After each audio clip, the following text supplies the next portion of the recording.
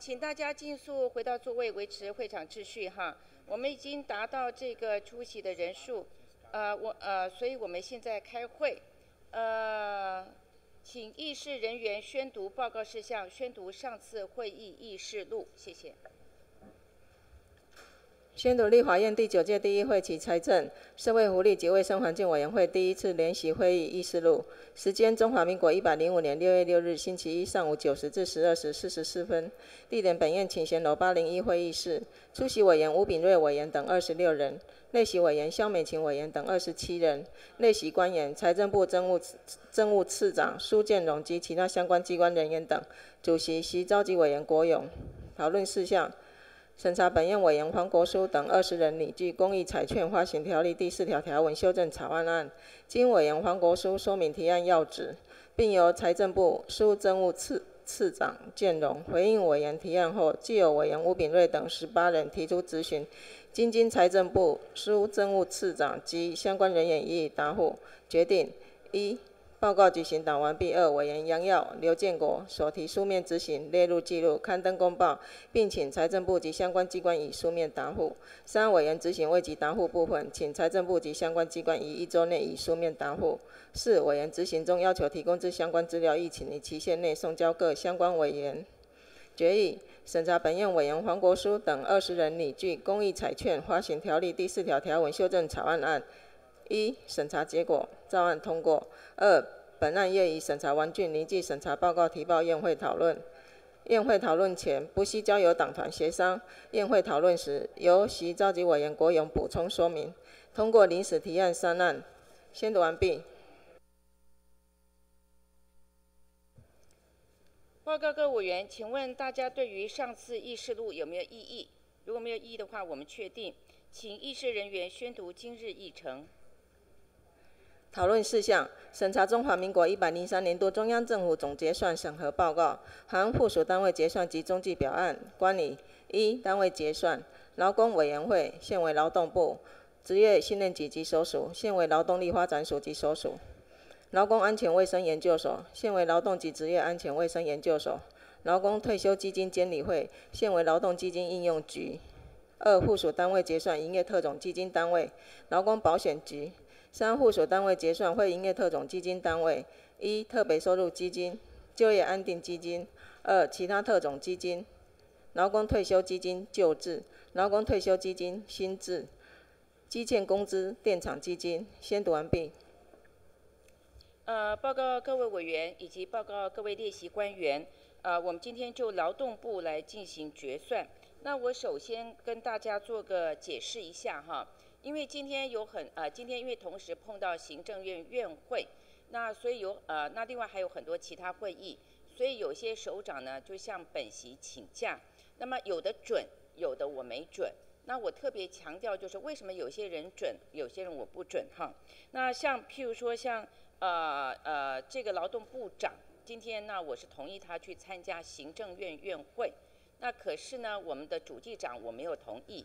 那原因就在于说，我要特别强调哈。那另外，劳动部里面有些局长我同意请假，有些局长没有同意请假。那我必须要说明一下哈。那最主要第一个是，呃，像这个呃，过去到现在为止，只要碰到决算啊，呃，我们都非常的重视，因为长期以来我们重预算轻决算。那决算大家都反正钱花掉了，那就是大家也不追究。那其实真正重要的是决算。所以那么多年来，我在财委会这么多年来，将近二十个会期，那假假如主持会议，假如碰到决算的话，我一定要求审计长跟主计长本人亲自要到，因为这是为国家决算把关。那我我们国呃国民党在执政的时候，我身为执政党员，我都这样严格要求使主计长跟审计长啊，都这样子严格要求。那所以呢，呃，如果说今天啊。改朝换代了，那就有不同的做法的话，那很可能就是会造成不公平的现象。这是第一个。第二个，一样是劳动部本身。今天有的主管我同意请假，有的主管不同意请假。因为有的主管同意请假，那假单都在这个地方哈。那有的呢，是因为他有啊这个他的这个公务呢是属于是属于不可这个调整的。譬如说，呃，像呃今天呃。劳动基金那有个有一些外资，那他们从国外来跟台湾政府谈，那本来就已经约好的时间，那你要叫呃外国的宾客要临时去给人家改时间，那这个可能并不适宜。那所以像这种情形，像这样的会议，那我横卓就让啊要代表出席的首长让他们请假。那有的首长跟我讲说，哦，因为他新官上任，业务不熟悉，那所以呢，他今天要召召开署内的同仁开会。像这种情形，我就不准假，因为呃，立法受到立法院的呃政府是衔接的，那受到立法院的监督是常态，那大家必须出席。你自己内部要找人问事情，你自己内部要开小主管会议，你可以利用下午的时间，其他的时间哈。那基本上还是要以立法院的，像你们自己内部的行程可以调整的话，那像这种情形我就不准假哈。那所以主席必须要说明一下，免得有人就觉得说主席偏心。为什么有人同意请假，有人不同意请假？那至于就是请假准不准假的这个书面啊，那主席都放在这个呃主席台上，那呃待会请各位委员自行参考。那接下来我们要呃请呃审计长就本次审查的机关部分做简要报告，谢谢。请简单扼要哈，谢谢。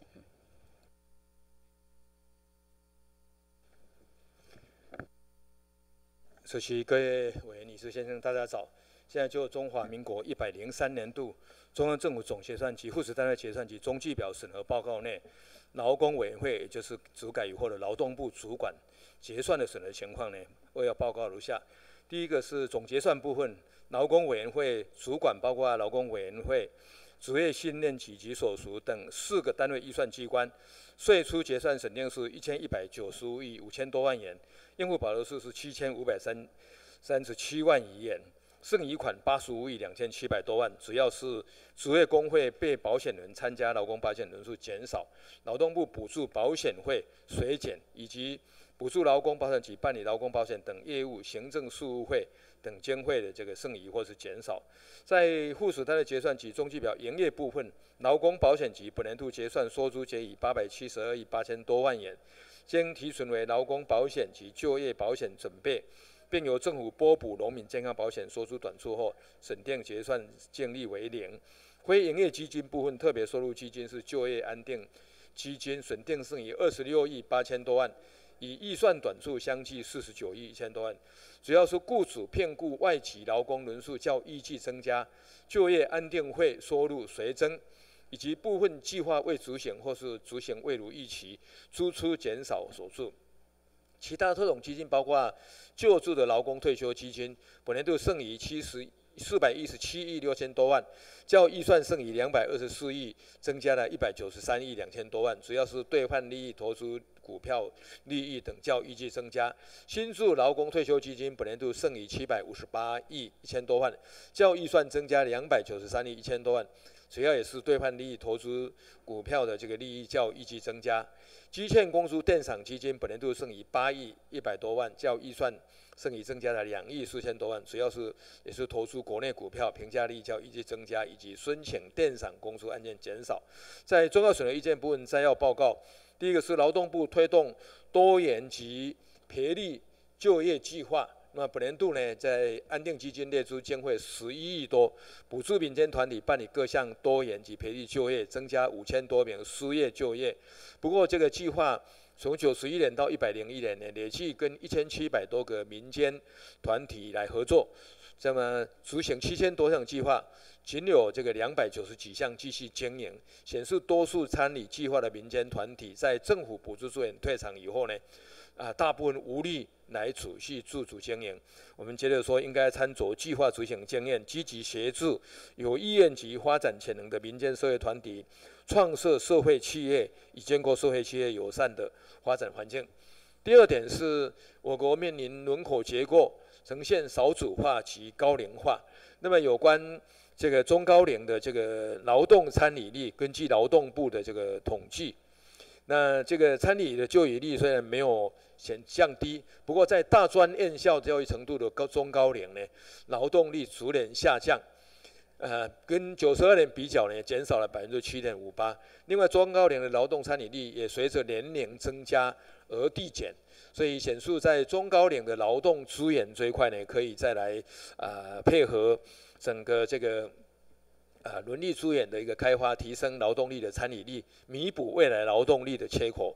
第三点是在身心障碍者的这个就业辅导这一块呢，国内身心障碍者人口逐年增加。那么根据劳动部跟主计处的统计资料显示呢，身障者劳动参与率较全体国民大为低落，失业率呢则提高升高了两点八二倍，每月薪资也较全国作业员工。啊，为低，显示这个就业情绪较一般民众严峻。那么这一块呢，有待继继续来积极 M 善策，协助脱贫助力。第四点是有关这个政府来补助辅助这个批复者就业啊这个计划。那我们查核结果呢？啊，发现包括国内批复者就业资源不足，而且分配不均，主要集中在都会区。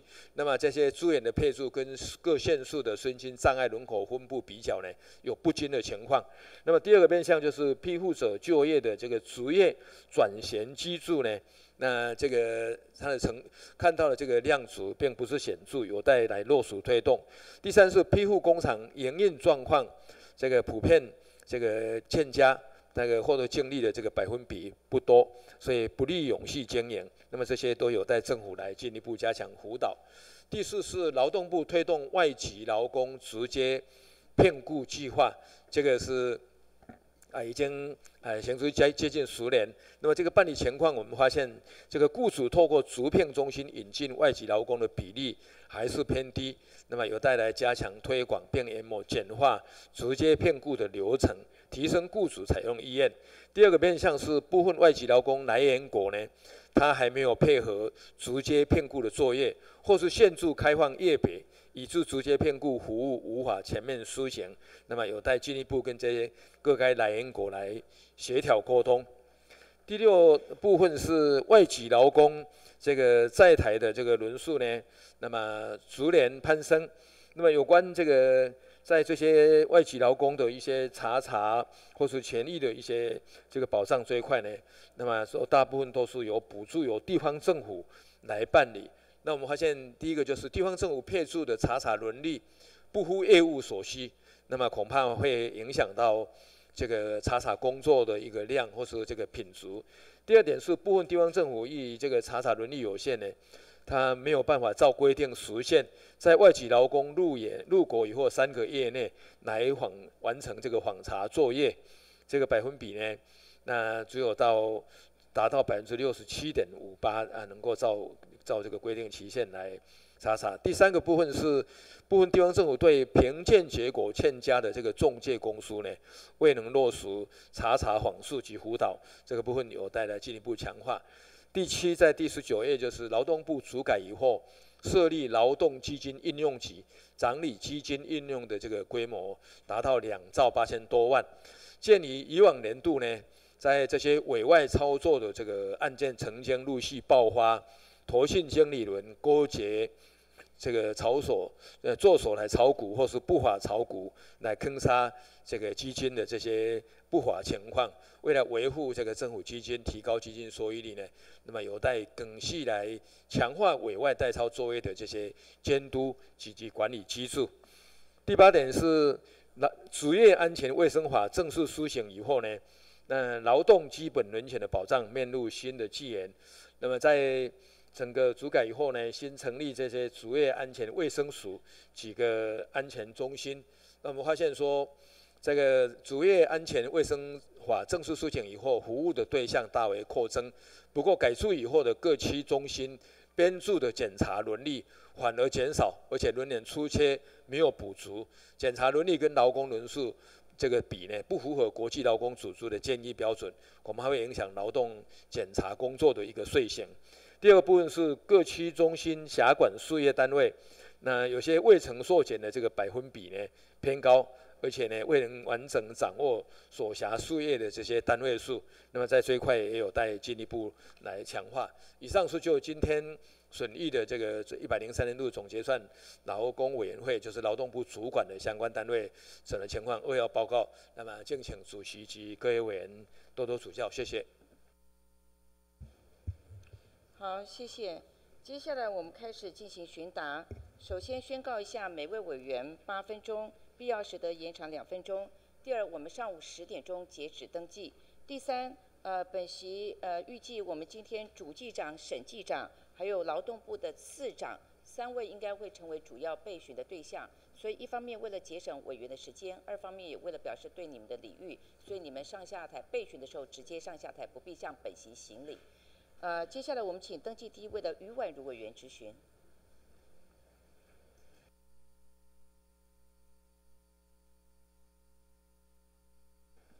嗯，有请劳动部次长啊，主席好，然后有请劳动部次长备询。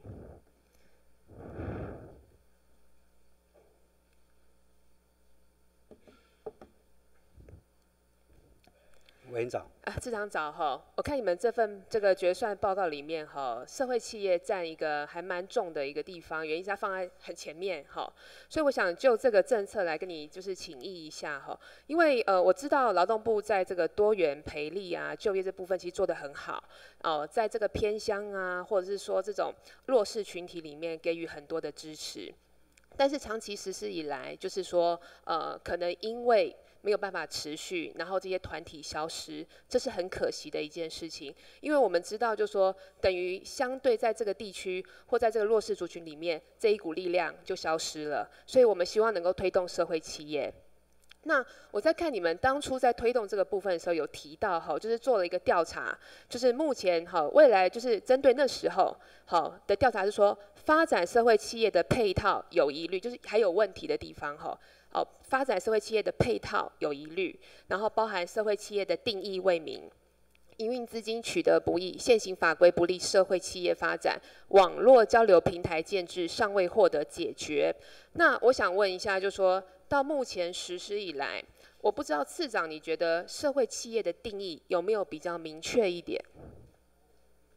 非常谢谢委员关切这个，实际上对台湾，我认为是一个非常重要的一个问题。的确，诚如委员所提到的，过去呃将近呃十年多来，啊呃我们在推行多元就业开发方案啊，实际上呃那时候刚好我也在资讯局服务，我们一共大概有前后大概在六七千个团体。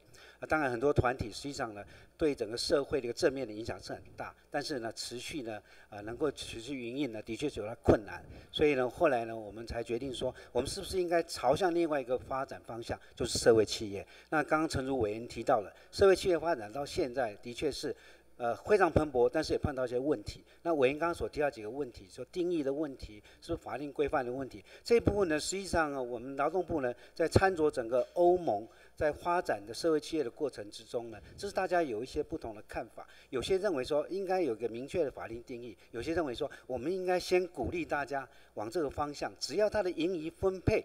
不是进入到投资者、出资者的口袋的话，那我们是应该鼓励。那像韩国，当然它有制定相关的专法，但是欧盟很多国家呢，实际上是没有。啊，所以在朝这个部分，所以这是法定上的一个问题。那当然，另外一个刚刚委员也提到，就是资金筹措的问题。那在行政院去年呢，呃，对社会企业呢的推动呢，有一段的做法。那我们劳动部被分配到的一个工作呢，就是说我们去建立。市长这部分我等下会再问你了，不要把我要问的都讲完了哈。然后，那所以我是想要问一下，就说哈，因为这边上面是提到，就是说社会企业定义哈不明啦。我想问说，那经过这一年多的试办，那劳动部在这边有没有对这个定义有比较明确的一个想象，或是认识，或是一个定义出来？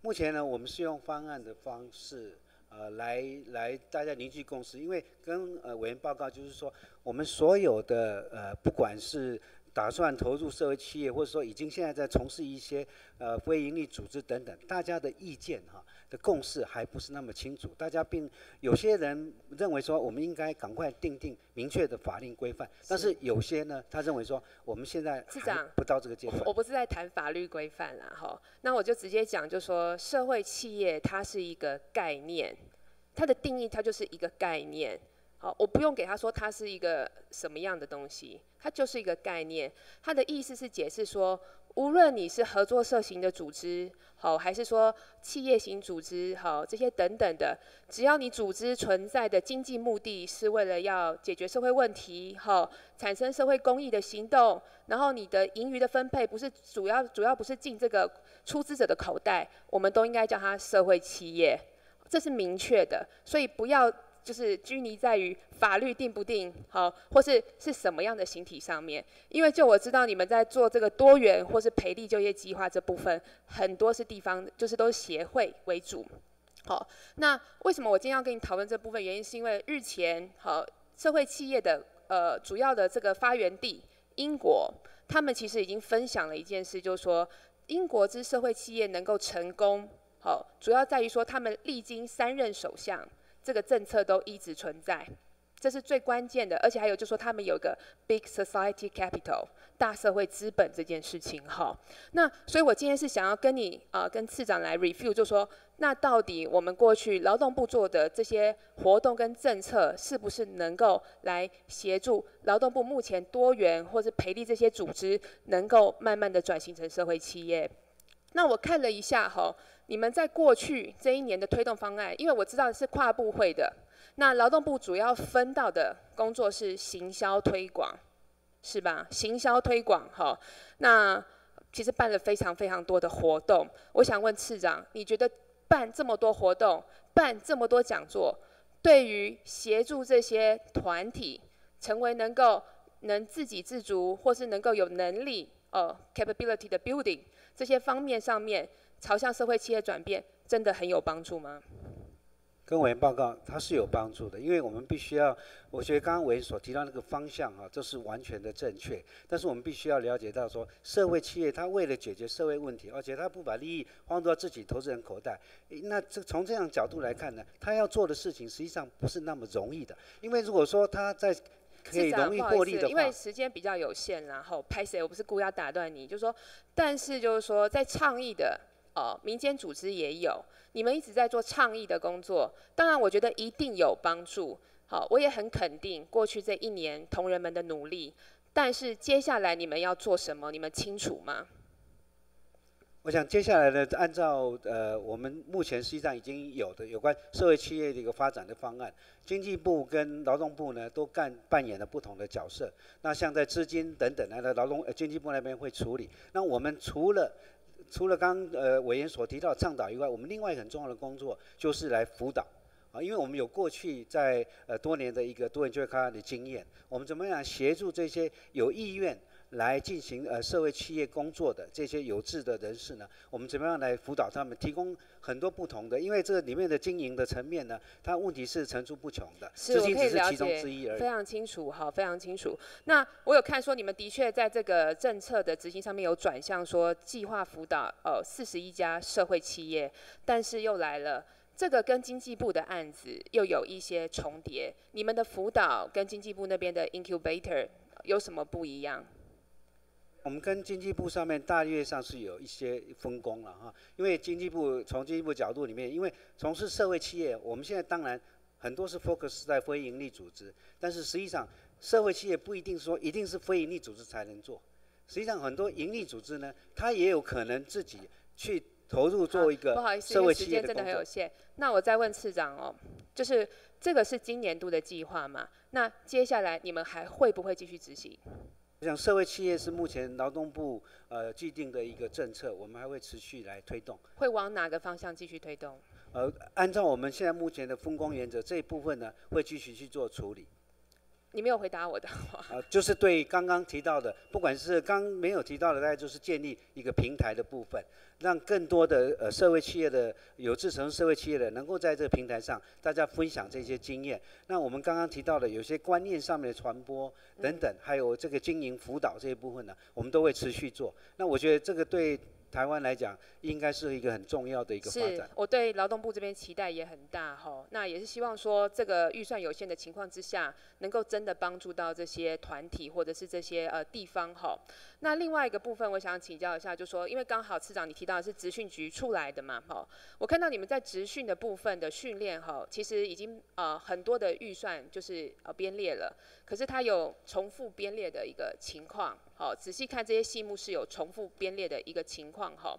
那我们这边找到了一个这个资料，尤其是这一份，好，就是这边提到就是说，在有一些跨境行销网页设计班呢，然后就是那种数位的部分哈，可是它的就业率，就是执训完之后的就业率非常非常的低。好，那我就这边要问市长，就说因为现在台湾整个结构性要调整，经济要调整，职训其实跟人才的培育是很有关系的。那我们这个培训到底出了什么问题？为什么训而不用？明明数位这部分现在很夯，很缺人，而且薪资很高。我想，在我们在执行局在做规划训练的时候呢，一定是以市场的取向导向为主。所以刚刚刚委员也提到说，实际上这些开的班是符合社会的需求。但是为什么他训练完以后呢，可能就业率不高？我想这一部分可能就是值得我们再做进一步的检讨。也就是说，我们知道市场有这样的工作的职务的需要，但是是不是确实了解到他的职务的职能？啊，因为你如果没有办法确定每个职务的，不好意思，因为时间真的有限，市场。我是在提醒你这个问题要去了解一下，是你们的方法有错误，委托的单位有错误，还是怎么样可以让这个接轨是更顺利的？好，那再一个，再一分钟，不好意思，哈，就说。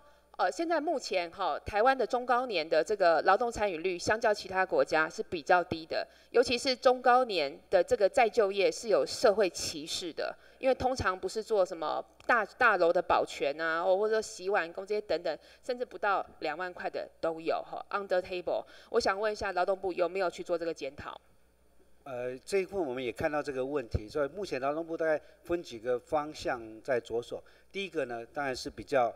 消极面的应该讲说，我们要对歧视、对中高龄就业歧视这一部分呢，我们要很明确的啊，在法律上的规范也好要去禁止。第二个呢，我们延长的中高龄就业的一些年龄啊，过去从现在到放宽到六十五岁强制退休。那第三个实际上刚刚实际上是应该是委员比较关注的重点，我们怎么样培养中高龄他再就业的这些职能，我想是很重要的。是，以上就是我期待的答案哈。那再多跟这个市长交流，谢谢。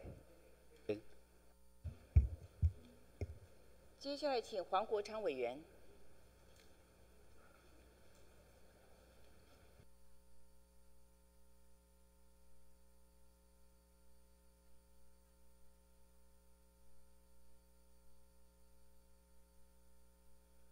哎，谢谢主席。麻烦有请劳动部次长。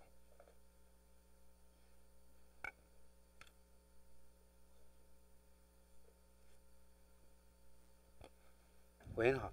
哎，林市长你好，我接下来要问的是劳动部啊的业务。那不过如果不是你的专长的话，部内其他的同仁上来协助没有问题。第一个问题是不当劳动行为。我昨天在交通委员会的时候，我已经问过你们的司长。哦，我现在最主要关注啊的行为啊，是我们目前工会法第三十五条针对不当劳动行为的处罚。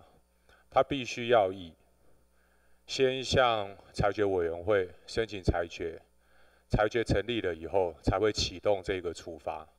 那我昨天关注的焦点是，即使成立了，他的罚款只有三万到十五万。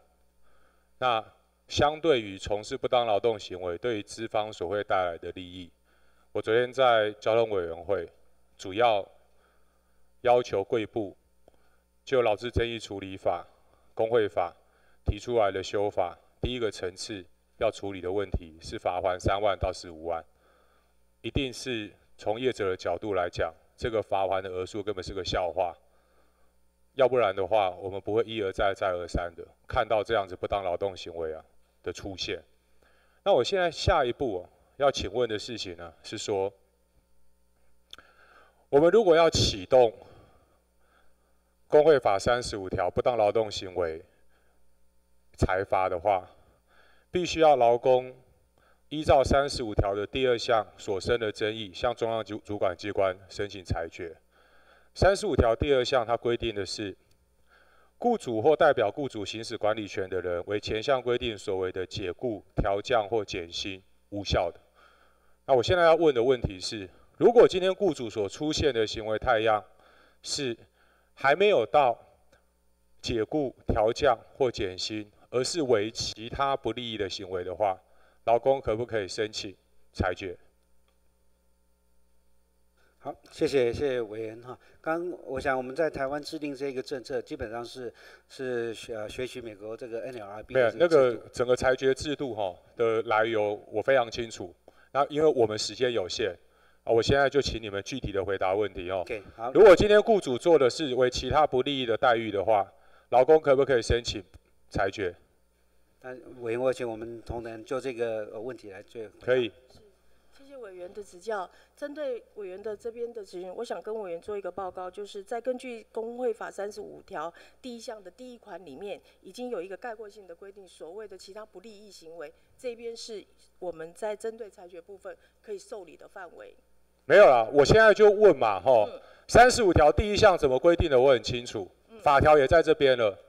但是整个裁决机制处罚的规定，它的启动，要从三十五条第二项。对。三十五条第二项规定的是，为前项规定所为的解雇、调降或减薪无效，落入三十五条第二项劳资争议处理法四十九条，劳工才可以去申请裁决。那我现在问你的法律问题是，如果还没有到解雇、调降或减薪，是为其他不利益的待遇的话，能不能够启动裁决机制？可以的话，你就跟我讲可以。法条的依据是什么？啊，你刚刚跟我讲三十五条第一项啊，我跟你讲三十五条第一项就不是答案嘛，因为你要启动，你要落入三十五条第二项嘛。跟委员做一个报告，三十五条第二项，它是一个无效的一个法令规定。我知道，你如果要申请裁决的话，依照劳资争议处理法四十九条，要依照三十五条第几项的规定？我的我这边有条文，我念给你听啊。工会法第三十五条第二项。对。所以，如果是其他不利益的待遇的话，你们现在的法规范出现了一个第一个漏洞，是没有办法启动裁决的机制，因为它没有落入三十五条第二项。那第二个，如果是第五款的话，不当影响、妨碍或限制工会的成立、组织或活动，你要怎么处理裁决机制？这个是第二个法律漏洞啊！我现在是很清楚的告诉你们哦，如果你们会后要去呃请教你们部内其他对于不当劳动裁决行为更熟悉的同仁，我也没有意见。但是我希望，因为昨天你们的师长已经在交通委员会跟我承诺了，你们一个月以内会针对不当劳动行为还有裁决机制的修法条文送到院里面来审议。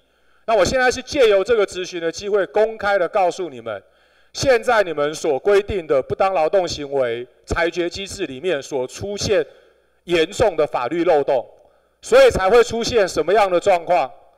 前面有这样的条文啊，雇主还是大拉拉的干，根本没有抑制的效果。我昨天请教你们第二个问题，我说，如果申请裁决的话，获胜的比例有多少？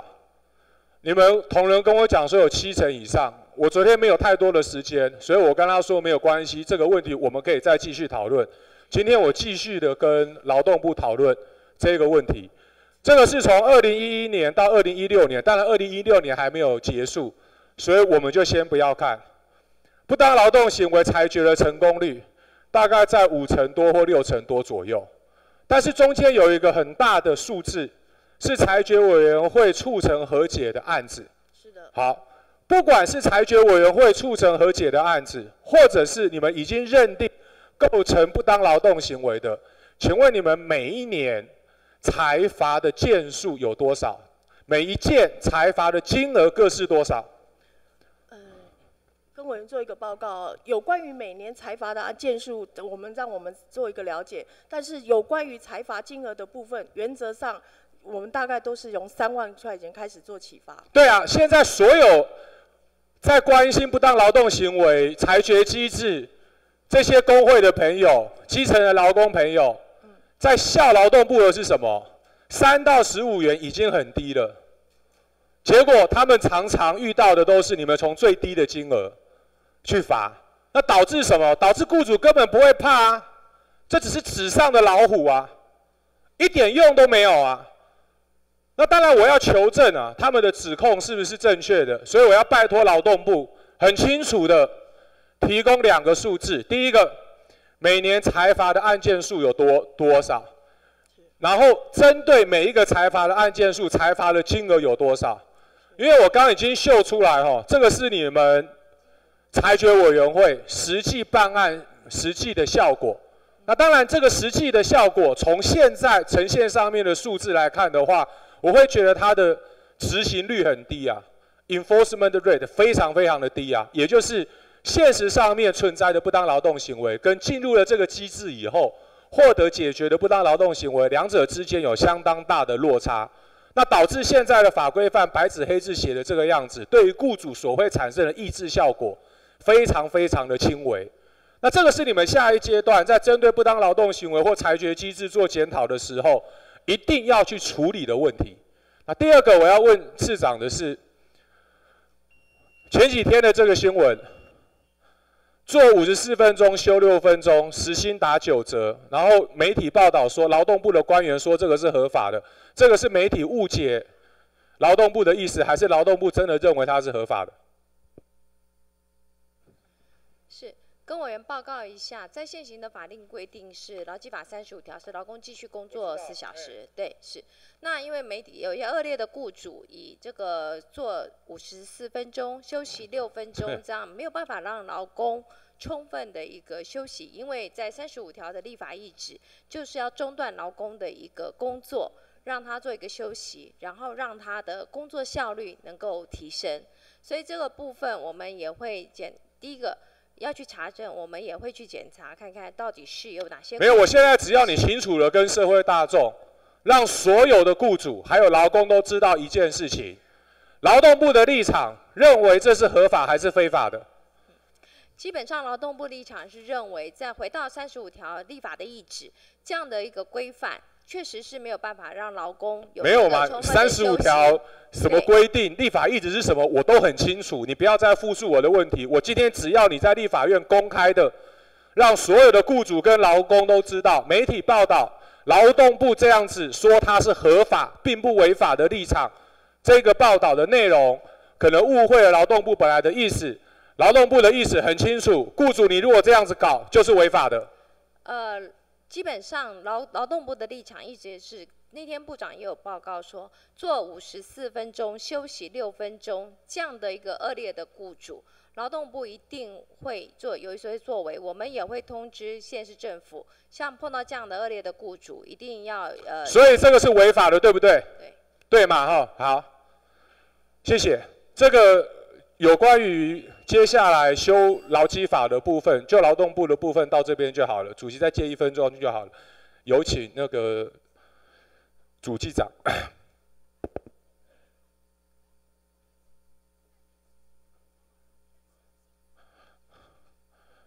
哎，主机长你好，我们上次见面的时候，我们讨论了一个问题哦，就是说您的理理念，你接下来。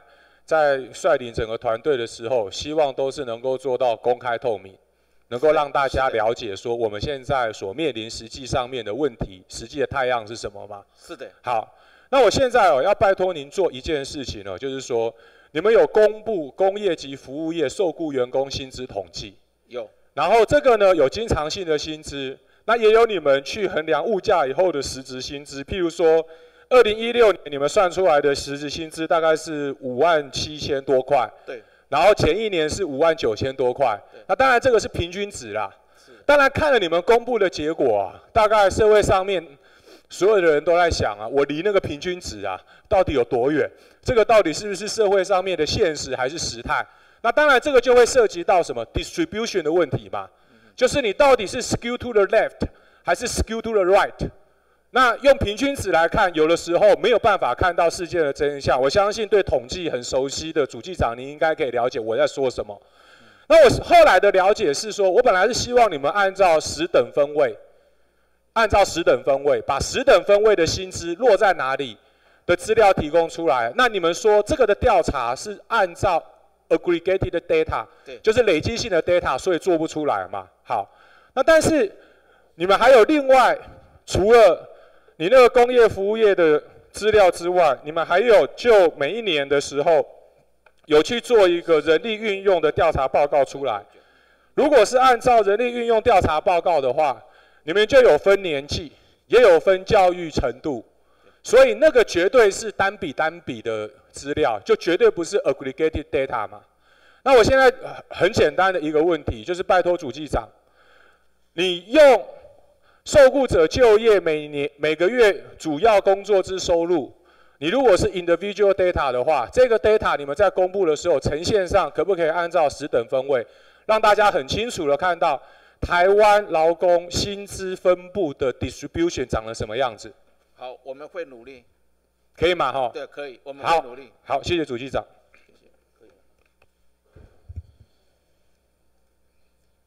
接下来请曾明忠委员。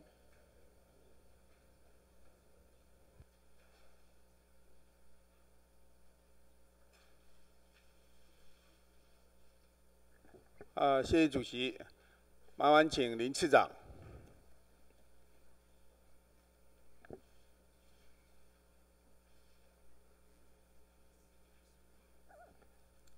委员好。啊，次长好。今天啊，审计部啊，这个决算的报告写的非常好。他在报告里面的第四页提到了，整个台湾地区的人口呈现少子化跟高龄化，所以未来整个要支应整个台湾地区的经济发展，会面临缺乏劳动力的问题。您赞不赞成啊这么样一个想法？报告委员。如果按照我们呃，在整个国家我们对人口统计来看，的确，我们实际上现在的劳动力呢，在这现在目前大概是最高峰，逐渐会呃降价。没错，但是哦，你要看这个整个情况，它这个报告里面第五页，其实你看整个呃第四页，先看第四页，从九十二年男性的劳动参与率从百分之七十八。降到一百零二年的七十四，女性从百分之四十一升高到百分之四十七。那另外在第五页的表格里面呢，中高龄劳呃中高龄的劳动参与率里边，四十五岁到四十九岁，我们的参与率还有百分之七十九，跟其他国家比起来是相当的。到五十岁到五十四岁降到六十八。降了百分之十一个百分点，跟其他国家比起来，相对就低很多。到五十九、五十五岁到五十九岁，就降到五十三了，跟其他国家比起来，大概有些低将近二十个百分点。六十到六十四岁，降到只有劳动参与率只有百分之三十三了，跟其他国家比起来就更严重了。所以跟你讨教的问题。尤其是五十岁以上的这些青壮年，是台湾地区要发展经济发展最重要的，不管是劳力或者是他的专业，最重要的原动力。那为什么会发生这个现象？五十岁以上、五十五岁以上的劳动参与率只有五十三，这问题在哪里？谢谢委员，像谢委员呃点出了一个很重要的问题，所以我们跟做一些国际比较的话呢，实际上没有错。我们在五十岁以上呢，我们的劳动力参与率是很显著的降低。当然这呃原因是蛮多的哈。那很多人他认为说他可以已经可以照顾他呃退休以后的生活，他可能提早退休，这也有可能。啊，当然呢很多的社会因素，所以在这一部分呢，在整个劳动部呢也是。呃，注意到这样的问题，那制定了相关的有关中高龄就业的政策。我们希望呢，在未来这几年呢，能够看看是不是在劳动参与率呢，啊，能够是不是能够呃，能够来向上提升。就这个问题跟你讨教，其实我也知道为难你，这个是整个面临整个结构性的发展，所以我要利用机会要求劳动部，因为你是劳动市场的主管机关，你只有管。因为需求需求面，那有一些供给面是涉及到教育制度，所以您也没办法全部解决的问题。不过，我希望劳动部既然看到这个问题，审计部也点出这么一个非常重要的问题，而且这已经多年来都是这种现象。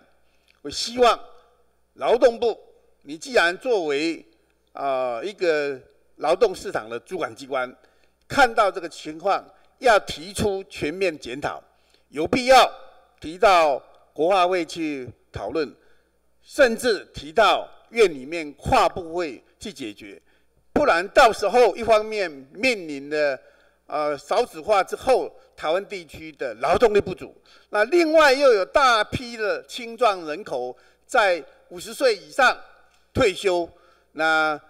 浪费他们很多的劳动力跟他们专业，这会造成台湾地区未来经济或者整个社会发展会产生重大的扭曲。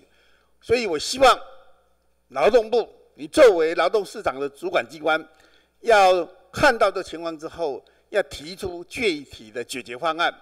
我相信这些不是只有劳动部能够解决，但是你看到问题，要提出解决方案，有必要。到行政院去提出跨部位的解决方案，劳动部能不能做这样的一个呃建议，或者是这样的一个具体的措施？刚刚我想委员刚刚的指正呢，实际上我们劳动部呢，现在第一个在措施方面呢，先采行一些措施，例如说银法人才中心等等这些措施。但是另外呢，在法制面呢，实际上有为各界的这个呃反映这样的问题呢。为了增加国家整体的长远考量呢，我们也在规划考虑呢，未来制定一个中高龄就业的一个专法。但是我真的不希望劳动部只有就你的部分了，因为你既然是一个啊劳动市场的主管机关，那很多供给面是教育部，所以我觉得你要有一个整套的解决方案，必要的时候报到行政院去做整体的解决，不然。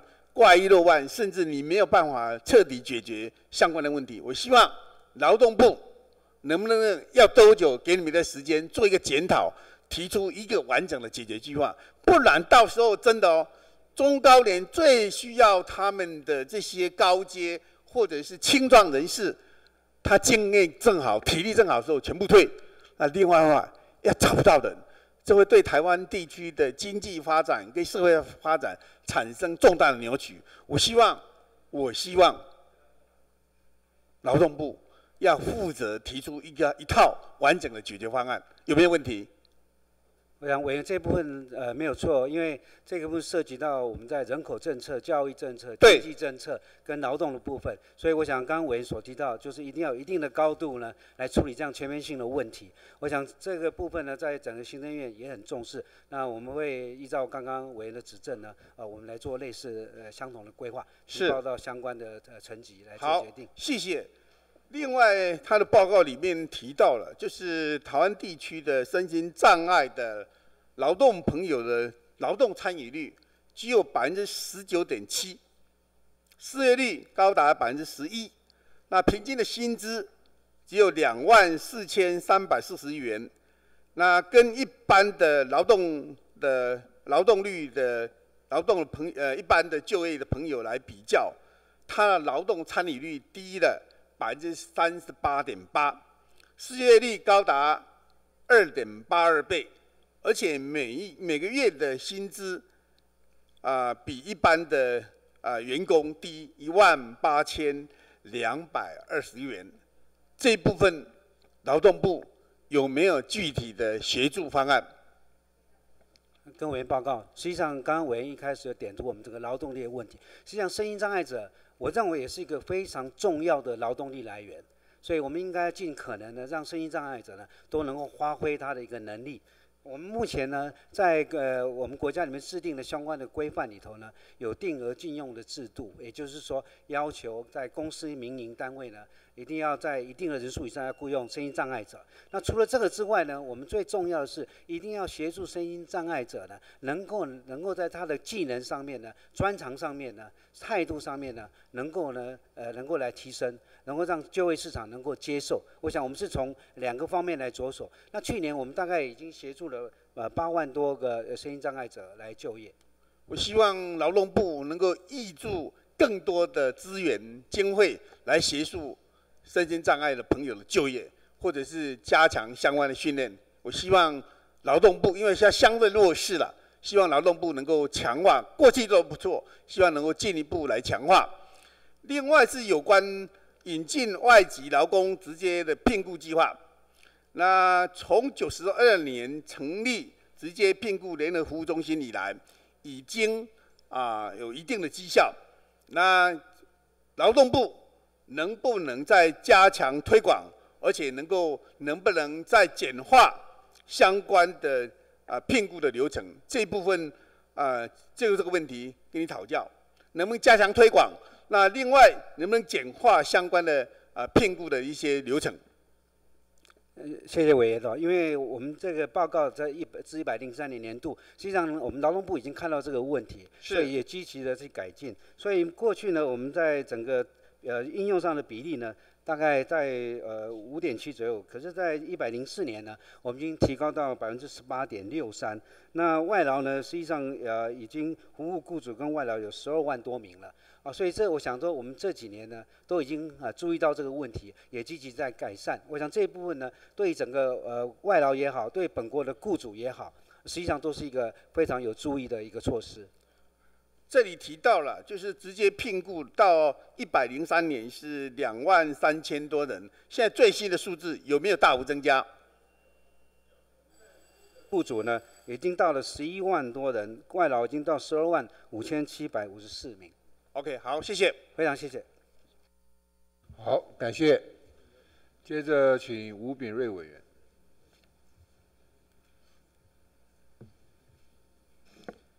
哎，麻烦请劳动部林次长。好，次长请。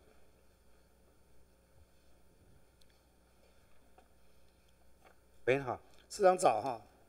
这个每周工作四十小时。是什么时候立法通过的？就是去年，去年，今年，今年一月一号。今年的什么时候？来，这个说明一下，公务员报告每周工作四十小时，在今年一百零五年一月一日开始实施。当初你们提这个每周工作四十小时，它的原意是不是因为一天工作八个小时？然后一周工作五天，就是要落实周休二日。对，基本上法令上规定是一天劳工的正常工时一天是八小时，一周是四十小时。那因为有一些恶劣的雇，也不能算恶劣雇主，就是有些雇主啊，跟劳工协商，他是用每天呃让劳工工作，譬如说六小时四十分钟，然后连续个工作了六天，让有部分的劳工没有办法落实周休二日。会有部分的雇主会这样做的原因，就是说，因为如果其实他还是每天让他工作八小时的，后面一个小时二十分钟给他算加班费，那因为加班费前面两个小时内的加班费是只能能领正常薪资的一点三三倍，是不是这样？所以就是雇主如果有这样的做法，他就是规避了本来我们立法院立法的原意，希望周休二日的原意嘛，是不是？呃。因为我们当初立法原意也是希望让劳工能够周休二日，所以把工时缩减。好，那现在因为后来这个会衍生的争议，就是说啊，刚开始有雇主在讲说啊，你除了周休二日之外，另外还有十九天的休假，比一般的军工教的休假十二天多七天，所以衍生的这七天的假期的争议嘛，对不对？呃，那时候大家是希望就是落实周休二日。然后全国的国定假日是全国一致的，是这样的。是啊，啊，所以后来在这个立法院呢，就在这个会期就把这个你们决议那七天的国定假日要取消，就把它恢复。那恢复的原因就是因为这个配套没有处理好，所以我是觉得这样子的哈。当然，这个民立法院行政机关有责任，立法院也有责任。他的目的是要你每周工周休二日。结果这个会被这个刚刚讲的这个脱法行为，啊，这个过度聪明的雇主的脱法行为，使得这个免疫不见了，它衍生这么多的争议。那这个争议发生之后，我们现在的配套，现在你们是打算下个会期要提出来嘛？对不对？呃，对，因为我们这个议题是大大家都相当重视的一个议题，所以我们除除了呃就是自行就是办理一些座谈会之外。我们也希望能够多听各界的一个意见，所以办理相关的公听会，来收取大家的意见，也会做一些民调来作为修法的一个参考。是那现在是要把它提出来，嗯，定义。如果其实这个如果明定说就是要周休二日，那一周工作就是四十小时，那雇主就没有办法有这个这么聪明、自以为聪明的六每天工作六小时四十分，然后事实上要你工作六天，只让你有一天例假，这样的做法就会自然就会消失嘛。是。那你们现在把它定义成一天是例假日，一天是休假日，所以是周休二日。是。例假日那天，休假日跟例假日在差别在哪里？加班费的计算有有差吗？呃，第一个例假七天有一天的例假，在目前劳基法三十六条就已经明定，例假是完全不能工作，除了天灾事变、突发事件发生的时候，才能雇主使劳工在例假工作。特殊的情况，那休息日的话，当然是透过劳资双方的协商，能够经过劳工同意。所以你们那个弹性工时只有休假日。弹性工时在现行的法定、现行的法规是没有规定任何的休息日这样的规范。目前我知道，我的意思是说，那未来要落实周休二日，呃，所有弹性实施弹性工时的事业单位或劳工的部分，也要同样同步，也是有相关的周休二日的一些相关规定。譬如说，四周弹性工时，四周一定要休息八天。是了，我知道。但是如果在休息日叫他来上班了，是不是？要等于是要加再加发，除了他本薪之外，再加发一倍的薪水，加班费。目前是规划说让那个以在比现行的法令的规定更好，就是让他如果在休息日工作的时候，除了本薪之外，在就是总整个薪资是加倍发给的。那你那个弹性是这样子的，就是说除了例假之外，另外一天的休假是要在哪一天是可以用这个劳劳资双方来协议的？是原则上，我们当然希望这个呃能够七天当中有两天的一个休息啊。那特殊状况经过劳工的同意，劳资双方协商的话，那可以在这个周期七天当中去做一个酌酌情去做一个调整。对，那我这样子问你哈，我们现在回到产业的实质面了。是。有的产业它在这个订单来的时候，它连例假日都不休息的。那如果照你的讲法，它的劳工从哪里来？基本上，我们当然希望，就是因为七天有一天的例假，我我现在跟你谈现实，不是基本上希望。对，刚刚委员关心到，现实上有一些事业单位因为急单的关系，是，所以让劳工能够必可能要赶急单要加班，那当然是希望事业你刚刚不是说例例假日？连上班都不能上班吗？是啊，急单的时候也是不行啊，还是要让员工休息啊。那但事业单位当然是以这个增加人力的方式来应应相关的。不是啊，你刚刚不是讲所有的人例假日都不能上班吗？除非有你刚刚讲那个特殊的情况。对对对，所以那如果急单来的时候，我举一个例子，假设台积电现在急单来了，他礼拜天都不能上班，全部都要停了。没有，他要增加其他的人力呀。啊，其他的人力增加了，也例假日也不能上班啊。其他人力是休息日可以上啊。休息日加班费发了之后可以上啊，所以你这边的例假日，你刚刚跟我的回答说，例假日除了天灾事变、什么特殊状况之外，所有人都不能上班嘛？是。那那我就是问你，例假日如果是礼拜天，礼拜天工人要这个工人要从哪里来？我举例嘛，因为每一个是各行业的状况都不一样，譬如说百货业礼拜天还是有营业啊。那劳资双方可以双方约定好我的例假，所以例假日跟休假日都可以约定的。本来就是劳资双方去约定，因为各行各业的经营太阳不一样，所以在做一个整个人力的一个运用啊，当然就是跟劳工劳资双方协商同意之后，明定七天有一天作为例假，这一天并不是一定是星期天。好，所以有一天是例假，有一天是休假。那至于例假日跟休假日是哪一天是可以约定的？是是这样。那例假日是，也就是说，最简单来讲，任何一个劳工，除非有刚刚讲那种非常特殊的情况，所以他一个礼拜顶多就上班六天呐。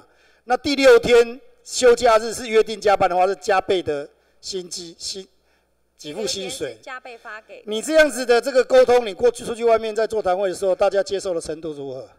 呃，我们也持续的跟大家沟通。那当然，当然希望说能够呃落实周休二日啊。那工星期休息日加班的部分，当然有部分的劳工团体也希望能够再挣更多一些啊。那我们也在持续跟相关的团体在沟通，因为更多一些是什么意思？就两天之后还要再更多一些？呃，那个薪资薪资休息日工作的那个薪资，他两倍，他认为还不够，还要再加就对了。希望希望能够再多争取一些。那当然以。以现在未来我们修法的方向，绝对是比现行法规的规定要更好。是。我知道，我是问你说，你没有针对我的问题回答。我说你在外面跟工人团体也好，跟雇主团体也好，你们的沟通座谈反应效果怎么样？我刚反应情况如何啦？是跟委员报告，就是我们沟通的结果，就是有部分劳工团体，当然还是希望在休息日工作的时候，他的工资给付能够再再提高一些。本席因为也很关心这个议题，然后在平常在地方跟各界接触的时候，也有讨论这些问题了哈，也想帮忙沟通，尽一点点绵薄之力。谢谢。听起来很多人会接受，那当然也有一些人还是有一些意见，就像你讲的。可是我个人认为哦，你们的宣传的力道是不是稍微不要说宣传了，就是当那些人把你们的方案讲得多坏多坏的时候，你们是不是适时的把它内容讲清楚一点？是。因为我觉得这个听起来。就算不能接受的人，他只是剩其中一小部分不能接受，大部分的部分是可以接受的。可是你知道吗？在外面的劳工团体有一部分劳工团体把它讲得一文不值啊，讲的公啊没听解的。啊，这一部分是不是适当的时候应该要澄清，应该要说明？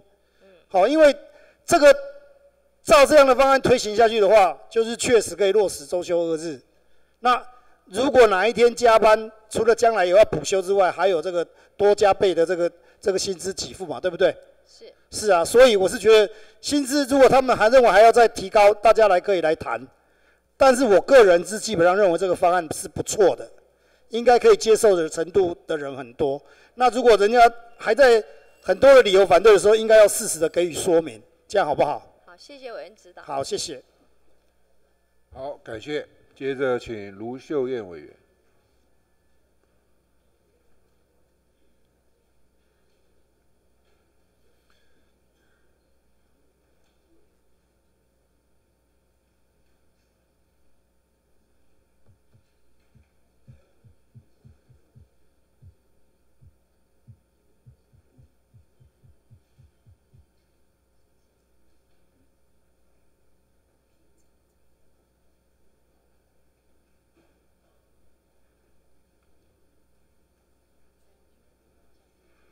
呃，主席，我请劳动部次长。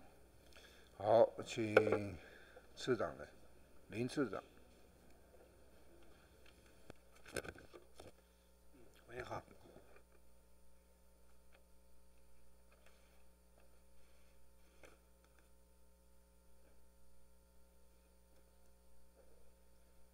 呃，次长，这个这两天啊，林群内阁说啊，啊要做长照。所以呀，他要这个加营业税。那加营业税呢，就是我们每样东西都有营业税，要加百分之零点五。然后呢，呃，来克筹措裁员。那我就批评了，我就说这个东西根本就是让穷人来养老人哈。那这个政策宣布完以后，你们有没有看到？你身为内阁成员之一啊，你有没有看到这两天网络上？林权内阁被虚报了，连这两天帮他们稍微讲话做球的委员，在网络上也全部被虚报。为什么呢？因为这个政策违反公平正义。那现在林权内阁呢，企图来减轻这样的一个民众的不满，说：“哎呀，全民没关系，大家呢，这个几郎各位加 Q 过十块，大家忍耐一下。”啊，大家能够共体时艰，所以呢，说每人每月只加五十元，一家四口只加两百元啊，一个月哈，这是他们用这个下去除的，除出来的结果。到时候物价是不是真的这样子涨呢？只涨零点五呢？哈，那么企图简化，可是身为劳动部的长官。你要知道，这个事情不是只有富穷人养老人呐，劳工成为最大受害者。为什么？在是如果说全民加税，全民加税，昨天我们的这个财政部次长在财委会承认呢，这等于是全民加税。好，全民加税，谁受害最大？劳工受害大最大，因为在市农工商里面，劳工的族群最多。全台湾有七百万左右的劳工，其中三万元以下的劳工，三万元以下的劳工占三百，占三百多万人，哈，占三百三十五点二万人。好，请问，我们这个新政府上来不到一个月，全民加税，每人每月五十元，富人财团我们不管他，对他来讲不痛不痒。请问，我们台湾七百万的劳工，不要说七百万劳工，三万元以下的劳工，三百三十五点二万的劳工，请问政府什么时候？政府什么时候要给他们加薪啊？你政府上来不先致力于劳工加薪，让劳工脱离低薪的困境，却先每个人先加税，这是让人民昨天可能政府到现在为止都搞不清楚，大家痛恨什么？林权过去当独董汤太久了，每年年薪千万元，所以每人每月加五十元。他不痛不痒，他感受不到。但是昨天这两天为什么网络虚报了？为什么？因为你要知道，对劳工来讲，一个月即使五十块，物价升的是不是真的每个人只涨五十块？他就用直接还原法。那你要知道劳工多痛苦。那我想请问劳动部的长官。你们什么时候新政府什么时候要帮劳工每人每月加五十元？跟这张对照，你有本你你有种加他的税，有没有本领提高他的薪水？谢谢委员。我想刚刚委员的咨询，我想分两个部分简单的一个做个回答。第一个，我想不需要做任何统计，台湾人口的老化情况呢，实际上是非常严重。也就是说，被需要做照顾的人是越来越多。那这个呢，实际上是涵盖全国。当然，劳工是最主要的部分。我想刚刚委员也提过，因为劳工占的总量最多。那至于说这样子的一个财务资源怎么样来源，我想，在整个政府的规划呢，有一定的规划，也不在呃这个劳动部的一个权责之下。我想这未来。但是你们要替劳工说话，因为内阁的组成，劳动部你们是管最大的行业别、最大族群，市农工商里面，你们当然跳出来反对呀。难道你们默许劳工这样子被欺负吗？为什么不向财团、向有钱的人征税呢？所以呢，我批评他这个政策。昨天我批评他是穷人养老人，今天我要批评是七百万劳工养老人呐。市农工商里面，劳工是最大族群。这个长照政策不仅是穷人养老人。而且还是劳工养老人，因为在两千三百万的行业别族群里面，劳工是最大的，所以劳动部当然要跳出来讲话啊！你们要在这个内阁里面要求林权部长悬崖勒马，替劳工讲话，要不然呐，劳工会恨你们，就说你们完全没有替他们加薪，替他们争取解决困境。你要知道啊。你在网络上有没有碰过？你知不知道什么叫团购？什么叫团购？五十元是很小钱吗？你看看这种讲话，一点都不体恤民众。家庭主妇、年轻朋友、低薪族、中低收入户，他为什么要去团购？可能一个东西可以省三毛钱，他必须去参加团购。他如果自己去买，买一支圆珠笔，可能十块钱。他参加团购可能剩九块，一是一块一杠安尼的看。我们政府讲话话三亏，每个人只加五十块钱，共体时间。我们这个政府为什么一上台，要让穷人养老人，要让劳工养老人？所以我今天要的是你的态度。身为劳动部的部长、次长，我今天让你们部长请假。你们他说你可以全权代表，请问劳动部对这个事情的态度是什么？站在劳动部考虑这个整个劳工，尤其是刚刚委员所提到的弱势劳工的一个角度来讲，啊，在整个政府决策的过程呢，我们一定会让在政府决策过程呢，充分认知到说，对于弱势劳工呢，我们不应该用所谓的一一视公平的一个立场，因为这样子对弱势劳工可能负担就比较大。我想这一部分呢，我们在你这句话讲得很好，所以呢，所以我们当你一视同仁的时候，一个鸡蛋五块钱，如果涨一块的时候。富人不痛不痒，他一点感觉都没有。可是对一般的老百姓来讲，他的不可承受之重。这个就是物价在涨的过程当中，为什么我这么极力反对，说为他违反公平正义？因为收入不一样嘛。对小英总统来讲，对林权来来讲，一弄起后野狼啊，所以他觉得五十块钱 so what？又怎么样呢？可是人民的观感，他不知道人民为了一块钱，为了一毛钱在挣扎、在奋斗吗？所以我今天提的是，你有种给他加薪，请问什么时候给？你有种给他加税，什么时候加薪？这是我的重点。所以这个方法严重的违反公平正义。今天不用修理国民党。因为国民党已经不执政了，我们的方案，老实讲，在你们眼中也不值得讨论。但是，新政府号称准备八年，上来第一个月就要加税，而且加的是全国人民的税。全国人民里面，一般的老百姓、低薪族、青年人、中低收入、穷人、劳工是绝大多数，要这样子欺负他们、修理他们。倒过来，我昨天就举例啊，你台积电，你一缴银所税，你为什么不从银所税里面去想呢？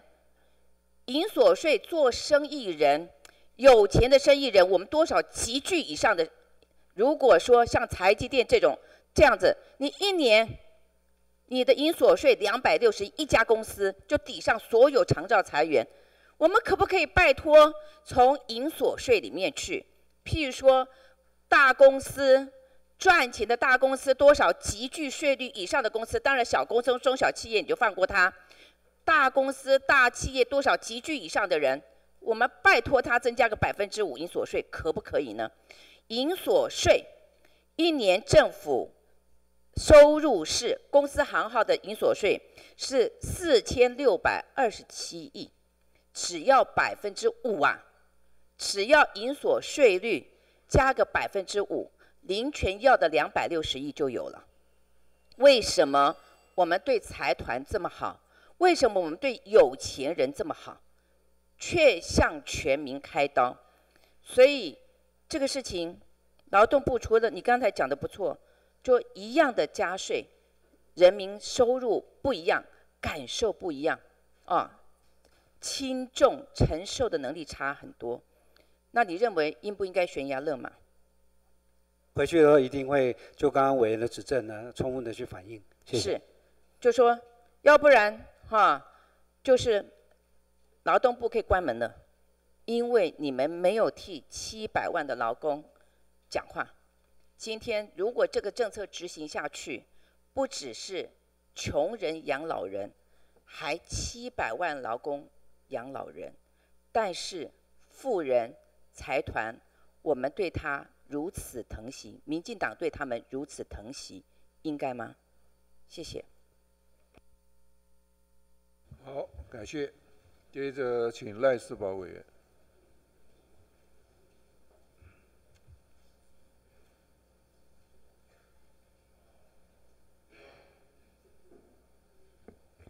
谢谢主席啊，主席各位先进，我们先先请一下主机长好吗？主席长，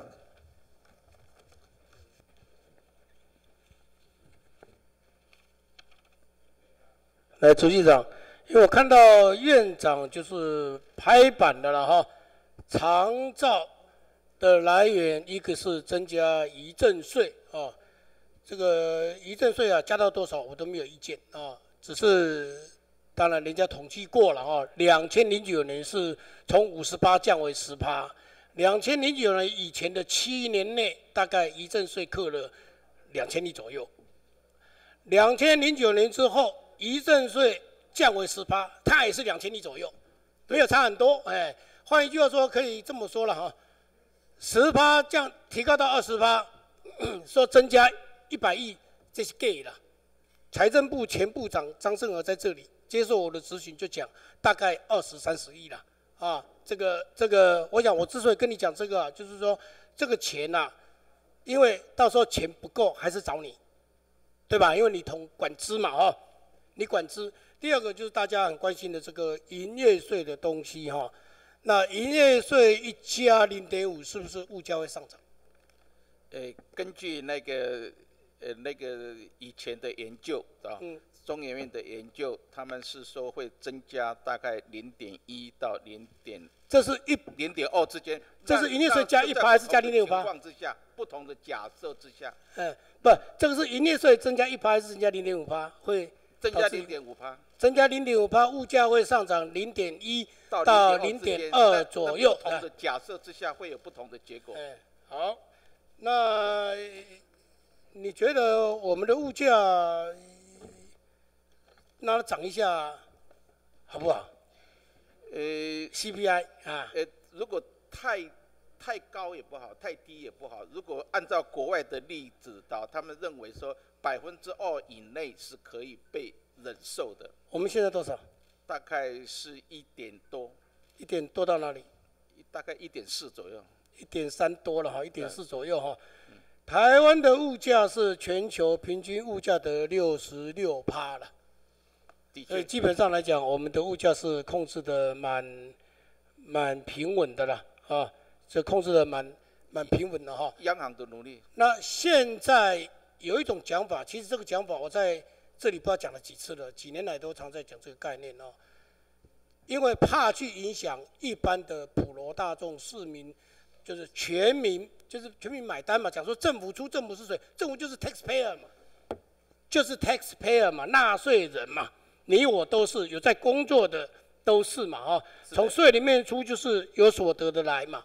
那营业税的话，就是不管你有没有所得，你总是要吃嘛，你总是要消费，那是不一样的概念，那是不一样的概念。所以来自于全部来自于税收，那就是全就是有所得来负担，有工作的来负担，对吧？这个有有两种理论，有些人认为是所得税是他的一个贡献。他既然贡献多，要扣比较高的税的，诶，有些人会有质疑的。不过他的纳税能力比较强。第二个理由，他们是认为消费税是消耗了社会资源，消耗社会资源愈多的，所以要缴多一点税。有两个不同。对了，你这个是一个角度，但从另外一个角度，就是谁是 taxpayer 嘛，谁买单嘛？很简单，常照谁买单嘛？最后就原来如果没有提高消费税，全部是税的话，那就是。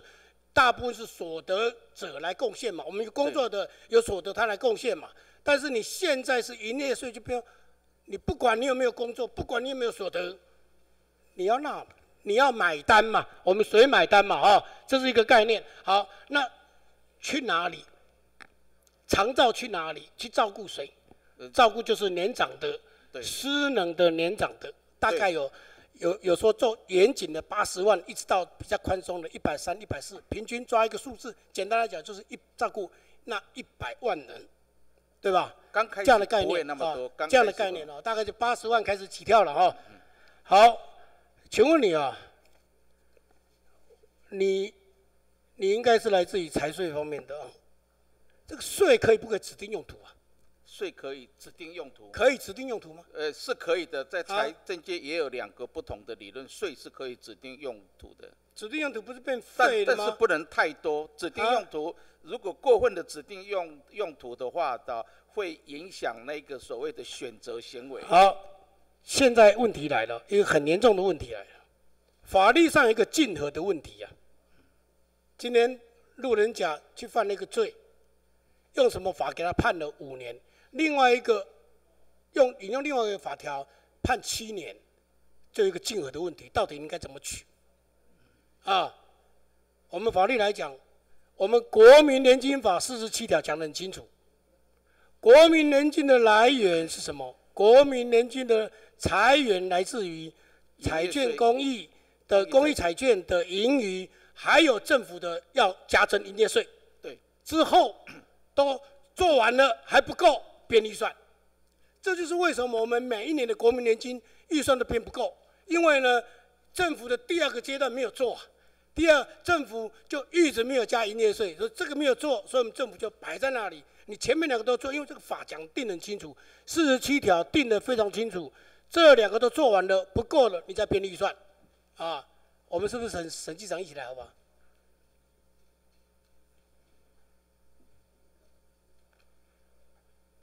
哎，好，我要请教两位长官了啊，前面听到一个很严肃的问题，也是很严重的问题。刚刚先不管那个到底是什么来，谁买单什么之类，可是去哪里要照顾什么人？你这边长照是照顾八十万起跳，大概一百万左右，不到一百万的老年的失能的，大概是这个样子，每个月一万五到两万五，那你整个饼大概三百多亿，其实照顾的很有限。但是另一部分国民年金保国民年金是三百六十万人。国民年金大部分是家庭主妇，你没有参加农保，没有参加劳保，没有参加军保等等的，通通没有社会另外一块我们的一个最基层的安全网，叫国民年金。它里面讲得很清楚，四十七条讲得非常清楚，它的财源就来自于政府要加征营业税。换一句话说，这个营业税就一家，我们家庭主妇可以去 claim 哦。可以去监察院去控告林权院长哦，控告你们行政院的长官哦。哦，国民年金要照顾我啊，为什么你跑去长照？你要照顾我啊！我是家庭主妇啊，我其他都没有保，我这一块是我的，为什么你在零点五跑去那里不跑来我这里？我们的法定的这么清楚，四十条定的这么清楚，你怎么回答？哎，我必须说明一下，国民年金法有时候国民年金的营业税要要增加。至于说长照法里面是不是将来营业税也要增加？如果他的法他已经讲了，林权已经公开说了，一定是要加零点五了，不是吗？你怎么还要那那还要大院通过？我知道了，但是最少是政策嘛。来来来，审计长，这个法律要两个都在抢这个钱，抢营业税，对不对？长照要抢营业税，国民年金抢营业税，国民年金参加的是三百六十多万六十万人左右。大部分是以家庭主妇最少占一半，啊，因为就是没有保的最基层的一个保而已，那里面就保障每每个月就三千多块而已了，啊，来陈局长你怎么看这个事？是的，在呃，我先讲在国民年金这一块呢，那么在国民年金法里头有规定它的相关财源，不过目前政府就刚刚委员提的，那么在营业税这一块并没有来加征。所以在目前为主呢，这个中央政府在国民年金这一块，那要负担的部分呢，还不足了一百五十几万，一百不足一百五十七亿嘛，一百一百五十七亿，对嘛？所以这这一块呢，我们也提出这个相关的看法，就是要怎么样来啊，依照法令的规定呢，那不要让这个国民年金这一块呢，那么长期在一种啊，在整个这个相关的这个财务状况。请问审计长哦。那个主机长可以先回去啊，没关系，我问问问他这个，好不好？你你你要说明没有？我要你请回，你请回。我要回。哎，你你你可以请回，没关系。我先问问问。审计长。是。这里面有竞合的问题，大家他涨了零点五，大家都在抢这个钱，会有路人甲，不一定路人甲，家庭主妇甲可以跑去监察院哦，可以跑去监察院，就说政府渎职啊。因为这个你说已经钱不够啦，对不对？然后呢，虽然国民年金现在说我里面还有两千多亿，可是因为他讲得很清楚，财源是来自于第一个公益财券的盈余，第二个要营业税，讲得这么的清楚。然后你长照说我不要管他，我先零点五给我，这个可以讲得过去吗？请问陈局长？在长照这一块，目前行政院有提出这么一个看法，不过他还是要依照这个法律的程序，要经过大院来同意以后，那么才是一个定案。不，你一直没有回答我问题嘛？我说他如果就通过了，因为现在执政的民进党团他们人多嘛，哦，就按照这样过了，零点五就给长照，那我旁边的国民年金一定讲话的啊、我里面有医药，为什么没有没有给我呢？所以真的要满足这两块的长照要满足，国民年金要满足，那就是一点五啊，那就一点五啊。现在五趴就一口气要到一点五，就是涨了百分之三十啊。你怎么看这个事，陈局长？是的，在整个政府的一个目前的一个状况，就是说，因为整个支出，那么在法定支出的部分已经占到百分之七十的部分，所以在相关的一些新的这个政务呢，那除了说要开源节流以外，我们还要有一些。审计长，我的问题你一直没有回答我了。你是审计长，你是监察院底下的，你不是行政院底下的审计长了，是监察院底下的审计长。你应该很独立超然的把这个问题讲出来，讲破它，因为大家都会抢这个营业税，然后对家庭主妇来讲，他什么保都没有，就这么一点点的保障，你这样把它剥夺掉，你跑去照顾老人，那这些没有保的人，他没有照顾到，马上就有竞合的问题。这个问题我刚刚从头一直问，然后你一直没有回答。我希望审计部回去好好研究。我知道你没有研究这个问题，但是这是很严肃的问题。零点五趴加上去，两边都会吵着要，这里面一定有纠纷，一定有该被照顾没有照顾的人起来喊冤，甚至于去控告这个政府。我都认为这个事情是一定会发生的。审计部应该要有看法跟想法，如何来应应这样的问题啊？你说特别哦，又以普先要普通法，这两个都是特别法，只不过时间的先后，你不能说我这个后面的就总是比较伟大。我觉得不是这样子，法就在那里，除非你去修国民年金法四十七条，把那个花掉，除非你这样做，否则的话就是在那里。啊，谢谢。我要你的报告，好不好？谢谢。好，那个赖委员要的报告要提供哈。呃，我们预告一下，在徐国勇招委质询之后要休息。现在请洪慈庸委员质询。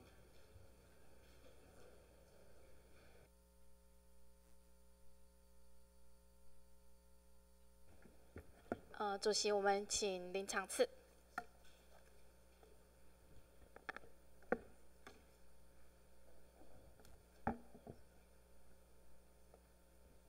喂，你好。哎，长次好哦。呃，今天部长请假哦。那我首先我要讲的事情是，呃，因为其实前两天在呃卫环委员会也是讨论年金的问题哦，那也谈到一些世代正义的这个这个相关的议题哦。那我今天一开始我要说的是哦，蔡总统他在他的就职演说当中，他有承诺说他会为年轻人打造一个更好的国家。那他觉得说，虽然他没有办法立刻为所有年轻人加薪，好，但是他承诺说他会立即展开行动。好，但是呢，其实新的政府哦，因为上任其实还不到一个月，好，现在才十六号哦。那我也不会苛求说，哈，在这样还不到一个月时间哦，要有什么样具体的一个就是方案，或者是具体的一个表现哦。但是呢，其实马上就要就是筹编下一个年度的一个预算哦。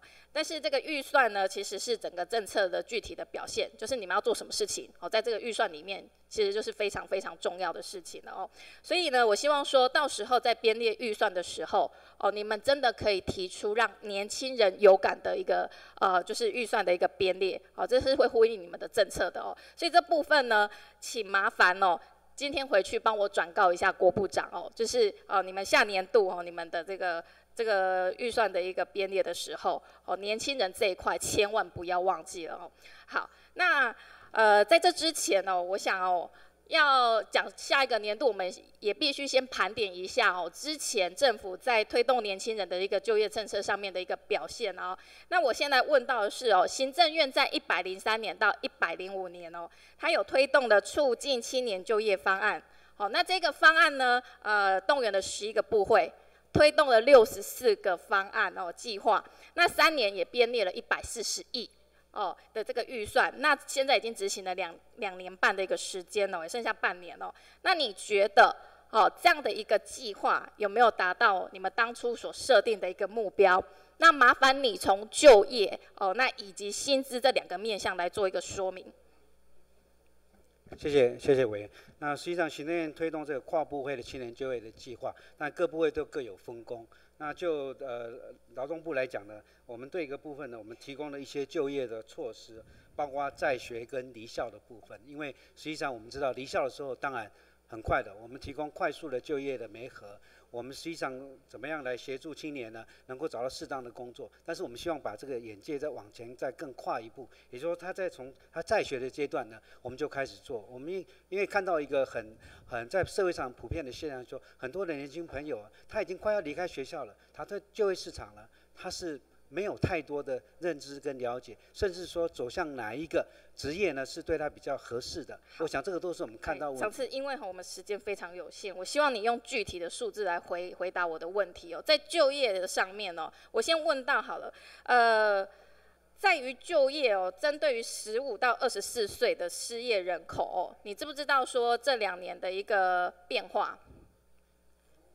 十五岁到我们大概呃在劳动部，我们把青年的部分大概分成两个呃年龄的层，一个是十五到二十四哈，在过去三年的变化，一百零三年呢失业率是十二点六三，到一百零四年是十二点零五，那在一百零五年四月也就最近呢是十一点七八，那十五到二十九岁的年轻人呢，在一百零三年是九点零六，在一百零四年是八点七零。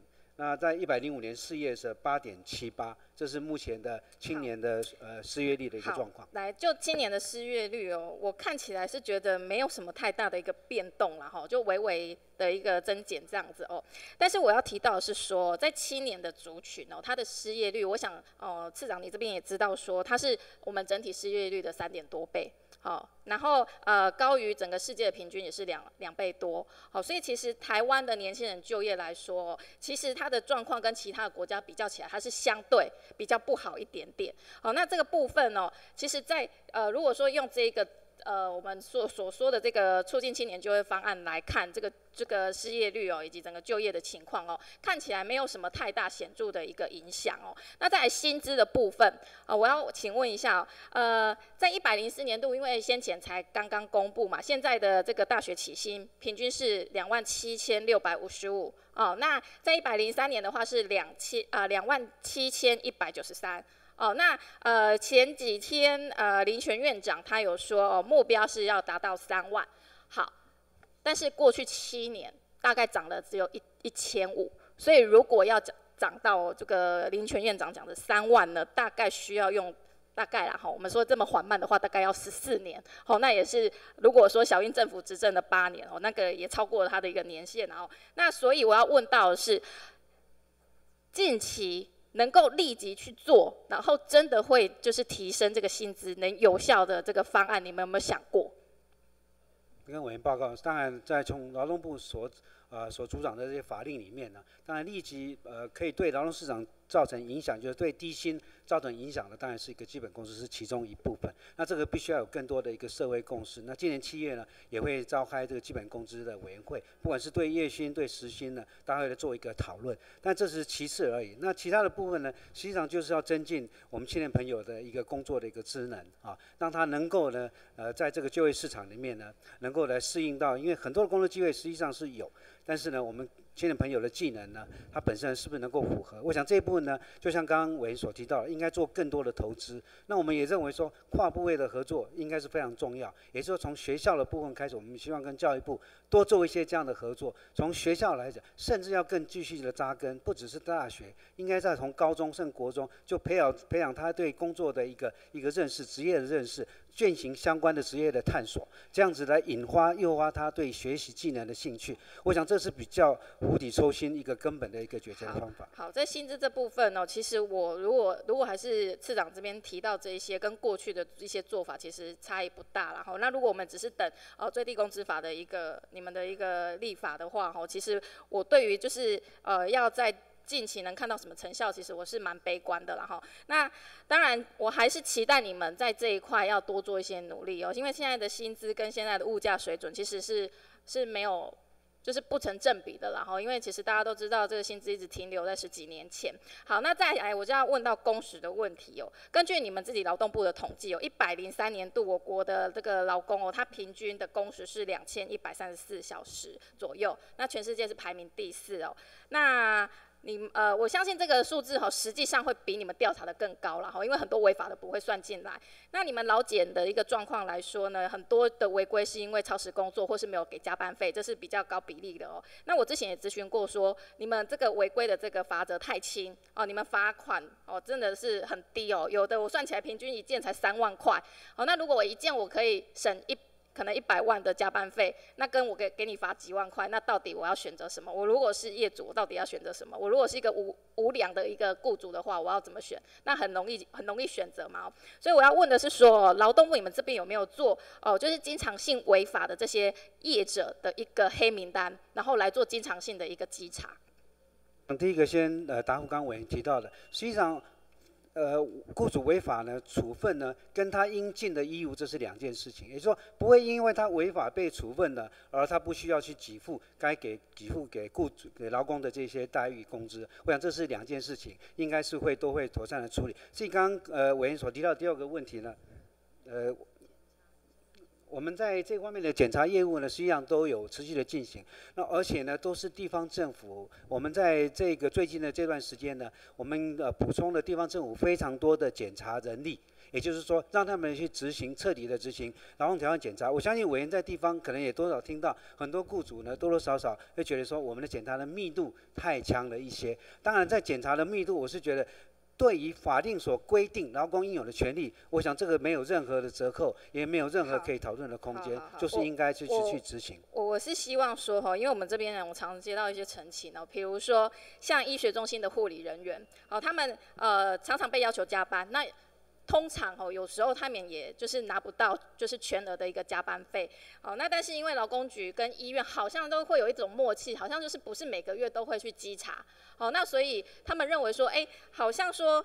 你检举也会给改善时间，然后也不是固定稽查，啊，不是每月稽查，所以可能四个月他才被罚一次，那有可能哈也给他改善时间也没有罚，哦，所以呃，我觉得说如果这样这种经常性违规的雇主哦，应该要可以去做呃连续性的一个稽查跟开罚哦，这样业者才会才会怕嘛，哦，啊，不然现在我们罚则这么低，然后你又没有持续性哦，一直。针对这种有黑名单的这种厂商或是业者或是医院去做一个稽查的话，其实对于他们一直在违违规，其实是没有太大的帮助。最后我要问的一个问题是哦，在职训的部分，我刚刚前面委员有问到，就是有一些课程开了之后，它的一个就业率非常低。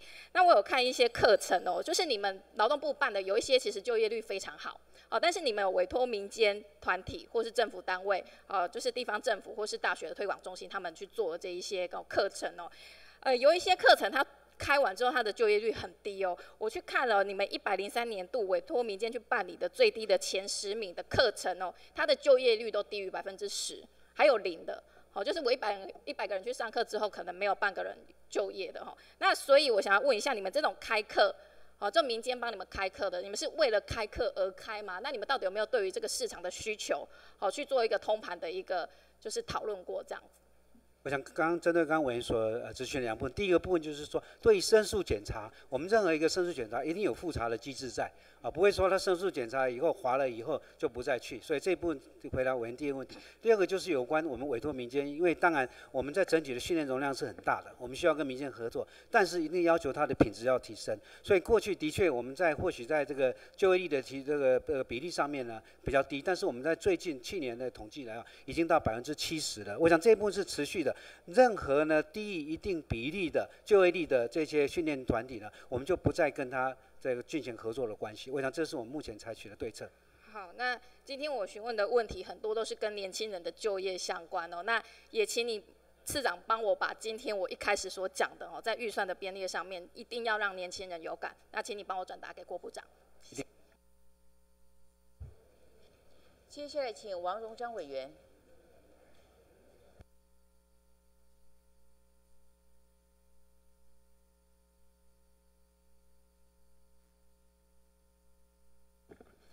呃，主席、各位委员，呃，大家早安。那，呃，主席麻烦我请我们主机长朱主机长。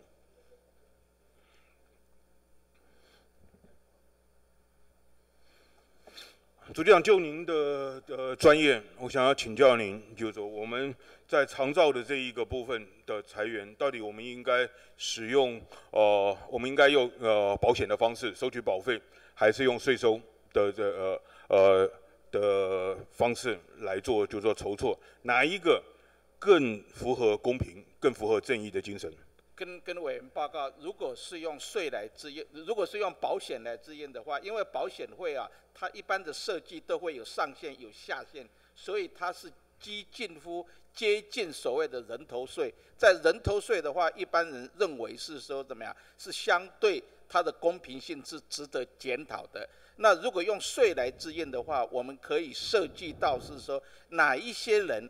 可以是怎么样？他所呃跟他相密切的一个东西，我们可以给他免税。就就说，如果是用营业税附加的话，我们可以设计到是说哪一些物品，它的那个是在消费的时候，我们税率可以设定它免税。啊，就像是说现行的米是免税啦，那个那个那那个生鲜食品是免税啦，或者是规划中，我昨天听财政部所讲的，像那个奶奶粉呐，那个尿布啊是免税了，这样子就可以降低那个所谓的一般肉食族群的负担。所以两到底是哪一个是比较公平呢？是值得研究比较的。好，所以简单的来讲，我们用税收的这个方式，事实上重分配的效果比保险来讲是比是相对来好的。很难是说哪一个。然后我们的营业税对于就是说个人来讲，对于消费行为来讲有没有上限？就是我每一年或者是每一个月，乃至于每一个礼拜、每一天，我我的营业税的呃这个部分的缴付，然后有上限。没有没有，因为营业是个别行为，所以他消费的越高，只要是在课税的项目里面，他消费的越高，我们就他买超跑，我们也照样就是说克他嘛。可以去克他，因因为你如果是用收保费的话，他一般都会有上限，对啊，所以说到底哪一个是公平呢？是可以值得研究。我想请教，就是说以您的了解，就是说在各国里面的的话，采取保险制的国家多。好，还是采取税收制的国家多，在长照的服务方面。因为我现在目前手头没有，不过都有，因为有些国家相对来比较，诶，是是是税收比较可能比较多。就您的专业呃判断的的话，为什么大多数的国家，包括就说新兴国家，大部分采取税收制而不是保险制？因为长照啊是比较相对于跟像医疗的话，它是更弱势，而且年纪比较大的话，他没有钱去去缴保费，所以他们在设计上认为这个是政府的义务，所以是由租税来支应。好，主席长，我呃，因为您之前做过我们呃健保局的呃总经理，好，那我想请教您一个呃部分，就是我们政府在今年的二月。做了一个调查，在五月的时候公布，就是我们民众在于长照的这一个部分的缴费意愿。好，这是原来的，就是说工党政府所呃所公布的。那在这里面的的话，他讲就是说有超过八成的民众啊，这比例其实非常的高。啊然后愿意以就是说以目前长照保险好的收费，他愿意支出的这一个部分是健保的五分之一啊。也就是说，在健保的百分之二十的情呃情况里面的的话，有百分有超过八成四的民众愿意来做支付。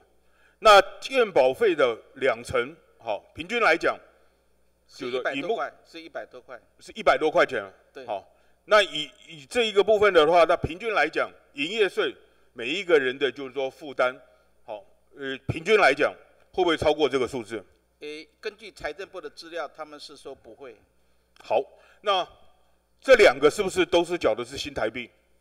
新台币都是新台币，所以就是说，如果要来讲，民众不愿意好在税的这个部分缴交，但是愿意从口袋里面挑出来，就是说缴保费，事实上那个逻辑上面是讲不通的，你同不同意？呃，我尊重委员的意见。好，谢谢主席长。那我现在麻烦请林次长。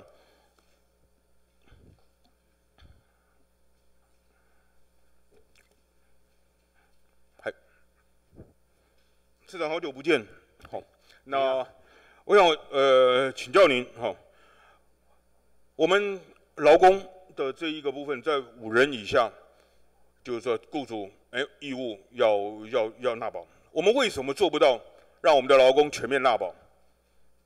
非常谢谢委员。应不应该要全面纳保？为什么做不到纳保？好，跟委员报告，这个问题实际上呃也讨论了很多。这个问题是所以稍微有点复杂，是过去很多议题呢，基本上是劳方或是没有关系，就就您不是新人了，所以这个问题的复杂你就您的就是说了解，主要的原因是什么？两个原因直接讲。，一个是劳工团体，也就是说过去加保的这些团体，劳工团体都有反对；第二个是雇主，就尤其是小规模的雇主。什么样的劳工团体反对？职业工会的雇呃团体居多。他为什么会反对？因为他们过去呢 会员都在职业工会里面在加保，所以就是说，如果全面纳保了之后呃的话，他们然后担心他会影响到会员的流失。那这个合理吗？我这个就是说，大家在在意见上反映上面，目前有接受到这样的问题。对，但是有这样子的意见嘛？但这样的意见合不合理？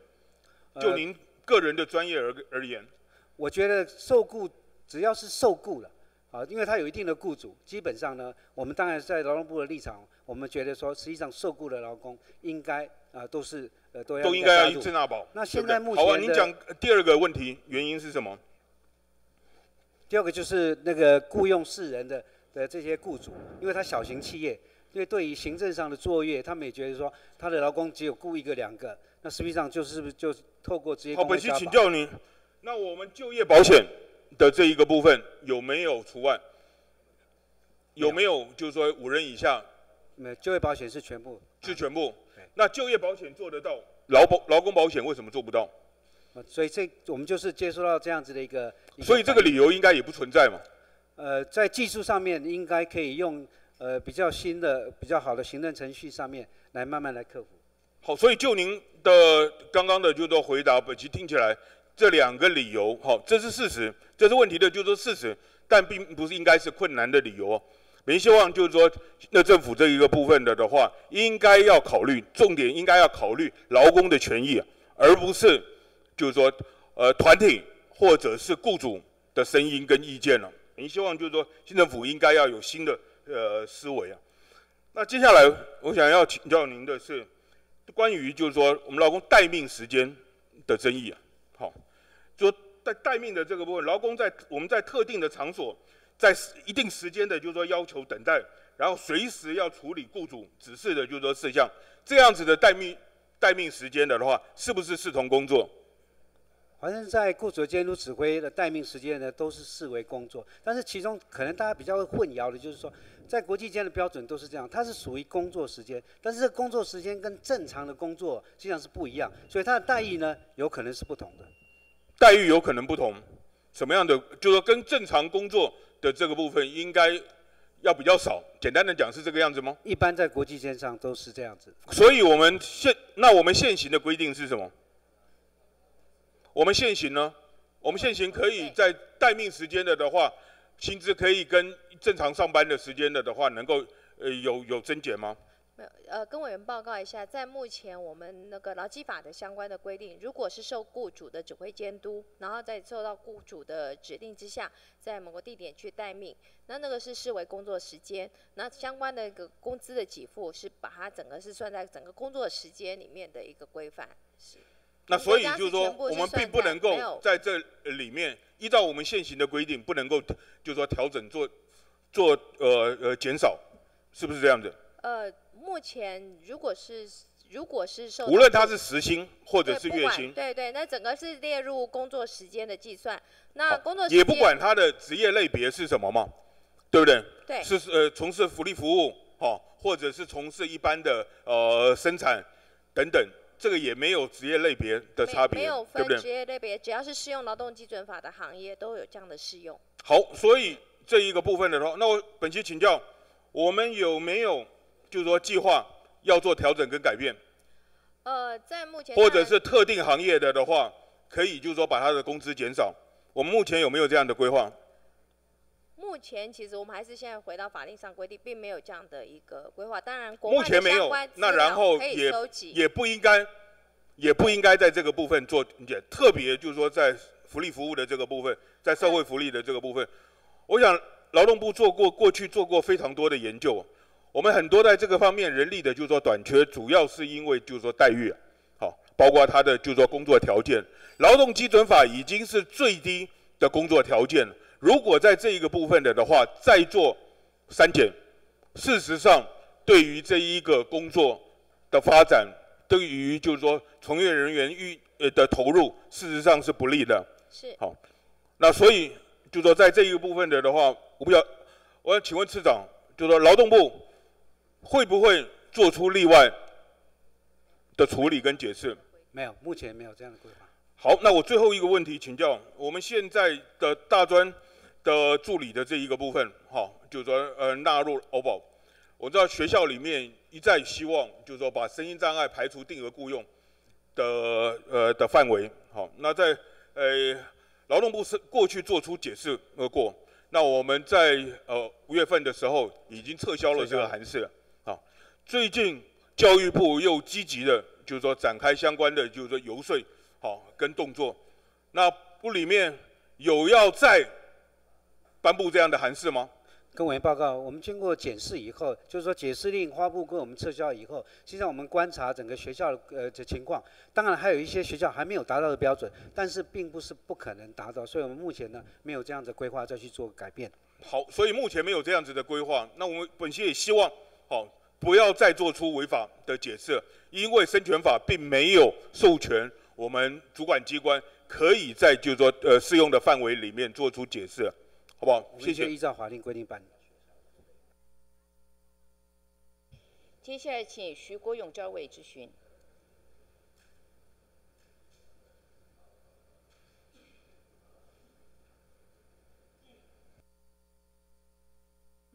哎，主席，各位同仁，大家好啊！我们是不是请一下我们劳动部啊？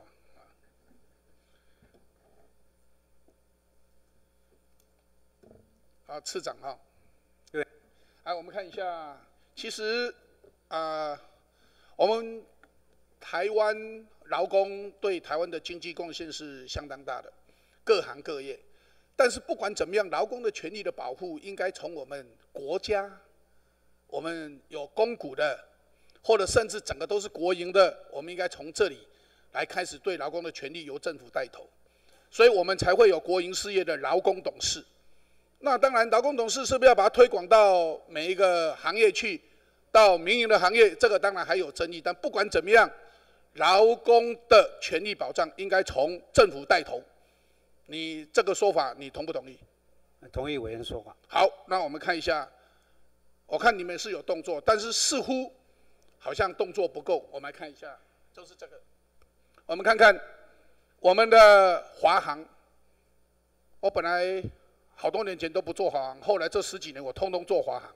我但是我没有想到，像在华航上面享受的服务，让我们觉得很窝心的，竟然是违反劳基法。你看，违反劳基法被裁罚千万，当然裁罚是你们裁罚了哦。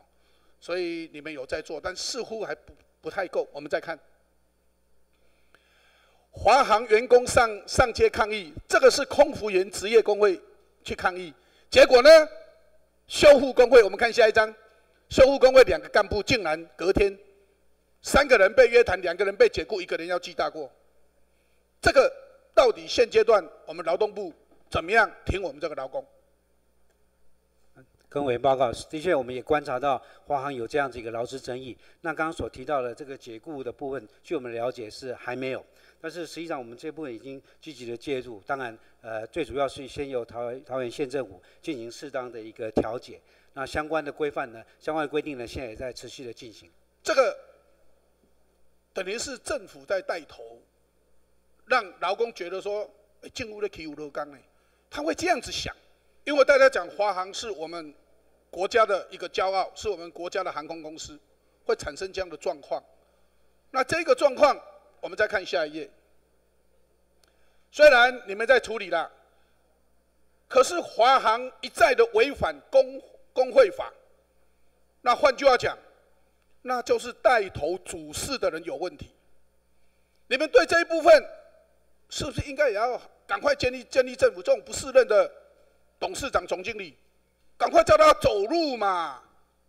因为他没有能力处理这个劳工问题嘛，等于他对劳工的问题他不处理了嘛，摆烂嘛。这个摆烂会造成政府政府威信的丧失嘛。虽然华航的董事长、总经理你们管不到，不是你们派的，可以建议嘛。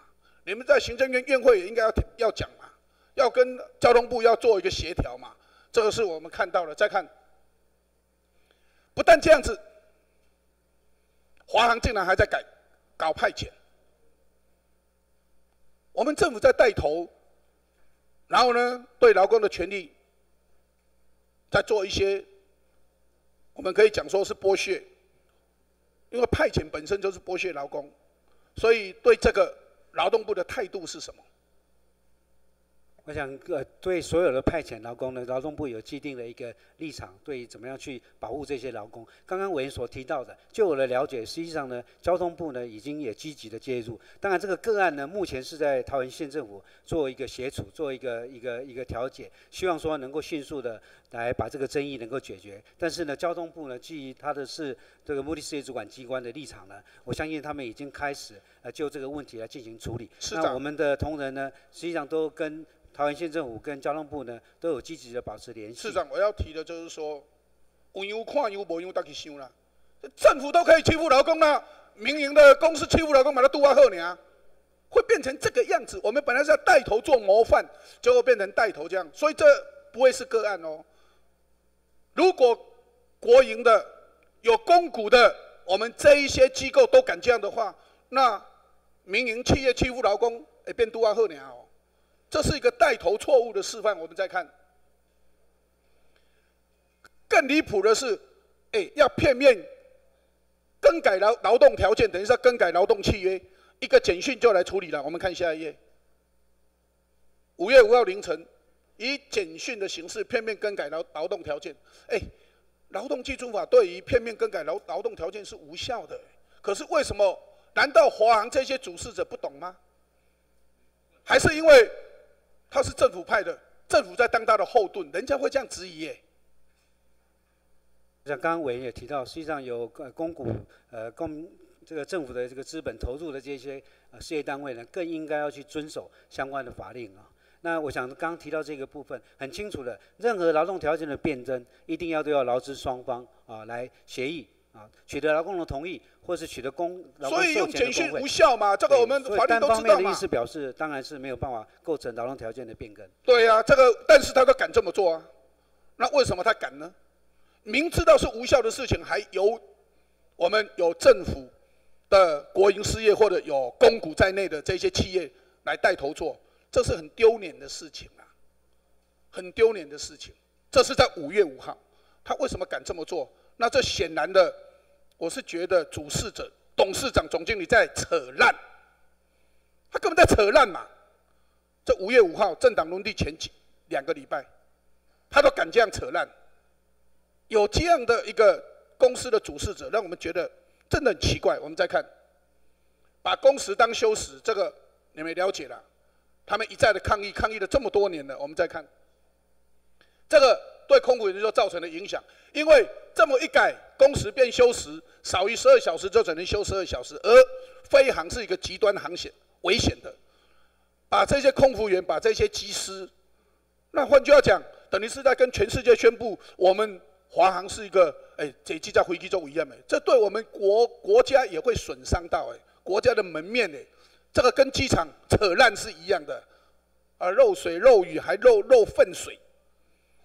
这个相当的肉气，我们再看，好，有机师，他们提供出来了，各个休息缸，嚯，党工立法院很多委员会是血汗委员会，开会开很久，哎，这个还比立法院更辛苦哎，他们搞成这个样子，我们再看，机师缺乏休假，长期过劳，很危险哎，因为它是一个极端危险的工作，都要。Demanding 是一个很繁复的，要很注意力集中的，你让他没有休息。好，我们再看。好，所以啊，现在产生了华航，他们要集体罢工，可是没有看到董事长、总总经理想要处理事情。我们不希望说从华航看到的是整个政府企业的一个劳工悲歌，所以在这里我用这个案子，希望说我们劳动部要从这个案子去想到的是整体，而不是个案。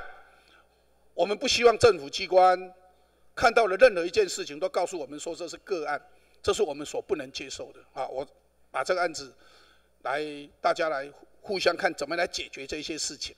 好，那我们先请回，我要请主机长，好不好？好，来主机长，主机长请，好来。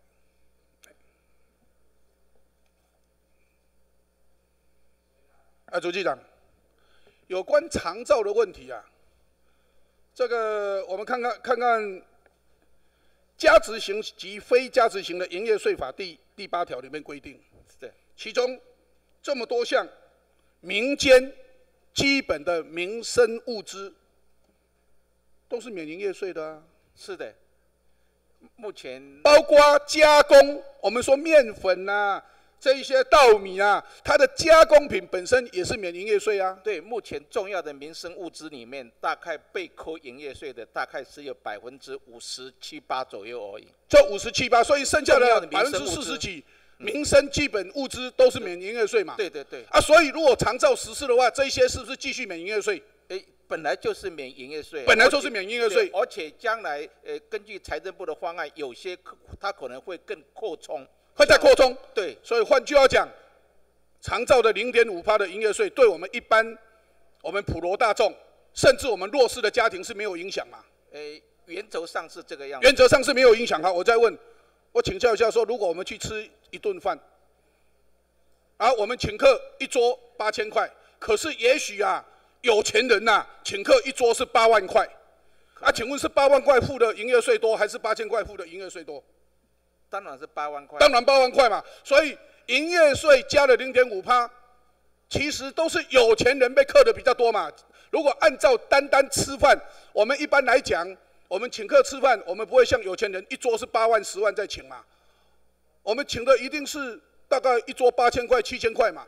所以换句话讲，营业税加零点五趴也是有钱人付的多吧？呃，对。像委员所讲的，我们的制度设计要让弱势的可以呃少缴或免缴营业税。我的意思在告用这个例子在请我们主管机关，当我们要加税，而加到的是大部分都是富人税的时候，你们的论述要清楚，不要跳跃。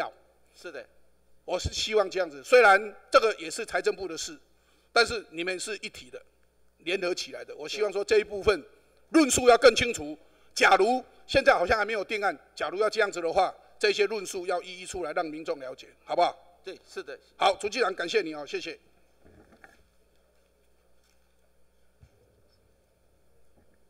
呃，不好意思，因为我刚才已经宣告是要休息了，王委员哈，我们是不是还是你急不急？急不急？还有，如果不急的话，我们宣告。哦哦，OK，好。那各位后面的委员，不好意思，因为我们刚才已经提前宣告说要休息一下，让首长们去洗个手哈。那我们休息五分钟，谢谢。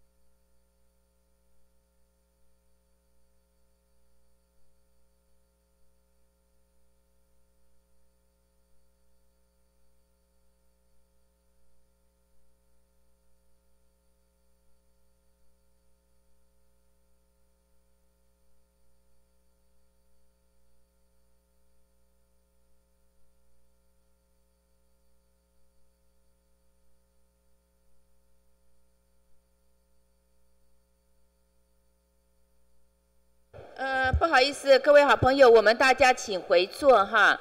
我们会议要开始了，那我们后面还有一些委员在等待质询，所以我们掌握一下速度哈。不好意思打扰大家哈。呃，我们接下来请蒋万温呃蒋万安委员质询。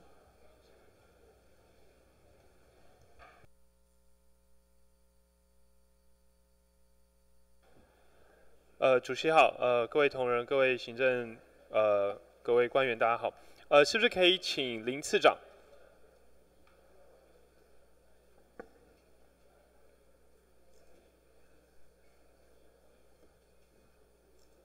喂，好，次长好。呃，我看了我们这一次的这个决算审核报告，里面其中有一项提到，我们劳动部在九十六年，当然之前劳委会。有成立一个直接聘雇联合服务中心，我想请教次长，这个中心的成立啊，当初最主要的目的是什么？还有他想要达成的目标是什么？食品中心当初成立最主要的目的是来协助本国的雇主跟外籍劳工，能够用一个比较顺畅、快速的一个呃聘雇的方式来，来不需要经由中介的一个引进。不要不需要经由中介，所以主要的目的是想要这个节省整个。中间中介的费用嘛，对不对？那同样也可以怎么样可以帮助到这个不管是雇主方还是外籍劳工，是怎么样可以帮助到他们呢？从双方的部分，因为啊，如果说按照一般的一个程序，当然有时候雇主会选择中介，所以说变成说雇主呢也有也有费用的支出，那外籍劳工呢更有一笔支支出。那通常我们可以看到这些外籍劳工透过这样的方式，在他境外的时候啊，不是在在台湾境内，在境外的时候呢，可能也需要支付他们本国的一个中介的费用。那这个金额呢，有时候会比较庞大，那引起了大家的注意，所以我们就呃开开辟了这样子的一个直聘的一个作业。长，其实简单来讲啊，这个直聘中心最主要，您刚刚提到，哦，避免透过中介公司啊、中介商啊这边，最主要对雇主来讲，它可以节省中介费，哦，同样的，其实对外籍劳工来讲，哦，避免被剥削，哦，这是一个最主要的一个目的。那当初直聘中心的设定的一个目标，有没有一个比较具体的数字？希望能够每年啊，透过直聘中心有多少案件？有多少的雇主可以聘雇啊？利用直聘中心聘雇到多少的外籍工呃外籍劳工？呃，我们在刚开始设立的时候，因为刚开始推动，那也经过一些宣导。那一开始成立的前前几年，当然呃是呃利用的人是没有那么多。但是呢，我们到了这个最近的一次统计的话，实际上透过这样的制度呢，引进来的，不管是我们台湾的雇主跟我们外籍劳工，我们都协助到了十八万人次左右。这个因为我看了这个。审核报告，在一一百零一年到一百零三年哦，每年哦初次聘雇外籍劳工哦，利用直聘中心初次聘雇外外籍劳工的人数哦，我看到非常惊讶。我们一百零一年哦，只有两位哦，利用直聘中心初次初次第一次聘雇外籍劳只有两位，结果一百零二、一百零三年次只有零啊，利用直聘中心，所以这个成效为什么会会有这样的一个结果，市长？跟委员报告，因为选工实际上呢，很雇主就知道他需要去看到这个劳工，了解这个劳工才会聘雇嘛。但是因为这是国外的聘雇，所以我们初期呢，利用我们这个直聘计划的，通常都是第一个契约期满以后，他想要续聘的，所以这部分的这个比例是很高的，因为雇主已经知道这个人可以用。所以初次聘雇人数啊，几乎没有，没有任何企业利用。那您刚提到重新招募呢的人次是有增加吗？数量很多，刚刚跟委员报告已经有到十几万的人次了。那我们现在呢，也希望说增加刚刚委员所关切的初次的。那初次就要做什么？我们就要跟外援、外劳来源国做一个件事情，希望他把他的人力的资料、这些资讯呢，进入到我们的资料库，让我们的劳、我们的雇主在台湾呢，可以透过这个资料库去筛选。那这是一个很重要的一个突破啊，否则否则的话很难做到说初次的时候。就就呃达到直聘的目的。我们现在大概只要是再次的哈，就是说已经第四 contract 期满以后，这一部分大概都没有问题了。对，现在在努力的方向。再次聘雇啊，的确这个数字当然比较好看。我们看下一章啊，这个根据报告，当然重新招募这个大概有一万多人次啊，这个透过直聘中心找到聘雇到外籍劳工。但是实际占我们总聘雇外劳的比例啊，还是非常低。也就是说，我们直聘中心设立编列了两千多万的预算，设立了直聘中心，这个使用率非常低，不到十趴。一百零三年度只有九趴左右啊，所以编列了这么多预算，可是成效非常的不好哦。所以这部分啊，市长有没有什么样办法来让这个直聘中心发挥它原本想要达到的目的，以及达到原本预设的一个目标？谢谢谢谢委员。我想第一个部分跟委员报告一下，在一百零四年的资料呢，实际上我们整个比率呢，平均起来已经达到百分之三十了。啊，百分之三十的一个目标，这是包括重新啊招募的部分。三十趴还是很低啊。那这个部分呢，现在实际上是已经提高了。那我想刚刚委员所提到是比较关切，说那我们以后怎么样这样逐渐这样扩大？第一个呢部分呢是雇主是取决一个很重要的一个位置啊，因为雇主是聘雇者啊，他要选择使用直聘的计划，我想这是一个一个很基本上的一个动机嘛。如果说雇主他没有要采用直聘的计划，当然那不可能他去看这个这个资资料党里面的人或是在，所以我们想第一个很重要的部分就是说加强对雇主或是将来要聘用外籍劳工的雇主，让他们了解到说这一个直聘中心能够提供他们不只是省钱、省时、省力啊，这样这各部分呢都是必须要去做。对，市长您提到这个省时、省钱、省力啊，所以我们看到后面其实最主要你也提到怎么样让雇主。希望他们使用直聘中心，在第一次的时候能够利用这个中心聘雇到外籍人士。可是他们之所以我们现在使用率非常低，有几个原因。我们事业雇事业单位的雇主，最主要原因我们做调查，哦，四成六左右是认为他没有时间亲自办理。哦，第一次使用的，如果要第一次使用直聘中心，那家庭干护工最主要这些雇主他不知道有这样的一个项目，有这样的一个计划，甚至有中心提供这样的服务。所以我想，第一个除了说要加强宣传以外，第二个简化整个第一次如果他要评估不找中介，哦，他怎么样去？因为这中介申请，呃，不透过中介申请，除了健康检查啦，要需要翻译啦这些，所以他们觉得非常麻烦。那我干脆第一次我找中介，哦，所以这个直聘中介的设立花了预算，可是实际没有达到这样的效果。所以我想最后这个市长，您知道我们。最主要的四个来源国哦，外籍劳工是哪四个国家？目前呢，最主要的四个来源国是越南、印尼、菲律宾、泰国。对，那您知道这四个来源国，他们其实并没有开放接受直接聘雇他们的这个劳工，您知道吗？我们目前。呃，有些国家我们已经跟他谈过了，所以我们刚刚也提到说，他们也愿意提供我们这些资料库，就说他们在他们本国内有愿意到台湾来工作的。事实上，这四个来源国只有泰国是有开放啊，其他三个来源国目前泰国跟菲律宾，哎，菲律宾实际上并不是所有的这个行业别嘛，他们还是有些限制行业别，对不对？泰国跟菲律宾，尤其菲律宾是全面开放。对印尼的部分现在在谈，而且只限一部分。对，还在谈嘛。所以其实我觉得，我看到这个结果，其实我们设立直聘中心，结果一开九十六年设立的时候，这四个最主要的来源国，他们就并没有开放哦，可以让我们直接聘雇。可是我们就设立直聘中心。那现在我们最主要印尼其实还没有开放。那对家事劳工来讲，印尼是最大宗、最主要我们依赖的国家。可是到现在我们还没有谈成，所以我希望劳动部是不是可以跟外交部这些相关部会尽快的协调，哦，怎么样去跟这四个主要来源国谈好，这样子才能真正我们设立直聘中心的目的才能达到嘛？才能说，哎，这几个国家至少它开放同意让我们直接聘雇，不要透过中介，哦，才能真的是设立这个直聘中心才有它的意义存在，好不好？所以市长希望能够，哦。尽快跟这些相关部会协调去沟通，达成我们编列两千多万的预算，达到实际的效果。会的，我们会在我们跟这四国在已经有建立了这个合作备忘录的前提之下，我们来一起来探讨这样的问题。所以我们跟外交部有开过对，我们定期跟这些呃四个四个国家都有。好，次长，那是不是可以提供你们开会的记录？哦，给本席。可以，谢谢。好，谢谢次长。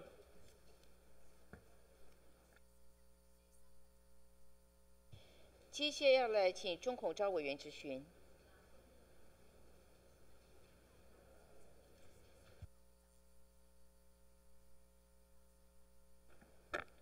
好，那我先请人事总处主计处处长。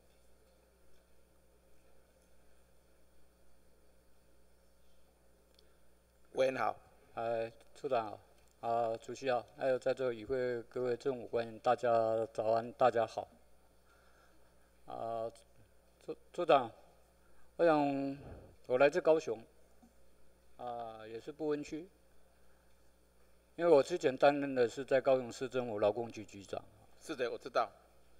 啊，面对的就是高雄市政府针对劳健保的问题啊。因为当时针对劳健保所谓的非涉及的一个补助，让高雄市跟台北市的相对的补助款差额达到了三百五十一亿，三百五十亿的，差距这么大，当时这个非涉及用非涉及人口数来做计算作为补助，我想问一下处长，你认为当时这个设计方式是对还是错？对，我必须跟委员报告，原来在那个呃台北市跟那个跟那个劳保局、健保局的一个争议的过程当中，呃，曾经举说那个用说涉及非涉及的市民的话不应该负担，但是被那个高等行政法院的认为说是驳回，所以后来的行政单位啊的再用那个理由去补助的话，的确。有这个讨论的余地，谢谢。既然有讨论的余地，代表着说当时的处理的过程当中，并没不符合所谓的程序正义也好，或者说是公平跟正义。那如果是这样，那主计处这边是不是应该去协调劳保局跟健保局、劳动部跟卫福部，啊去做后续的一个处理？对，我们在高高雄是一个公平跟正义。对，我们在哦在努力中，这个呃一零六年度的那个将来的一般补助款呢，我们会对这一方面会有一个考量，而且未来财划法的修正方向也会往这个方向去努力。因为这个其实它的分野哈，从八十八年度八十八年开始。其实当时的劳健保就没有补助给燕霞市嘛，那时候燕霞市只有台北跟高雄。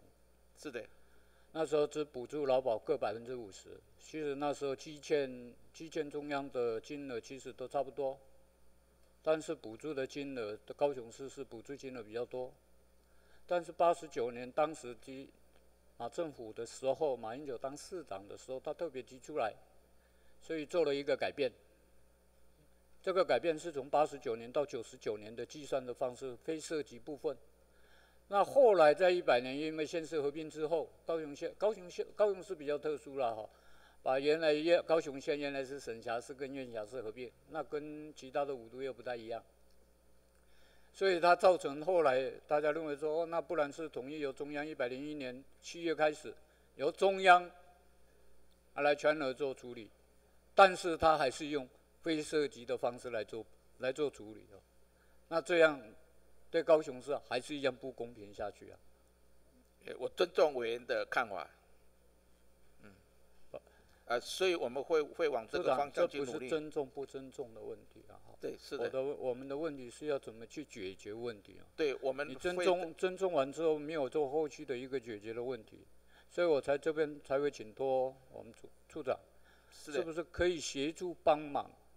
在整个的过程当中，如果你觉得，包括你刚刚也特别提到，当时用这个条用这个方式去做处理，法院也判决不行，大法官事先也觉得不妥，但是行政主管机关还执意用这个方式去做处理，当然就有重新检讨的必要性嘛。是的，所以是拜托总处处长。可以尽速的跟劳动部跟卫福部，尽速就这一问题，尽速来做解决跟处理。好的，那个时间大概可以多久？诶，我们下一个年度的预算就会做一个适当的考量。呃，你下年度的预算之前，你现在就开始在筹编。现在总是要先找这些部会怎么去做做后续的处理跟应用嘛。嗯，是。是不是能用最快速的方式找对劳动因因为我们的预算八月基本上送到大院。因为如果再这样基建方式哦，到时候又又又又说啊，民进党执政的话嘛啊，基建中央多少钱都不缴交，其实跟劳动部跟建，其实大家都有讨论过了，就是用本来原来是五年的还款计划，啊展延到八年了，啊其实已经还了两百七十亿了。不是没有还了，是的，啊，只是在还款的速度后来是不是能够缓一点？啊，从五年啊改为改为八年的期限了，本来是五年五年要搞好清诶，啊，即嘛该该被当了。是的，不管什么时候都是要缴完，只是在这一个补助政府补助的过程当中，啊，在对成高雄的不公平，所以希望能够透过处长能够尽速去做处理哈。对，会我们会努力，谢谢。好，谢谢处长。接下来我请教劳动部。谢谢。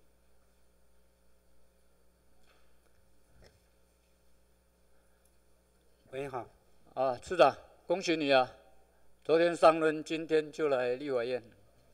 对位。嗯，刚刚这么多委员也针对劳动部的相关的业务也就也做过。其实我们在委员委员会也提了很多的问题啊。啊，我比较在意的就是在我们的就业安定基金来对，包括陈雄文部长当时也同意，原来分配给各地方政府，不是单独对高雄市了，是各地方政府，包括主席的台中市。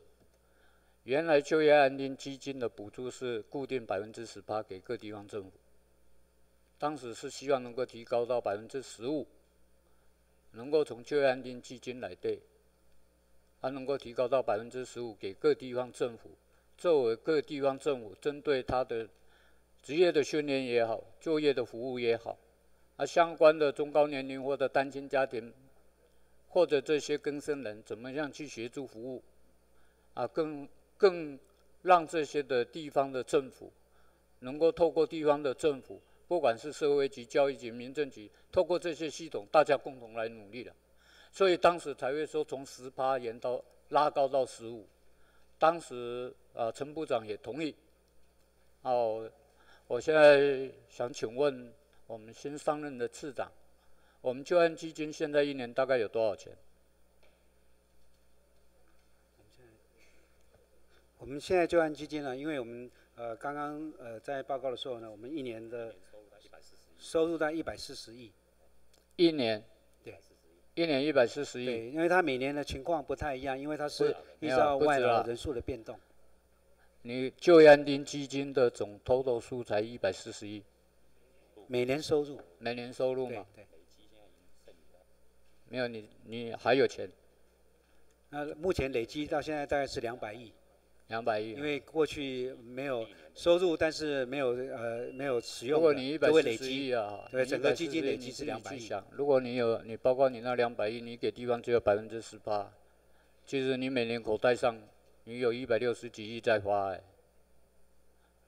刚刚委员所提到的，实际上说，如果说县市政府呢，按照刚刚委员所提到，提供这样的一个计划，我相信呢，是可以协助很多的劳工朋友，尤其是弱势的劳工朋友。啊，当然委员刚刚也提过说，这是就案基金呃里面一个审核事项。啊，所以就这一部分来讲呢，那部长他也很重视这样的问题。那所以呢，可能在就案基金里面呢，因为这必须要专金委员去讨论。你知道后续两个礼拜前我有收到你们的一个文，你们还是维持原状啊？你们还是维持现有的百分之十啊？你们并没有，并没有说因为当时答应的答应，也认为说我们提出的一个诉求，对地方政府来讲是有帮助。你们觉得这个可行？但是你们现在又写的公文出来，还是维持十八，但是呢，你们相对有什么相关的其他的竞争型计划、非竞争型计划提提出什么还不弄都加起来接近十三点五。可能在过去的跟我们当时的一个研究，我我想在就业安定基金委员清远，你也在啊。当时不只是六都来的，每每一都都都希望资质能够拉到十五趴。这个不是单单单单我个人在这边啊来询问我们劳动部啊，当时六都的期待，按你们手头上这么多钱，由你们自己在做处理，然后由你们各分属，不管高平、澎东分属、江南、嘉云江南，你们每年分配分配分配多少钱给他们？在呃每年的各单位，包括呃我们使用比较多的劳动发展署，还有各分署，呃大概都有一些编列。那今年补助地方政府是一共二十七亿六千五百三十二万，这个是在今年的编列的部分。那刚刚委委员也提到，的确，因为呃更多的经费当然可以服务更多的劳工，但是也代表全更多的国各地方政府不到三十亿耶，但是你让底下八个月底下开。我相信主席也会支持我啊，帮高雄市多争取一些，帮台中市多争取一些相关经费嘛。主席，我刚刚说啊，我们一起来啊，帮台中市政府也多争取一些就业安定基金，照顾这些弱势的劳工朋友了。好他感谢你不然他口袋上的基金哦，八个月他有，一百六十几亿在花了。。好，感恩，谢谢。啊所以你也不要漏了，你呃，你每次都要提到我们台中市，帮我们带一下哈，谢谢。有，我帮你们台中争取了啦，是因为当时当时六都大家共同的局长、共同的决议、共同的一个方向，所以我是期待劳动部能够朝这个方向去做处理哦。因为之前你们那个韩文确实，我觉得你们还是在打敷衍。那另外一个，最后一个哦，现在有很多的基层工会了哈，基建劳健保，然后先工会自行宣布倒闭，我都无去叫啊。那请问劳动部怎么做处理？我我想这个既然工会他办理劳保所收取的这个部分，实际上都有一定依照法法规部分，他应该要提缴或是要要等等啊。如果说因为工会的我现在问，你的是，他拒签了，你们也一直在在请他请他缴交，但是一点不不会叫，不会叫到到后面只能说啊我我的工会就是解散，那拒签的就变成全民的呆账嘛。五，那个包包委员，因为现在工会可以报个人签会嘛，所以他应该收多少交多少。如果都没有交的，显然就是有挪用。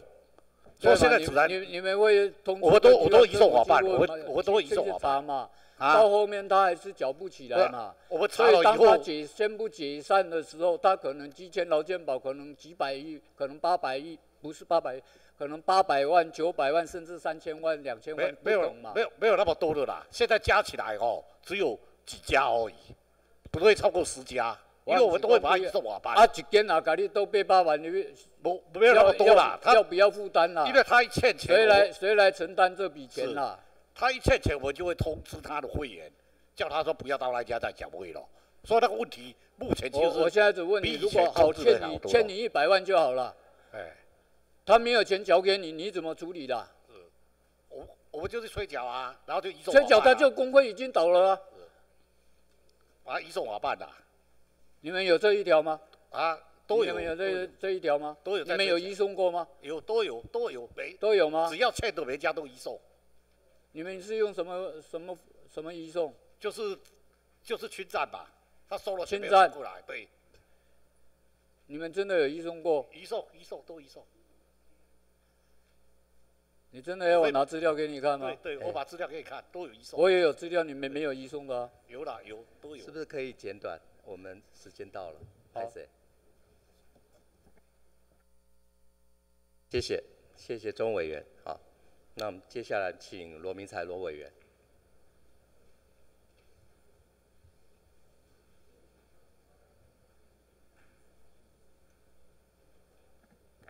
主席，各位出列席官员大家好。主席科，我请先请主计长。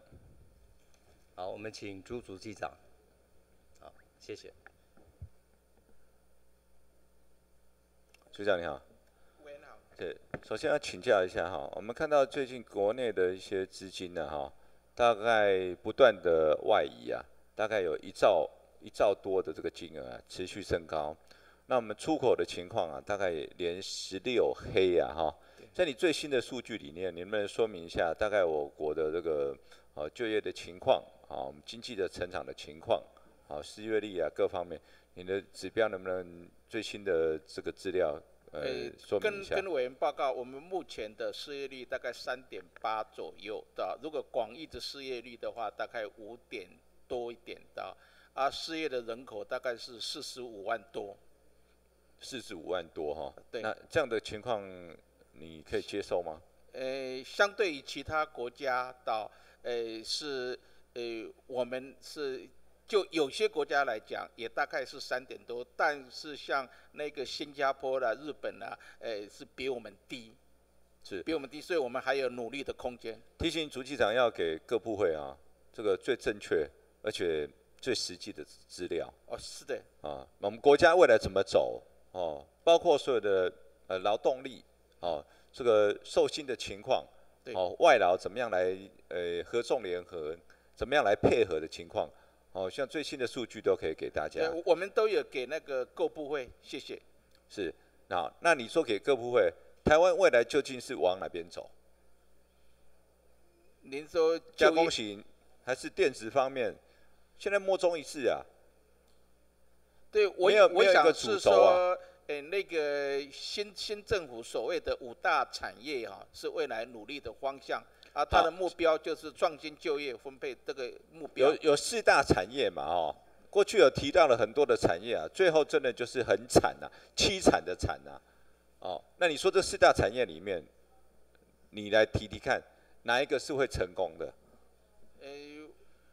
既然是提出来，我认为说这几个产业啊，将来应该都有成功的条件。好，第一个他说是亚洲细股绿能啊，呃呃绿绿能产业。绿能啊，绿能全世界几个国家有哪一个国家做的成功的？截至目前为止，德国所做的绿能全部都是靠政府补贴啊，没有一个能自自偿性，没有一个是说自自己自力更生，企业界可以因为站在经济。最基本的一个成本考量获益的没有啊？对我必须说明一下，那个补助的话，它的基本理论是说，它如果说有外部效果的话，我们就该补助了啊。至于说，诶，如果是它经营上的一个不够的话，是不应该补助的。是，我觉得这个是很困难的了哈。是的。不过就是说，你这个是框列理想性非常高了哈。但是就劳动部的部分，就业的人才培训各方面。应该怎么样来来配合啊？这个也是很重要的一件事情的哈。那待会会提到，因为这里有很多的这计划哦，多元就业开发发展计划、培力就业计划等等。虽然我们今天讲的是民国一百零三年度的哦总决算审核，但是我们看看哦这个知古见今，看看这个过去的这些预算执行的情况，我们来了解到我们今年度、明年度应该要计划应该怎么做。哦，怎么样来贴近国际哦世界的这个潮流？除了刚刚讲的绿能，另外还有哪一个？呃，智慧智慧机械，还有呢？还有那个生技产业，还有那个国防工业，还有亚洲系股。对，其实讲到国防工业哦，很多的这个国防的专家，就是我们要锁定哪一块？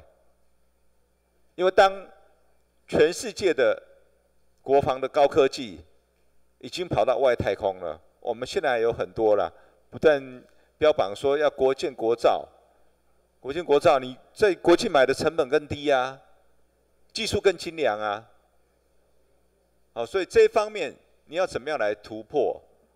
哦，真的，我本席是语重心长了哈。那我祝福是多，不是唱衰，但希望说周边的这个整体配套要。一次到位，人才的培训也好，哦，资金的投注也好，跟民间产业的合作也好，都是应该要同步来进行的。哦，那刚刚还在讲一个，你讲说生计，生计的培训、培养是很困难的。截至目前为止，哦，我们除了这个产业的推动、资本市场啊、政府的什么天使基金等等的益助等等啊，事实上啊。这个上市上柜公司多少生技公司，我们主席也都是一届的前辈啊。真正啊，二十间能不能成功一间都是有问题呀。哦，大家所讲的是本梦比呀，全部都是美梦啊。真正最后要考验，要看他成绩单的时候啊，你看现在说上市贵公司，那个股价要涨上去很容易啊，真的看到那获益的情况的时候啊，很多都还是亏钱的，本梦比的多啦，哦，所以我认为主机长这边可以，这个因为你的位置啊，哦，这个。角度跟立场啊是比较超然的，有时候啊往前冲也要适当的给予这个正确的资讯啊，还有数字，好让他们多多的效益，不要这个啊心见迷航啊，走了半天那个方向绕不出来，好又是一场空，好谢谢朱局长。那另外可不可以请一下我们劳动部的林林次长？好，我们请那个林次长。你长，喂，好。呃，请问你在这个相关的做了多久的时间呢？呃，跟委员报告，劳委会成立的第一天，呃，我就七十六年八月一号我就到劳委会了。是，所以也算是啊，这个专业啦，啊，贡献你的所长了哈。那首先我们提到的大概就是呃这些基金的部分哈，就现在整个这个基金的的运作哈，劳退基金啊。哦，啊，旧制新制啊，很多人说是面对未来的情况忧心忡忡啊，哈，那不晓得你怎么样来看待，呃，你们现在所持有基金的投资的方向，啊，有没有委外投资效益怎么样？啊，有没有怎么样这个推陈出新的一个方法，让效益可以提高更多？谢谢，谢谢委员关心这个问题，这也是非常重要的问题，这是影响到世代。那现在目前呢，整个基金呢，劳动部所主管的，累计起来的话，大概是呃规模大概三点一兆。那一兆里面呢，刚刚委员也点出来了，一个是救治。一个是新制，还有一个是劳保基金。那我简单以劳保基金来做个举做个例子。劳保基金呢，在一百零四年，就去年呢，它的收入是三千一百九十四亿，它支出了两千七百五十四亿，它顺差有四百四十亿，所以累存呢大概六千五百多亿，所以它是三点一兆里面的一部分。那在问题是说，我们如果看得更长远的话，当然必须要考虑到说它未来啊未来的应用啊。所以这部分我们都有做一些精算跟评估。那我们也发觉说，有些问题呢，必须要重视。我们看到国内市场哈，一个是自然人，一个是法人呐哈。那法人包括外资等等的哈。自然人大概现在今天已经破纪录了啊，大概有史以来啊，自然人啊剩不到大概百分之五十而已。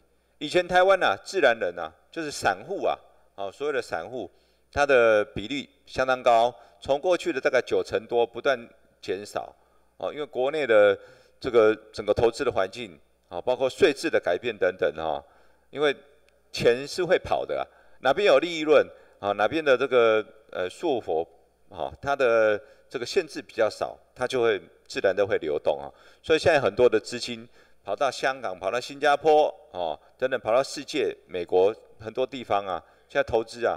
大概网上就很方便了哈。我想请教一下，那我们手上三兆多的资金呢，以后还是会以台湾的这个资本市场为主呢，或者是会考量到国外去去做这个投资的行为？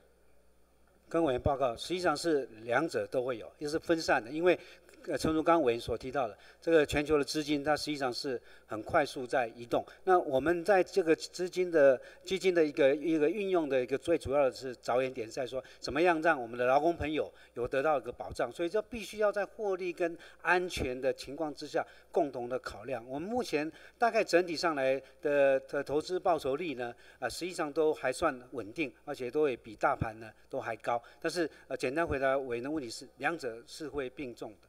所以现在目前有没有投资在海外？目前有。有比重大概多少？三兆多嘛哈？那你比率是？呃，跟委员做点报告。我们在国外的部分，大概基金整体上来讲，大概有四十二 percent 的部分是属于国外的投资。这个边，那大概就是四五千亿喽。那投资的标的是以债券，还是以股票，还是以基金为主？呃呃呃，报告委员，我们的部分都有，不管是股票的部分、债券的部分，或者是另类投资的部分，我们都有在做投资。大概投报大概多少？呃，您是指说每年的获利？每年获利啊，因为我们大概这几年来看呃，国呃大概在收益上呢，国外的获利大概占我们收益大概是五十五 percent 到六十 percent 都是属于来自于国外的收益这样子。百分之五十五来自海外啊，对，大概五十五到六十 percent 都是属于所以这也是一个警讯啊。所以很多人说在国内啊，在台湾投资啊，大概这几年啊很惨啊。台湾的这个整个一个是经这个经济景气的问题啊，一个是台湾的股市受到钳制啊。当美国的纳斯达克已经不断的飙新高啊，两倍两倍多在涨的时候，台湾还原地踏步不到九千点。所以的确了哈，刚刚市长所讲了，怎么样来平均稳定的分散，让他有这个获益，或者是保障劳工的权益，啊，这个很重要，啊，所以你的思维不是只有在光光是台湾而已，啊，希望说能做一个比较稳定，啊，比较高报酬率的这个方向来思考。现在有没有委委外操作？有，目前也有。有对，因为很多需要很多的专业。那当然，我们现在的一个呃一个处理上，都是一个专业团队，而不是由个人委托个人来来做这样的操作。我想这个部分都是必须要再考虑到前面的问题。好，OK，好，谢谢施谢谢，非常谢谢委员。好，我们谢谢罗明才委员的咨询。今日中午不休息，哈，会议继续进行到本日会议呃议程结束为止，哈。那十一点五十起，工作人员发便当。好，那接下来我们请陈曼丽委员，陈万陈曼丽委员，陈曼丽委员。好，那接下来我们请费鸿泰费委员。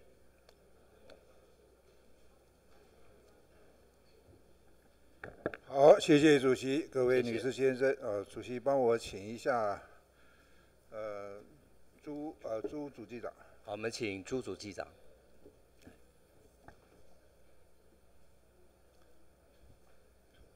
您好。哎，主席长，先请教啊，这个话不是你说的哈，是昨天财政部说的，他说拼长照啊，每人每个月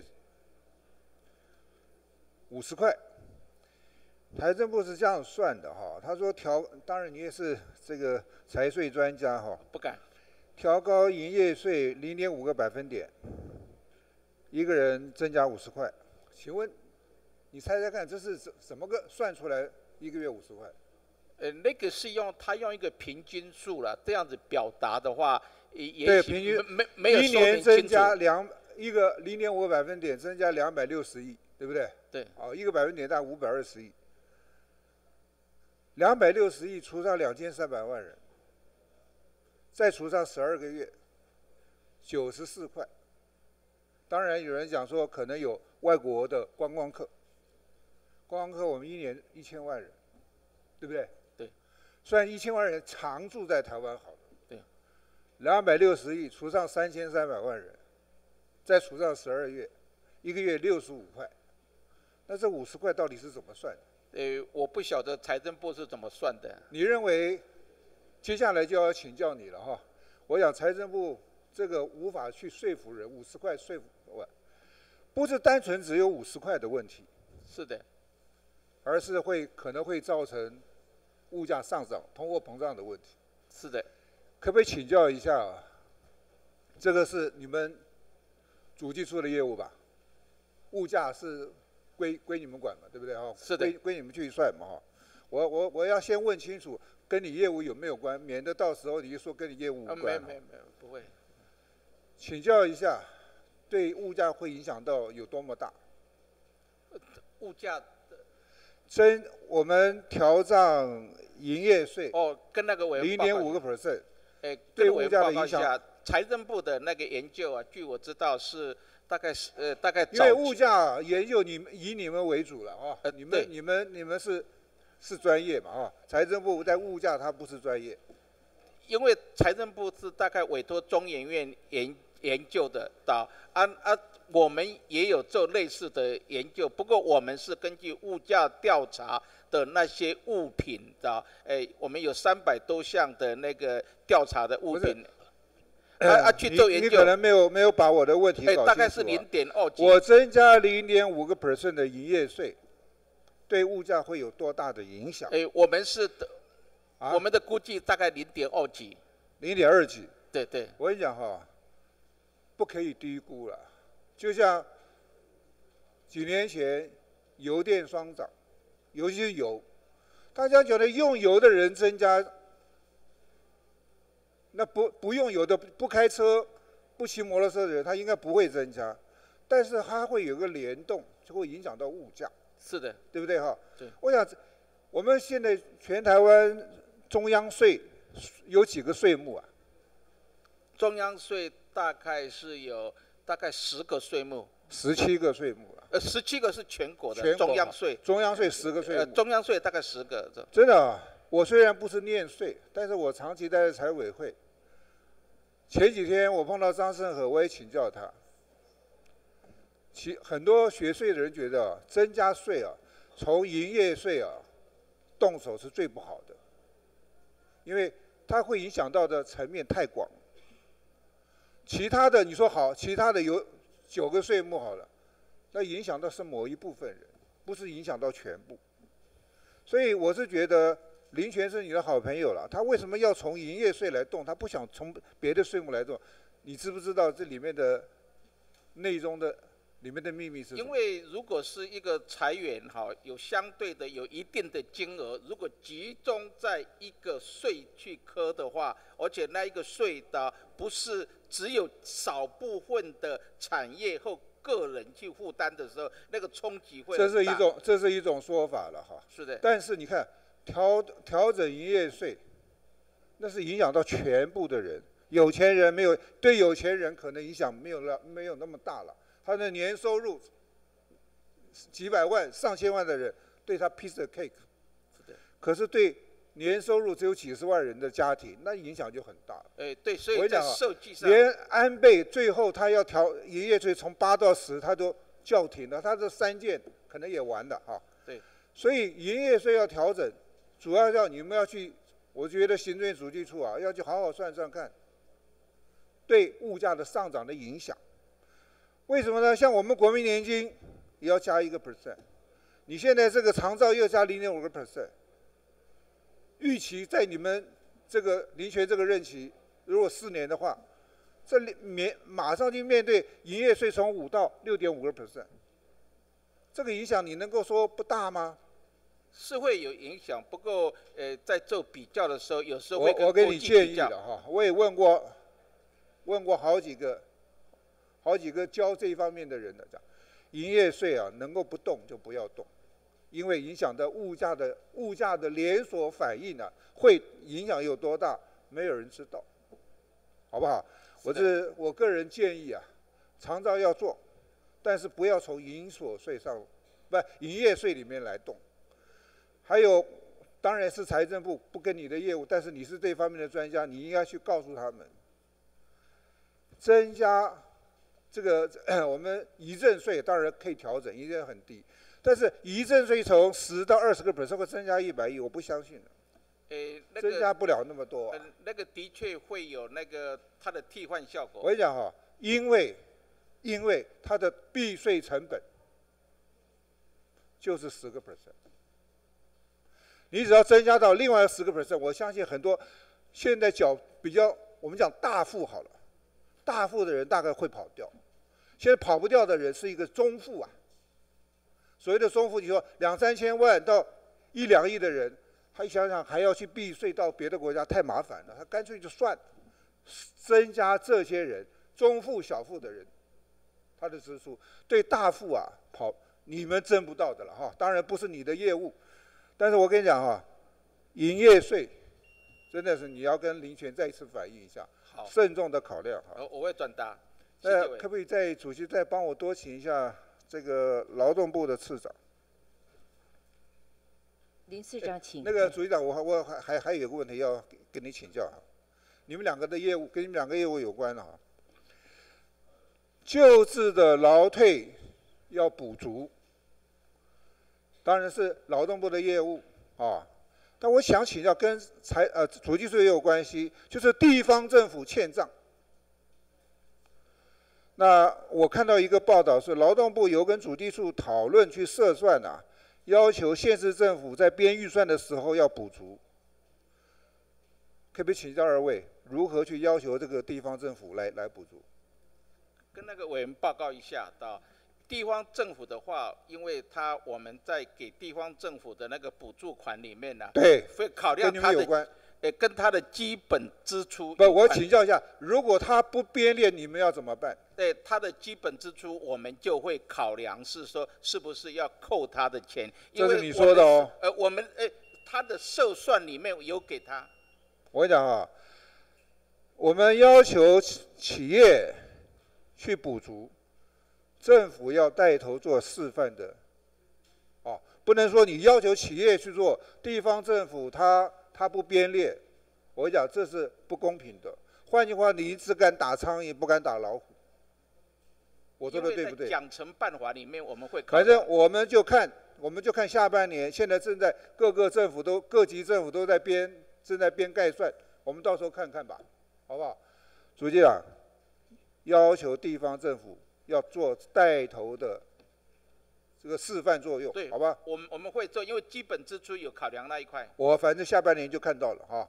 如果说地方政府不编，你们还照拨拨钱给他，就代表哈，不呀，你们吃吃软啊，只只会挑挑软的吃了，好不好？请你请回哈。那个林呃林市长，我请教一下哈。那个林权呢院长也在说啊，希望啊，这个希望大学毕业生呢、他的可以拿到三万块一个月。请问啊，这个他的薪资大是大，当然不是我们的劳工不不光通通只有大学生了、他的基本工资跟这个有没有联动效果？跟委员报告是有一些联动效果，当然虽然不是那么直接，但是我不是在给你们翻账的哈，在几个礼拜以前，我跟赖世宝委员、跟郑明忠委员，我还去做了，我我用了五百个样本的台住在台北市、新北市的人的实证，大概他一个月的开销两千六百多块，如果再加上什么买个衣服啦哈，还有什么什么其他的费用加起来大概要三万块。结果呢，我们建议啊，基本工资要调涨。结果你们劳动部的人呢、啊，还在不知道是谁了哈，还在给我们吃我们豆腐。他说：“怎么可能？银行又不是你家开的。”我不知道哪一位劳动部的官员讲这个话了。摸着良心看看，你对得起我们这些劳工吗？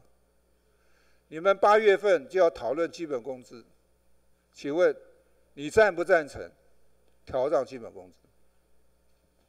呃跟委员报告，调涨基本工资，我想说大家都有这个共识，但只是调到什么程度啊？我想这个部分呢，基本工资审议委员会呢，它包括了劳雇双方，还有社会公正人士等等，大家还有学者，大家一起来去劳动部不该讲这种话，劳动部应该站在劳工这一边。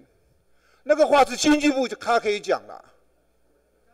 你们这种这种劳动部叫什么叫什么劳动部，还在调侃我们？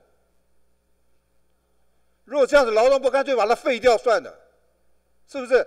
经济部讲这个话，我没有意见。他从产业发展上来讲，讲这个话可以，但是你劳动部你要站在劳工这里，哎，真的，我告诉劳动部的官员，我今年对你们的预算，我就好好的来审一下，好吧？谢谢。谢谢委员。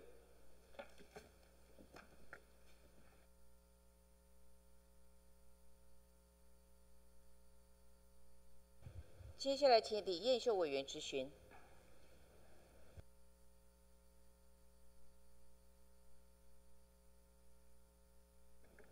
谢谢主席。呃，我是不是可以请呃劳动部的常次林长赤以及我们的蔡副署长？委员好。呃，常次副署长，我刚才听完费委员跟你的对话，我实在是认为非常的遗憾。他确实讲的没有错，站在劳动部的立场，一定要全力的捍卫劳工所有的权益。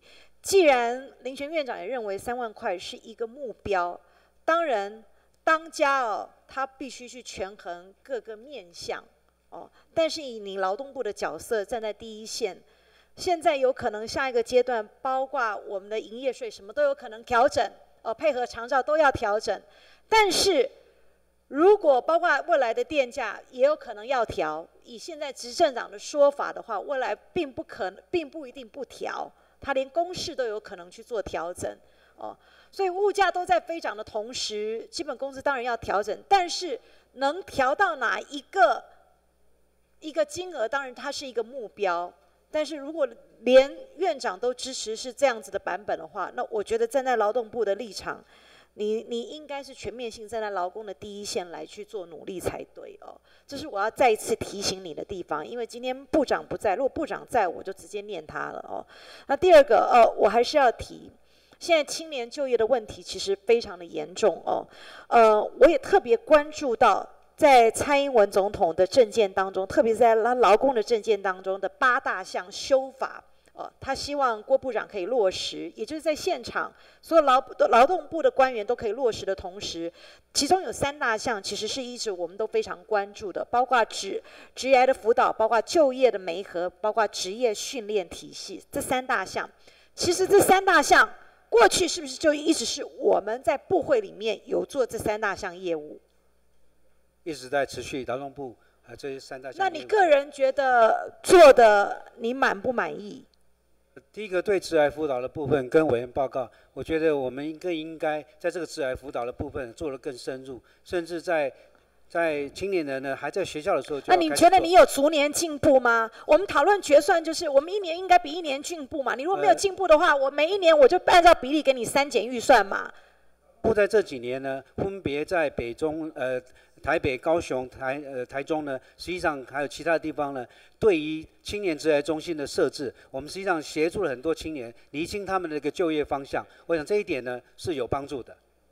长次，我们现在的做法其实是比照日本的工作卡的制度互相连接，然后协助青年的辅导他就业。但是我在台北市议会待了十八当了十八年的民意代表。我感受到的是，这三大块，我们中央拨地方给预算，当然有部分的业务是我们中央自己还有在主导，但是这三大项照理说应该是有联动性的。我们有呃职业的辅导的课程，那后面我们就会应该要有职业的媒合的体系，但是我们向来都是各做各的，这三大块永远没有办法连接在一起，所以你们开的这些课开完了之后。我上完的时候，我花了六个星期，我花了一个月上完之后，没错，政府有补助经费，但是我们并没有后续的职业媒合，也就是说这些并没有连接在一起。你劳动部做的没有办法三个连接在一起一步到位，所以也就是我上完课并不，当然并不代表一定找得到工作，但是政府在中间的连接性的连接度事实上是长期不够的哦。呃，我这我这边就先举几个数字来让尝试看到哦。包括在一百零一年的这个呃，我们呃完结呃完成训练的人数，在职业接受训练的部分哦，呃每一年。都在降低，从一百零一年到一百零四年，你看我们呃参与地方的人啊，包括补助地方政府的训练，从中央到地方，其实我们都可以看得到人数是在下降的哦。接受呃职业训练之后的就业率也大有问题。我为什么要特别提到？地方政府训练的部分，因为我特别留意到地方政府跟执行的职业训练部分就业率其实是非常的不高。从我后面这张表，尝试你应该可以看得到，包括我现在看到一百零三年哦，我们有这五大项，下一张照片。五大项课程哦，这五大项课程哦，包括家庭水电维修训练班，这只是最呃就业率最低的五大项五大项哦。网络商品行销设计班，网络商店经营规划设计实务班，原住民布料缝纫设计班，网络行销通路实务班。尝试照理说。这几项课程，就我这样子单项来看，其实是应该非常的 popular，也是非常的热门才对。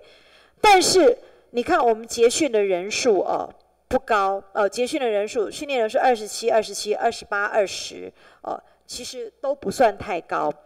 就业率也不高，都差不多是十一到大概三成左右，十一成到三成左右。哦，这个是你们劳动署所提供出来的资料。好，我们再看下一张，在民间机构，你们也有委托民间机构在办哦，呃，倒数第倒数后面这十名就业率都没有超过百分之十，但是我们在仔细的去检讨，我后面这一张表。倒数后倒数前后十名呢？倒数的前十名呢，包括是台北市的托育人员，还有托育人员的值前班，也就是平日班，还有饮食调制证照班，托育人员职业训练班哦，大多很多都是托育人员，包括照护员的服务。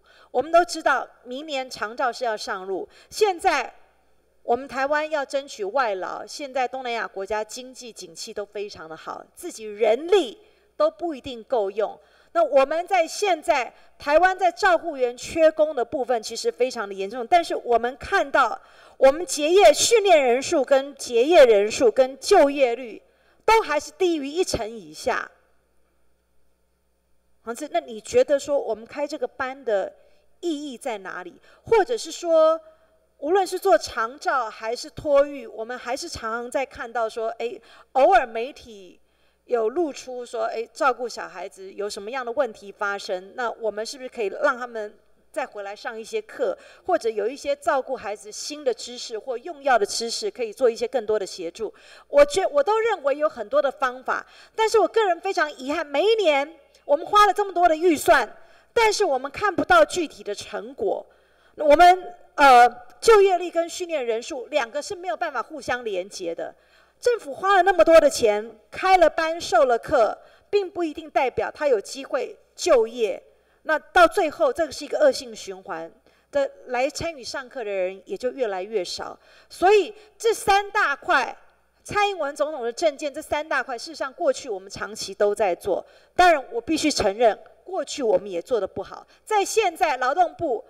八成五、九成都是事务官，那我就认为说你们长期做的不够努力，确实需要检讨。那你们接下来，你们未来这也是蔡英文总统的政见，你要如何落实？你要如何做？哦，包括我们委托民间做职前训练，在用救安基金的部分，花了八亿五千多万，那补助地方也花了两亿多。但是现在状况是有职业训练就没有就业，就算有就业，也没有很好的完整的职涯发展规划。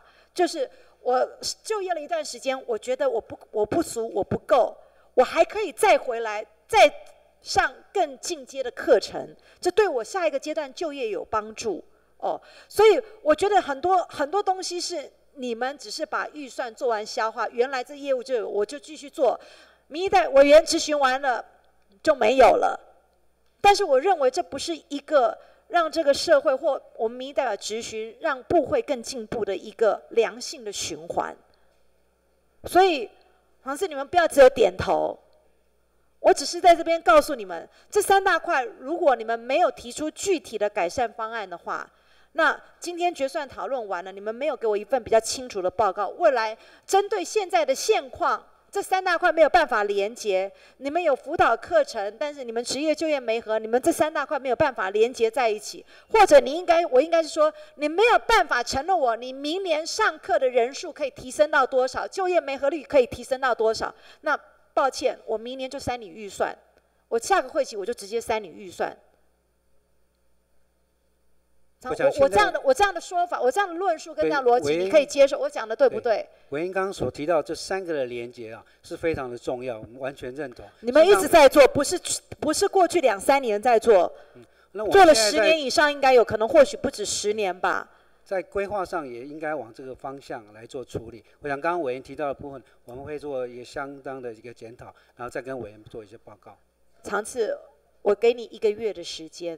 今天是决算，决算讲完就算了。但是我会盯着你，你一个月之内给我提出完整的报告。你告诉我，明明年度你那个比例要提升到多少，我就用这个基础，下个会期我一样在未还好好审你的预算，好不好？好，提出具体的方案出来，谢谢。接下来请王玉明委员质询。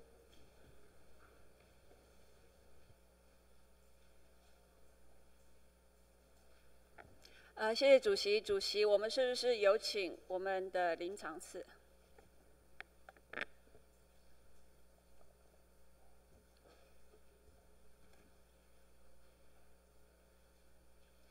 喂，好。呃，市长好，市长，这个本席请教你哈。礼拜一啊，我在卫环委员会啊，其实有咨询了有关于高雄市政府啊积欠你们劳保费的问题，这件事情你知道吗？呃，从同仁的资料里面有看到这件事。有看到嘛哈？那结果本席这个质询完之后啊，高雄市政府他还发了一个新闻稿了哈，然后呢，他说。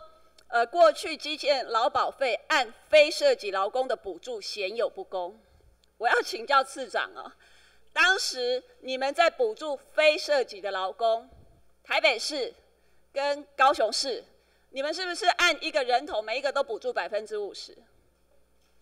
当初在设计的时候是实际上大家是一致的，对于非涉及的部分是有，那这个会显著的差异是因为现在在高雄市涉及在高雄市的比较多。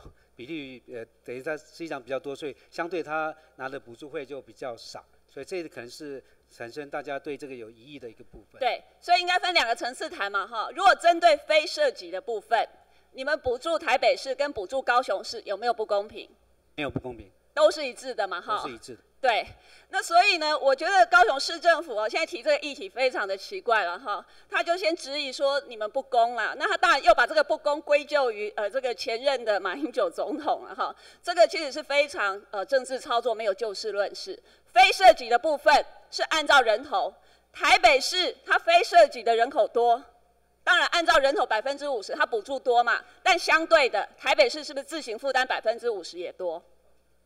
母数大的话，实际上负担也多，对不对？他补助多，他他自己负担的也多嘛。那高雄市你的非涉及劳工数少，你得到补助也少嘛。结果他们现在不把这个公司拿来谈呢，他直接说金额，台北市的金额比较高，高雄市的金额比较少，所以这个叫做不公平。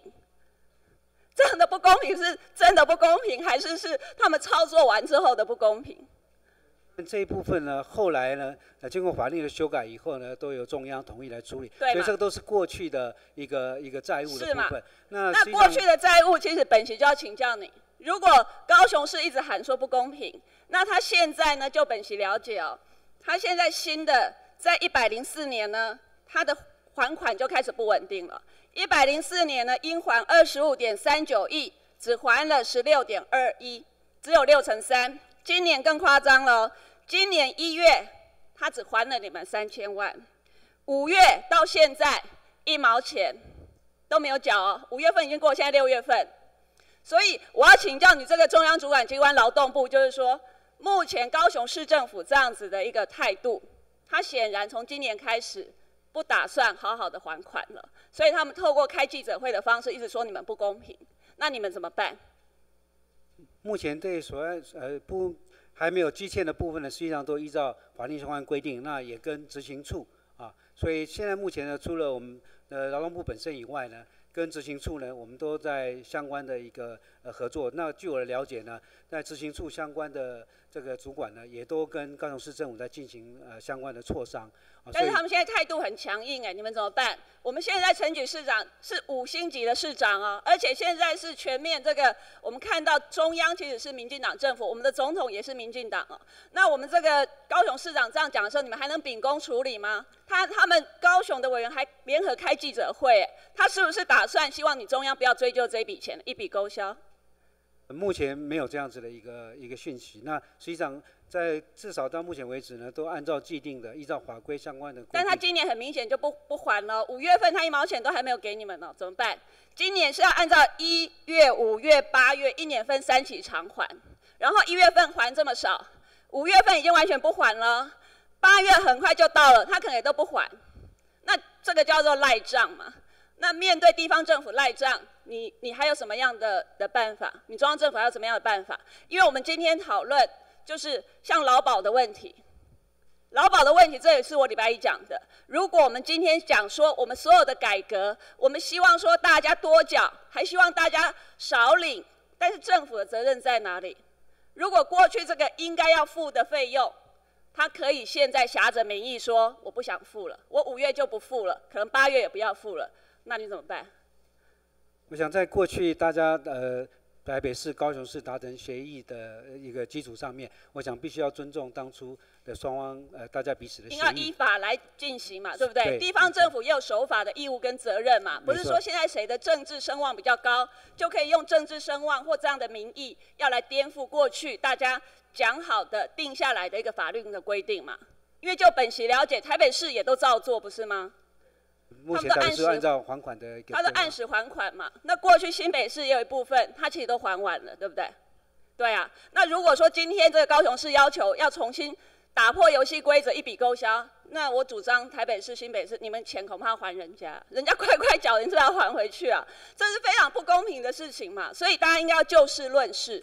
过去在立法院九十九年的时候，也要求整个劳保局在院会里面通过决议，要求你们针对这一些地方政府欠款的事情，要求你们其实是要追讨回来的。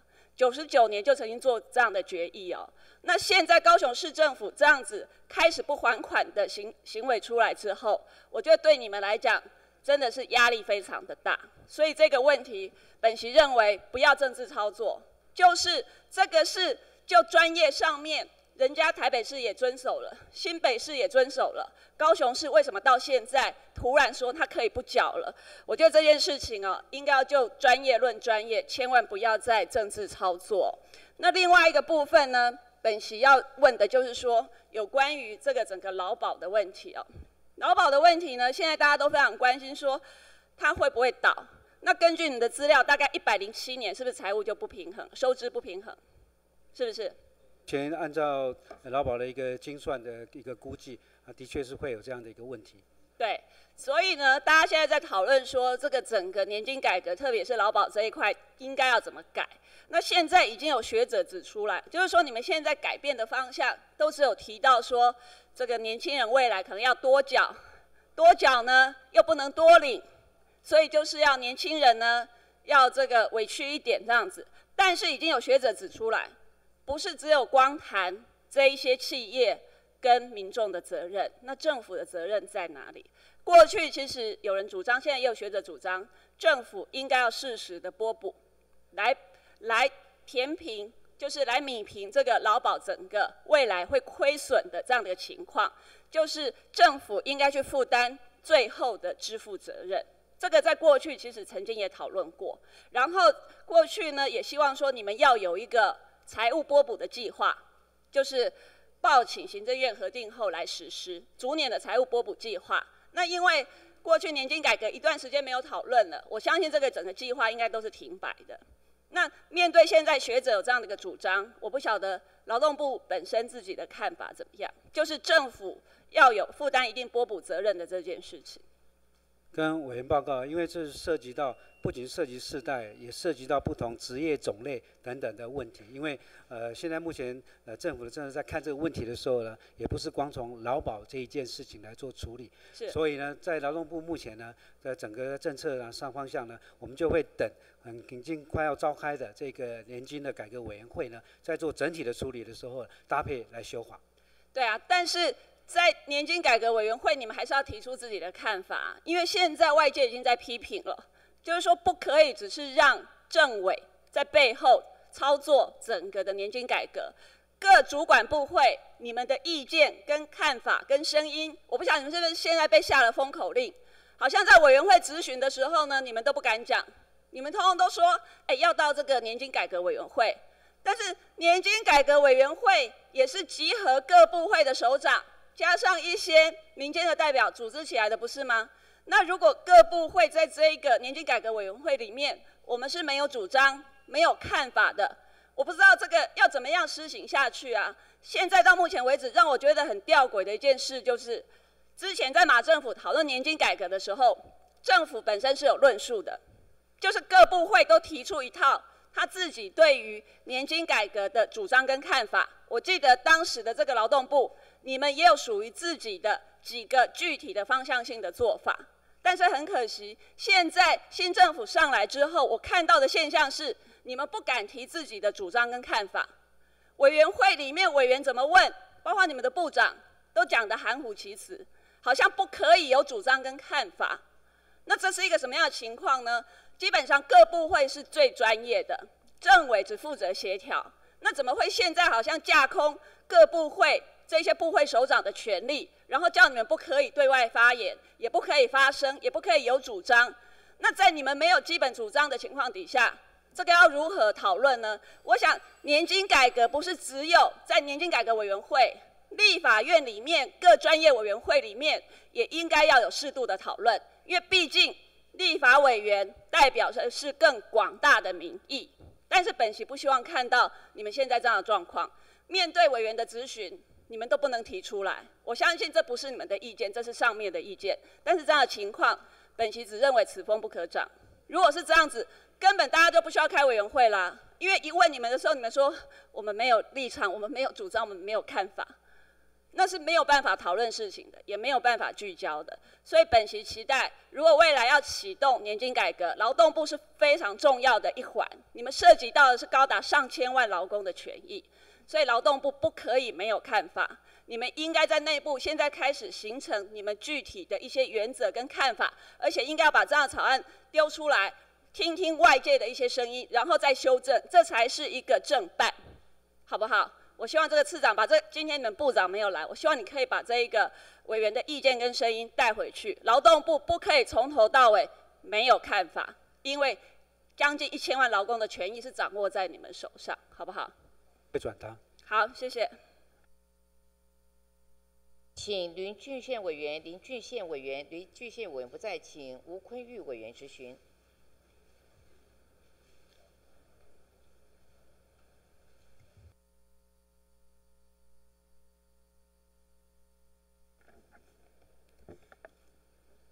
呃，主席哈，呃，我们请，我想，市长可能站很久了了哈，劳动部的市长哈，林处林市长可能站很久了，那我想我们就请那个 劳动机用局的副局长，还有 治安署的署长好了哈，那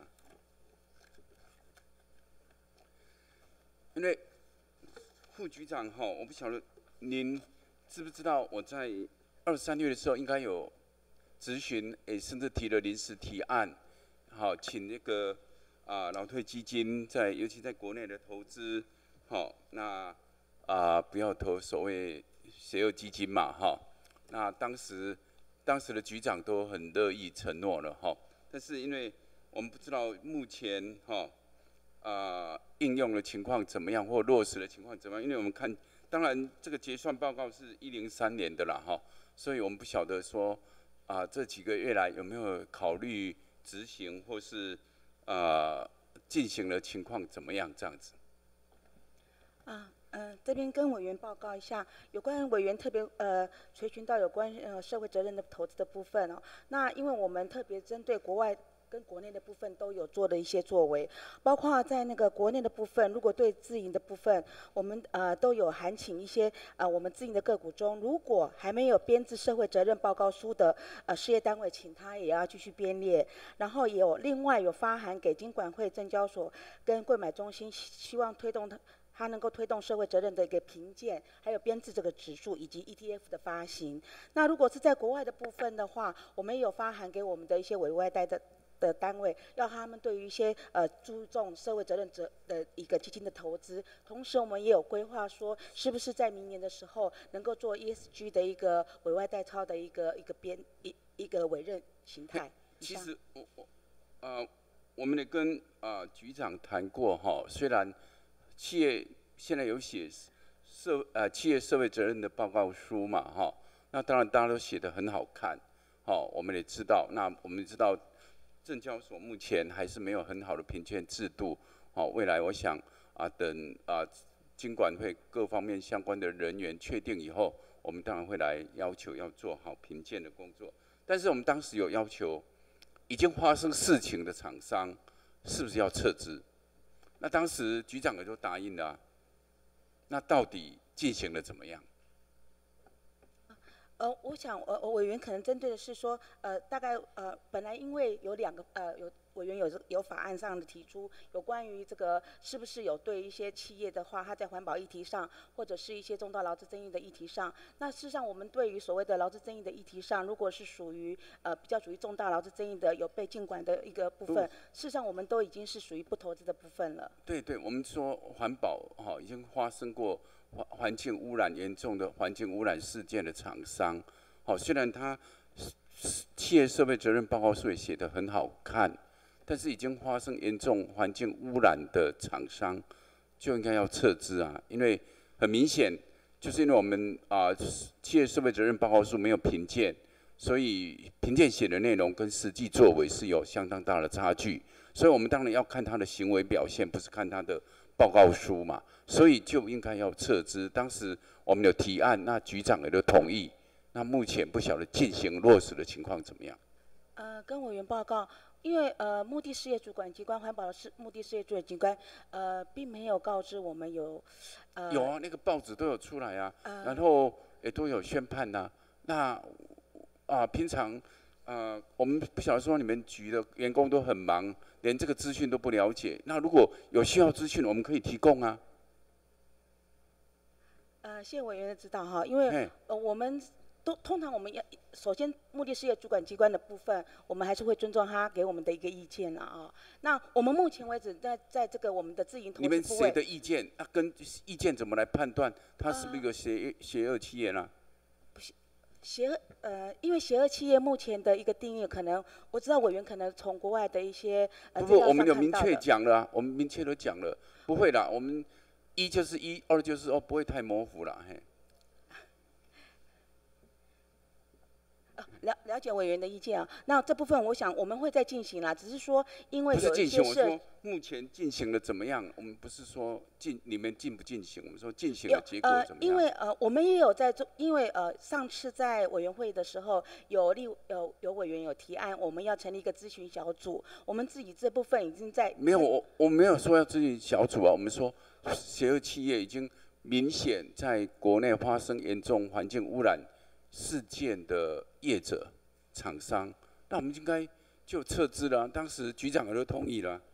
对不起，嘿，那可能可能当时副局长不在，那是不是就请局长来来跟我们讲一下，看到底？因为我们在结算书里面，你们说要推动啊、企业社会责任在投资方面，但是我们在啊、结算报告书里面没有看到了，所以我们想说，好、来询问一下到底，哎、目前进行的怎么样哈、好不好？那我想是不是就好、请请局长来来啊讨论一下，好不好？哈、好，那接下来我们就问啊、请教那个啊、刘署长哈、就说，因为我看到你们的那个结算报告书里面有写到，一百零二年哈、这个发生职灾的中小企业高达百分之八十五未曾受劳动检查嘛哈、是。那你们说因为人员呐、然后啊、资源有限嘛哈、但是很明显就是说，呃，在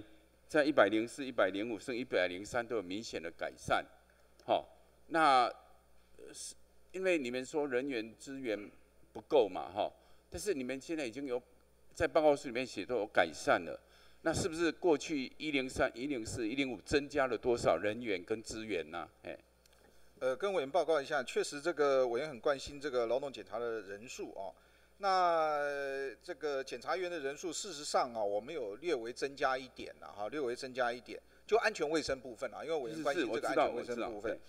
但是基本上来讲啊，我跟委员报告一下，呃，在我们三个中心的辖区之内，大概有三十万家的事业单位了。但是我们按照这个我们整个整个平均的检查，一年大概呃三个中心大概呃六六万场次，所以要这样一直这样轮替下来的话，哈，可能要到六七年还不含这个没有关系，我们不是说所以这个每一家人力上都要，每一家都必然要去检查了解了解。那但是因为嗯我们发现说，你虽然讲说在报告书里说人手不够、资源不够，但是你都有显著的改善啊。那到底有没有增加人员跟资源呢、或是增加多少？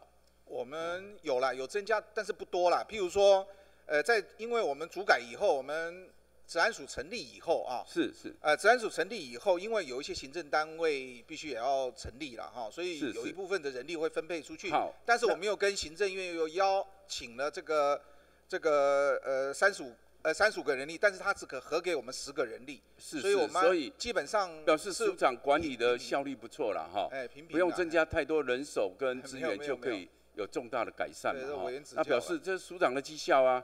哎好谢谢谢谢有有什么关系呢？就是说不用增加人手资源就可以改善检查效率嘛，对不对？不过我们还是希望人力检查人力是啊是啊，能够那从从没没有什么担心的嘛哈，只是这个看我看报告二十二页哈跟二十三页里面有一个很奇怪的数字来请教署长，是在一百零二零三年改制之前跟改制之后，北区、中区、南区那个事业单位加速增加的很多，比如北区增加超过一倍，本来四万九百六十八家，到一百零三年改制要办九万八千九百六十家，六三怎么会改制那事业单位变这么多呢？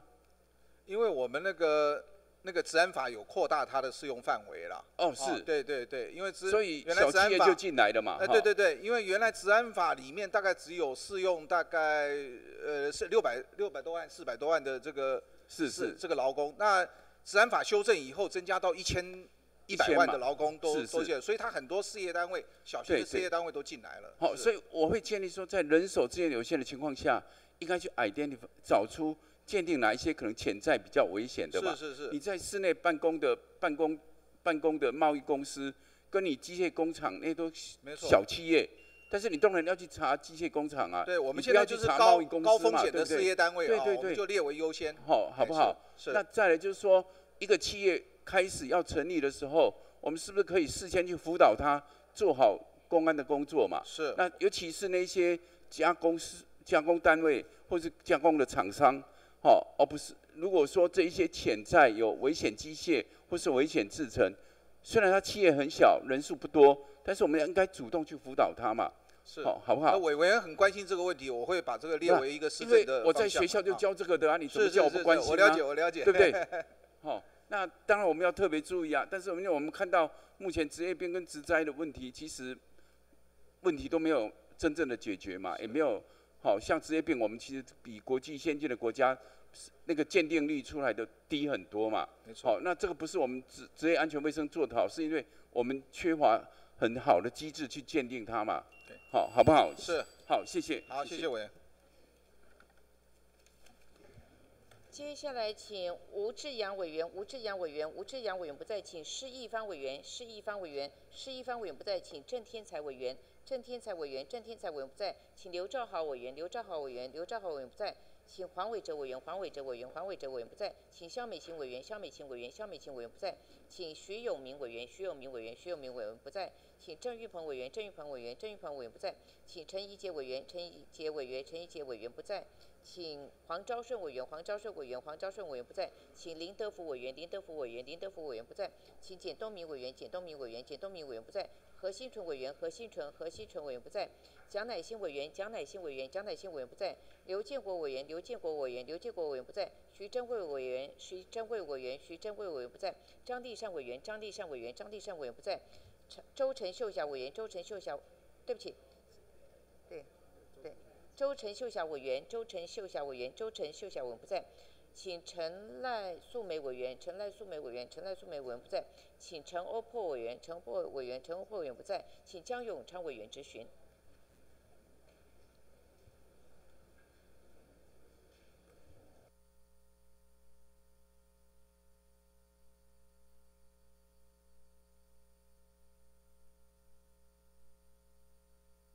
好，谢谢主席啊，请劳动部，请次长。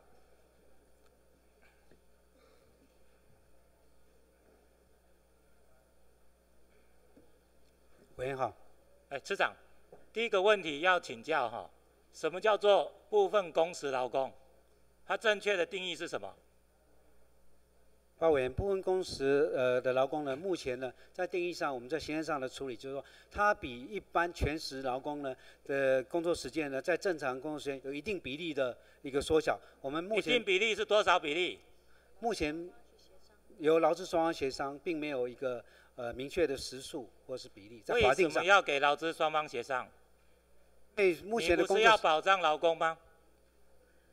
在当然部分工时呢也受到如果有一个劳工，他一周工作超过不定期劳工的正常工作四十个小时以上，他还要叫做部分工时劳工吗？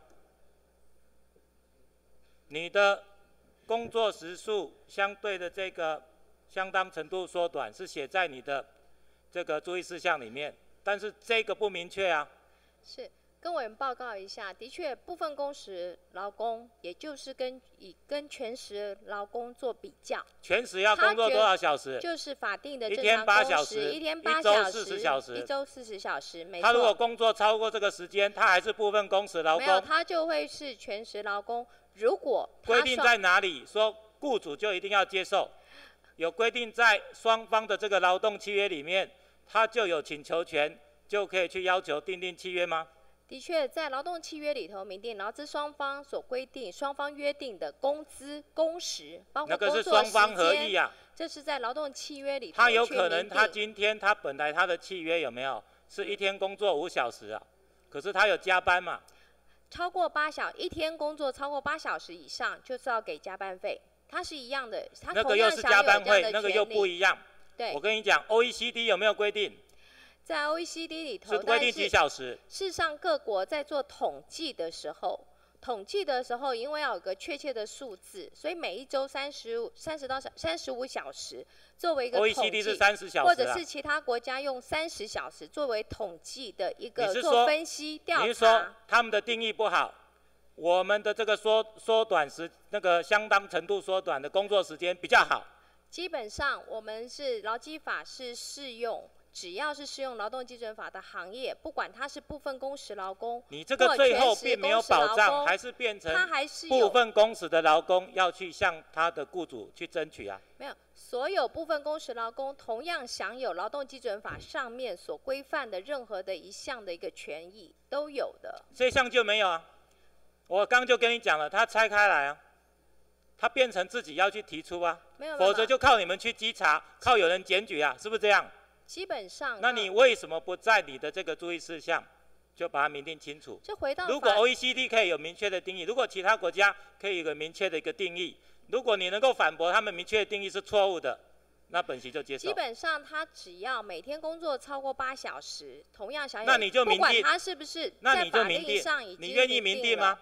在法令上已经明定，每周工作超过八小时，或者是一这周个还是需超过工去争四十都有加班费。好，你讲加班费，如果有一个部分工时的劳工，他一天工作十个小时，但事实上他原本口头约定只有四个小时，好，这个我看其他委员曾经有问过了哈。嗯那那个六个小时怎么算？基本对他原来约定四小时，但是他实际工作了十小时，所以超过八小时的部分是计算加班费的。那个加班费怎么计价？依照劳基法第二十四条，前两个小时是加给三分之一，就是他原本定的时薪再加时几三分之一。三分之一。好对，超八小时减掉他原本定的口头约定是四小时，还有四小时，那四小时怎么算？照他一般他约定的工那个时薪来计算。你讲清楚哦，你讲清楚。法定正常工时之内的，在法定正常工时是原本他跟雇主口头约定的时薪，还是基本工资，还是最低时薪？他跟雇主约定的时薪绝对不能够低于法定的基本工资。但是你在你在你的法令里面，在劳基法里面，他是说十小时减掉八小时的那两小时，那按原时薪的三分之一去加几。加给但是剩下的八小时扣掉原本约定工作的一个四小时的，另外那四个小时，你们的规定只有说不可以低于最低时薪，对不对？不不能低于基本工资啊。那就不对啦劳工，你听我讲工，，你听我讲逻辑在这里。嗯，最低时薪是一百二，如果他跟雇主约定是两百，那你这样子的话，那四小时到底要用两百算，还是用一百二算？何必让他有一个疑虑的一个地方呢？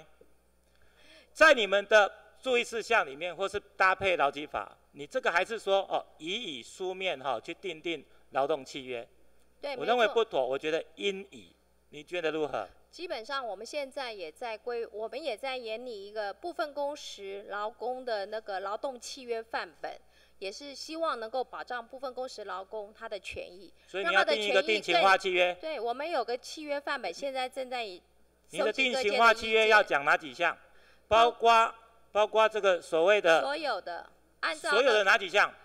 好，我刚刚就讲了两样，一第一样就是说所谓部分工时劳工的一个定义，第二项现在讲的就是在加班的时候，他绝对是应该依照原本的一个时薪，好、去赚说他在八小时以内正常工作时额外工作那个时间，而不是那个最低时薪啊。对，所以在劳动契约范本里头会包括我们劳基法施行细则第七条所定的他的工作时间，包括他工资工时、休息、这休息休假等等，所有他有他的权益，都要在劳动契约范本里面都会有所你什么时候要推出劳动契约的范本？我们现在正在收集相关的那个。你给个日期，今天如果你上达行台替次长做这样的回答，表示是你劳动部的一个政策，我就很希望知道啊，明年、后年、大后年什么时间？我今天听到有劳动的范例契约，就像定型化契约一样，什么时间、时是辰讲出来？报告一下，我们在六月底之前会完成这个契约范本。好，你刚刚讲了，还包括一项，我要讨论了，什么叫做休息时间？定义一下，你在你的劳动的这个契约范例里面，休息时间怎么定义？好，如果说那个休息时间，当然是就是脱离到雇主的指挥监督，让劳劳工能够自由运用的一个时间。这个定义，嗯这个讲法有没有放在将来的你说的这个劳动的契约范例里面，还是有没有放在现在的注意事项里面，还是有没有放在劳基法里面？你刚刚讲的自由充分的休息这件事情，就连续工作四小时之后要有三十分钟那个休息，请讲。对，休息时间的部分。这个要放进来吗？放在哪里？在我们之前，劳动部就曾经有个解释，也告诉县市政府，在所有在执行上都会有这样的的你知道，就是单靠解释令才会产生这么多的疑虑嘛？今天要做就把它做好。你刚讲了，我刚讲三个东西，一个是你讲的嘛哈，劳动的这个契约范例是啊，你们这个呃部分工时劳工的这个呃它的注意事项，还有一个劳基法，你放在哪里？好，各感谢委员的指教。我们这个注意事项的部分也会做，现在配合相关法令的修正，我们也要准备要修正我们的注意事项。当然，如果担心部分工时劳工，会不会放进去嘛对，我们也都可以把它放进去，让部分工劳时劳工能够很清楚的了解自己的哦，我现在就问你了，嗯，你放进去要怎么放？就是连续四小时接续工作要休息三十分钟。哦但是你要想清楚一下哈，休息时间我们当然是为了保障劳工了。是。可是如果有一个工作环境、工作条件，比方说他是要看电脑荧幕的，长时间的这种部分工时劳工，他也许工作五十分钟，休息十分钟，才是因应他所需求的啊、他也许跟雇主谈好，他这样子做，他赶快做一做哦，然后四个小时之后，他可能要去进修，或者说他可能有其他的家庭的一个事项，他可能必须要要离开。这样子的一个工作跟休息的一个分配，反正对他来讲是比较有利的。那你劳动的这个范例契约，你到底要怎么定？的确，就照委员所说的，因为各行各业、各各式各样的工作者，他的工作太阳都不一样，所以在我们回到这个第三十五条有关休息时间的立法意志，他工作连续工作，继续工作四小时，要休息三十分钟，是希望能够让劳工有一个休息，能够提你高你要正他的工作面回答我的。问题了。对，我就说你那个四小时三十分钟，你要采取这样一个定义，还是说其实还是可以？因为你现在讲它合法或不合法，讲合法的话，是因为你没有说你要处罚他，他违法，你要写在哪里？现在并没有在你的注意事项或劳基法的条文当中去看到。你说它不合法，其实是基于我们保障劳工的一个价值跟精神嘛。但是你要考虑到也有不同的一个情况发生，所以我还是跟你讲，你在注意事项里面哈、所写的，已以书面定之。如果你把刚刚所讲这个东西改成应以书面定之，那效果就不一样啊。是非常谢谢委员采纳吗？我们采纳吗？我现在讲你采纳吗？次长回答一下啦，来做一个政政策的宣示。可以，我想只要对基于对劳工的保障，我想劳动部都应该秉持这个立场。啊，我们的同意刚刚委员的一个一个呃指正。前任的部长，他曾经有想要在劳基法里面订定这个服务条款的专章。那新任的劳动部长，现在的劳动部，你们到底是想修订专章，还是改注意事项，还是增订劳动的这个契约范例？你们是哪一种？到底怎么样要讲清楚？跟委员报告就是，我们立即要做的就是刚刚呃跟呃承诺委员的六月底之前，我们先把这个注意事项先把它处理完。至于说这个，他讲的是劳动契约范例，你讲的是注意事项。契约的范本的部分是在六月。那注意事项也会改。但我跟你讲哦，我觉得部会、宴会跟总统府有点不一致。虽然是自己人，我要讲白的，小英总统的政见，他是定定定专法啊，啊，那你现在来讲的都是修订啊，这里也有差距啊。你赶快回答我，时间到了。对对，专法的部分呢，我们实际上呢，现在不仅要聆，就听取各界的意见以外，我们也收集了呃国外的一些一些这个立法例。那是我们这个地方我们会提出这样的新的部长，现在劳动部整体的意见，对于部分公司的劳工是修订原有的注意事项跟原有的劳基法，哦改成专章，这是前劳动部部长的意思。现在的意思是另定专法，是这样吗？你配合当时的小英的竞选的政策。对，专项的部分是比较我们在中长期的做法，因为我们必须要先把立即的问题，刚刚委员所提到的，先让劳工跟雇主很清楚的知道这样子的规范。当然，立法的部分呢，实际上还涉及大院，所以我们必须要把各界的的的的关切的的议题呢，都把它中整起来，然后呢，国际上的立法力，这样子很完整的，我们就要送到这个大院来审。我在这里不强逼你要。对于立专法的时程要说出来，但是我希望尽快的拿到你们所规划的研究报告，然后里面也要定出你的计划期程，这样可以吗？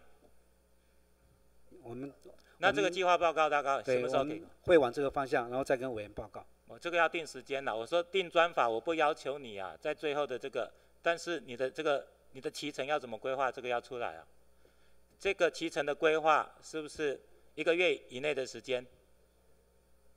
给我们在一个月之内会提供报告。这个要请主席帮我裁示了。好，你们再跟江私下再跟江永昌委员多沟通，好不好？好，请回座，谢谢。呃，我们登记询答的委员都已经结束了。那因为陈一鸣委员，呃，你是提书面就好，还是要再？呃，OK，好，谢谢哈。好，报告各位委员，我们今天登记发言的委员都已经询答完毕，做如下决定：一。报告及询答完毕。第二，其中陈赖素梅委员、张耀委员、杨耀委员，对不起，陈一鸣委员、刘建国委员所提的书面询呃质询列入记录，刊登公报，并请相关主管机关以书面答复。委员质询未及答复的部分，请相关主管机关于一周内以书面答复。委员质询中要求提供之相关资料，也请于期限内送交各相关委员。处理讨论事项及临时提案，请议事人员宣读审查项目以及临时提案共三案。中华民国一百零三年度中央政府总决算审核报告刮五函附属单位决算及中期表案审查项目：一、单位决算部分；一、劳工委员会。刮胡劳动部二职业训练局及所属刮胡劳动力发展署及所属三劳工安全卫生研究所刮胡劳动及职业安全卫生研究所四劳工退休基金监理会刮胡劳动基金运用局二营业基金决算部分劳工保险局三非营业特种基金决算部分一特别收入基金就业安定基金。二、其他特种基金：一、劳工退休基金刮无救治；二、劳工退休基金刮无新制；三、积欠工资电厂基金。现在宣读委员之临时提案三案。第一案，查高雄市政府于一百零一年七月前历年未按劳工保险条例第十五条规定缴交直辖市政府应付劳工保险费，并长期由中央主管机关垫支，取等至今尚积欠一百二十五亿元劳工。劳保费尚未偿还，按直辖市积欠劳保费提还款计划，高雄市政府一百零四年劳保费欠费应偿还二十五点三十九亿元，已偿还十六点二一亿元，尚欠九点一八亿元未偿还，业已危及劳工保险基金财务安全性与永续性。为确保劳保劳工保险基金财务健全，劳动部应遵守立法院审议民国九十九年劳工保险局预算案之决议。积极追讨高雄市政府之欠费，以促其落实提还款计划，并汇整执行报告，分别送立法院社会福利及卫生环境委员会及财政委员会。提案人委员王玉敏，联署人委员卢秀燕、曾明忠、陈怡民等委员。第二案，原住民主税时记对原住民主维系文化、凝聚族群认同具有非常重要的意义。各族原住民将参加税时记忆视为重要义务，但劳动基准法施行细则第二十三条规定，锁定放假的节日都是汉族的节日，例如春节、民族扫墓节、端午节、中秋节，并未明定原住民族税时记忆日可以放假。许多原住民劳工无法与自己族群的税时记忆日放假，甚为不公平。有鉴于此，宪宪法增修条文第十条第十一项规定，国家肯定多元文化。为协助原住民可以放假返乡参加岁时祭仪，以尊重及注意原住民族重要文化的传承，原要求劳动部修正《劳动基准法施行细则》第二十三条规定，明定原住民族岁时祭仪由原住民族委员会参酌各该原住民族习俗公告及原住民族放假日期及日数。提案人委员陈一敏、罗明才、蒋万安、费鸿泰、卢秀燕、郑天才等委员。第三案。行政院长林权推动税收制的长照政策，裁员将从遗赠税税率由百分之十提高到百分之二十，营业税率由现行百分之五调高为百分之五点五。财政部次长苏建荣在立法院财委会答询时进一步表示，换算下来每人每月只会增加约五十元的负担。然劳工薪资调整不易，往往需要经过长期与资方的争取。但行政院为了找长照裁员调涨营业税，低估物价调涨对小老百姓的生活造成的影响，又国民年金法第四十七条第一项第二款规定，营业税亦为国民年金的裁员之一，恐造成排挤效应，影响国民年金被保险人的权益。原要求劳动部与长照政策在行政院会讨论时，应替全体劳工表达政策对其增加生活负担及排挤国民年金之心声。提案人委员卢秀叶、王玉敏、费红、呃李彦秀、陈以明等委员宣读完毕。报告各位委员，我们刚才都已经宣读了，请问各位委员对于审查项目以及三个临时提案有没有异议？因为我知道有一个大好像有点不一样，所以我请你们利用宣读先协商。现在有 OK 了吗？现在协商。那这样子哈，好。呃，审查项目大家有意见吗？如果没有意见的话，审查项目我们先通过照列啊，呃，照案通过。那现在临时提案呢？呃，有一个案子哈，有一个案子是有关原住民的。刚才这个劳动部是希望增加啊，倒数第四行增加言义两次哈。那呃，本席同意，因为这提案的委员在场只有我，所以啊，所以。呃，同意增加“演绎”两个字。那另外，呃，另外一个案子是你们双方还有意见，是不是？OK，好，谢谢。还是我们在下面协商。哎，呃，我跟主席做个报告，好了。好，谢谢。来。啊，因为这是由我们王委员王一鸣王委员的一个提案啊，针对高雄市在一百零一年内容我就不讲。那这个提案我现在跟王委员在做协商。那这个这个提案是不是可以暂？暂缓先行讨论，让我们两个先行协商完之后再做后续。啊，是不是可以可以这个提案暂暂缓暂缓了？不是改文字啊，暂缓等我们两个协商完之后再来做处理。下来解决比较快。啊。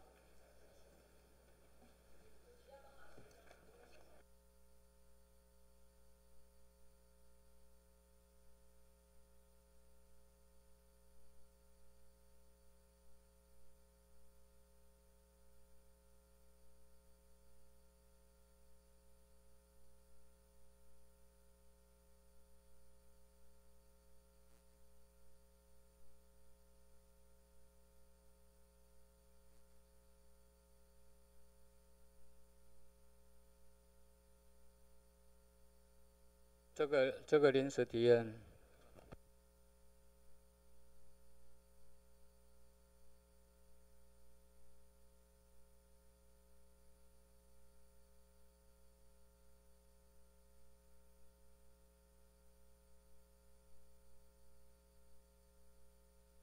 麻烦大家用麦克风，因为我们现在都是有记录的哈，录音录影，那所以麻烦。好，再讲一遍，来，谢谢那个。因为九十九年做了决议以后，我们跟两个地方政府在协商以后，他们就定了一个还款计划嘛，然后就一直到一百零八年都会全部还还清。台北市跟高雄市也是这样，然后从一百年九九年一百年开始啊，那两个单位都都照计划还哈，但是一直到去年就这样子写的，到去年呢。高雄市当然，这个计划上是二十五点三九啦，就只还了十六点二一，所以还有九点一八。哦，那当然这个除了劳保以外，健保也是一样啦。那高雄市大概那个中委很清楚，就是因为中间他的裁员说少了一个五十几亿的这什么钱呐，那所以现在这个案子就会变成高雄市的立场是希望说那个行政院那边能够再再重新谈这个事情。哦，看怎么去补助的这个事情啦。那就我们立场来讲，我们目前当然，因为立场上那个计划没有没有照计划做完，我们该有的做，我们都还是在做嘛。所以，我们我最近我们也请执行处去了解，比如说高雄的扣押一些土地吧，那他有去了解高雄的土地，这个是不是是不是公用的？他会如果真的是去执行，会不会影响到那个市政推展等等那一些？那现在执行处正在。处理这些事情啊，那我们就要求你送报告了，这个应该还好。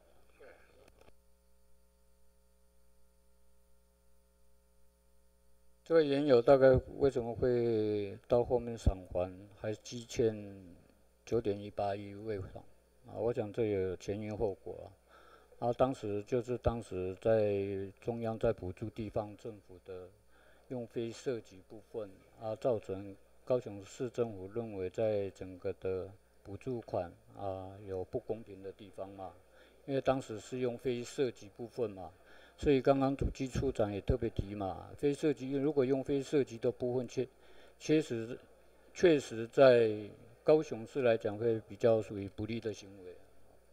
那这样对高雄市高那所以高雄市这一段时间还是依照原来该还的就一直还嘛，也从来没有积欠你们拖欠你们。那因为在前年的时候，在议会来得有被审一些啊预算的税入啊少了五十亿嘛哈，啊少了五十亿是因为一百零一年的时候的中央的补助款，因为原来一百零一年到一百一百零一年七月之后，劳健保的部分全部由中央由中央来支付，但是分配到地方的一般一般财财源的时候，它就少了，从那边扣掉了。那原来财政高雄市财政局原来预估说啊，那由中央支付这笔钱的话，那地方政府就可以不用再支付这笔钱了嘛，就把这笔原来想说他应该会给我的财源，譬如举例说有个一百亿，啊结果哇扣掉那扣掉那个非涉及的部分，原来还是还是被扣掉了嘛，哎扣扣掉部分，他他认为说那不是中央全部买单嘛，那中央的买单是还是从补助地方的一般的财源税来对。还是给他扣掉财源款，还是从那边扣掉，所以造成他在他在财政上的支支付上，又经过议会已经审议全部全部整个各级处的分配的预算已经审议完毕，所以才会有拖欠嘛，拖欠那时候才会有，呃劳保局这边也到高雄市政府来做协商嘛，那协商的结果就是希望能够能够在。非涉及的部分，重新从财主单位，那是不是再重新去做讨论？包括一百零一年七月，当时它是从一百年到一百零一年，因为县市合并，高雄高雄市比较特殊的是县市合并，原高雄县的部分是百分之百由中央来支付嘛，地方政府没有付，那中院辖市是负担一半。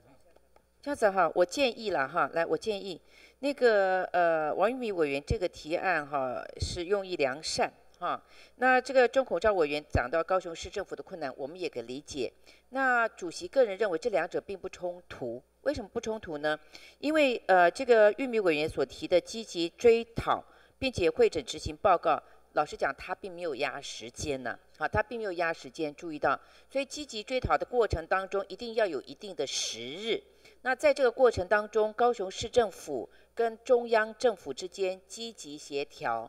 那反正现在都是你们执政嘛，都是民进党执政嘛。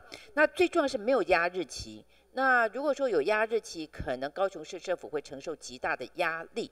那但是呢，因为并没有这个压日期，所以这个积极，我们希望你们态度表现出来积极，但是没有压时间。那所以呢，呃，这个钟委员，你今天已经表达了，那啊这段时间就呃请高雄市政府跟这个中央之间赶快去制定，也许可以制定新的偿还办法也说不定，因为我们也常常看到。呃，个别的这个债务人跟银行之间也有可能变更还款计划，哈，那这个也很重要哈，所以这个是可以讨论的。那所以我建议就不要坚持。但是如果你今天把这个案撤掉，会产生一个效果，破窗效应，变成不积极追讨了，不要了，以后每个县市都来，你想吗？就变。那第二个对公务人员是个很大的压力。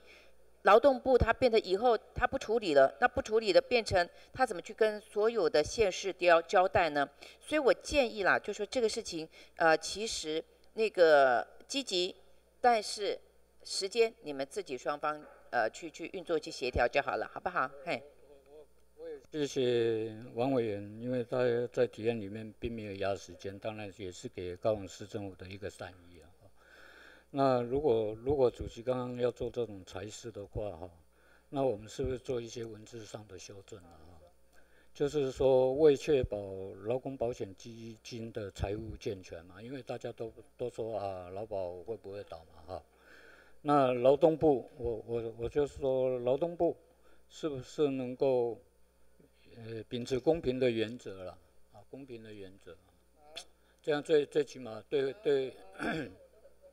不，因为那个是财务财务，哎呀，能够积积极积极啊哈，积极跟地方政府，就刚刚主席讲的嘛哈，要跟地方政府嘛哈，就是秉持公平原则，积极与地方政府协调相关欠费问题，并会会诊执行报告，分别送立法院社会福利及卫生环境委员会及财政委员会。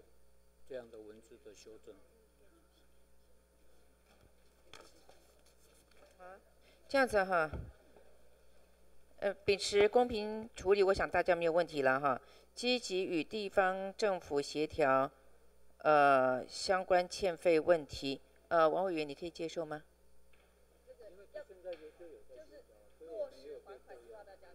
好。各退一步了，再加上再加上他的落实还款计划，对不对？好不好？因为还款老实讲，变更还款计划也是还款嘛，也是还款嘛，哈。哎，对。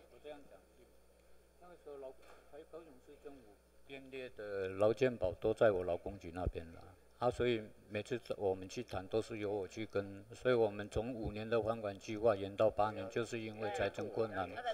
哎呀，那个就是要落实还款，所以我们一直都。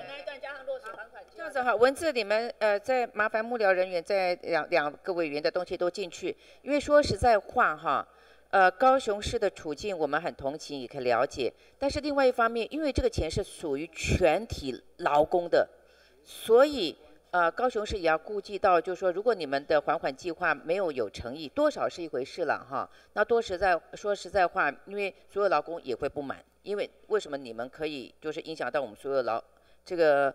劳工的方面的这个呃这个基金它本身的一个运作跟那个哈，那因此呢，我建议双方各退一步哈，王委员不压日期，然后呢，他对你讲的说应该秉持公平原则，那给地方跟中央协调的机会都可以，那还款你自己讲的相关欠费问题应该怎么处理，你们双方去谈好不好？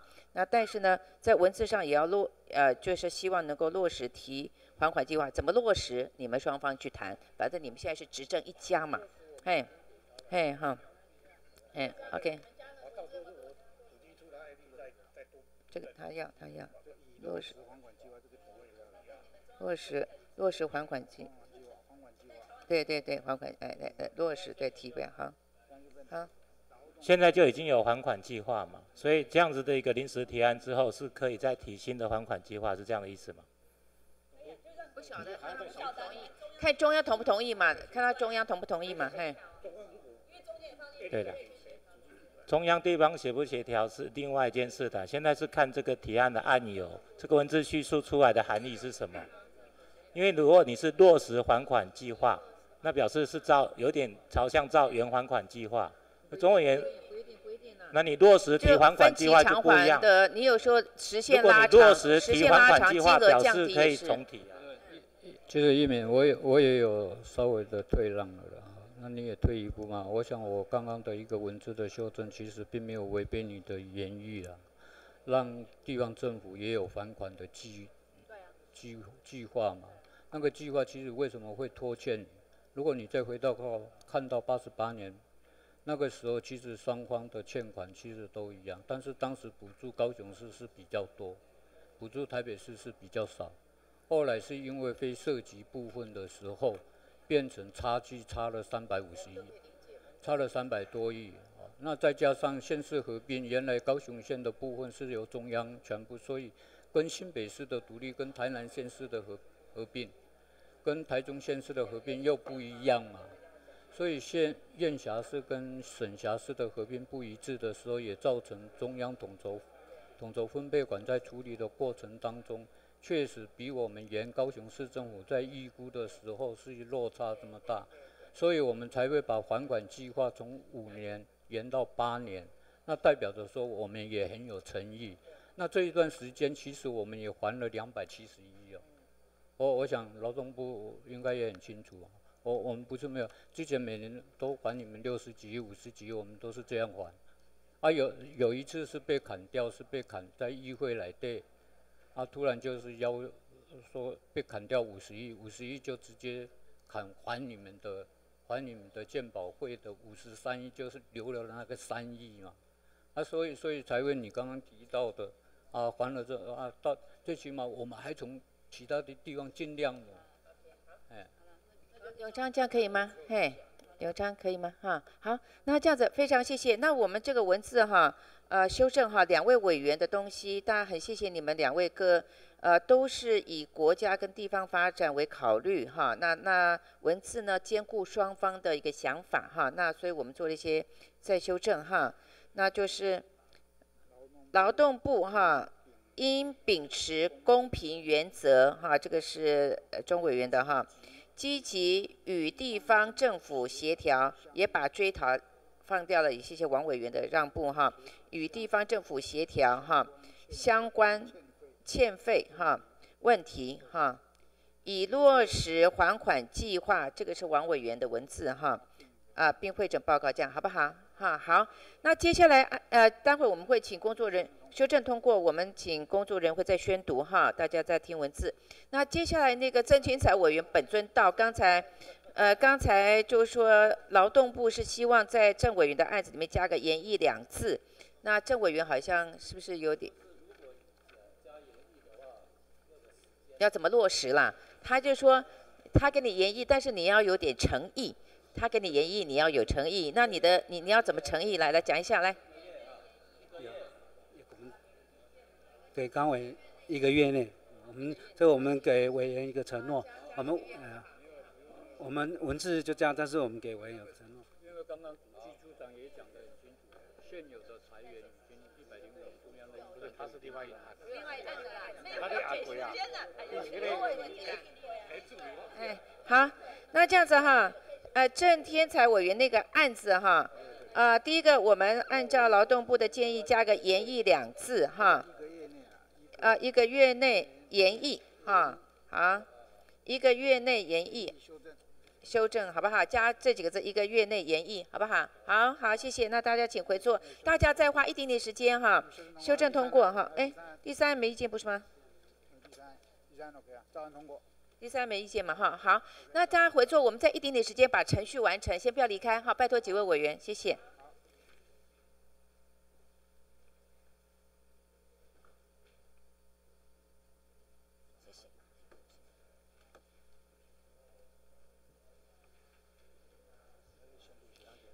好，请议事人员宣读协商结论。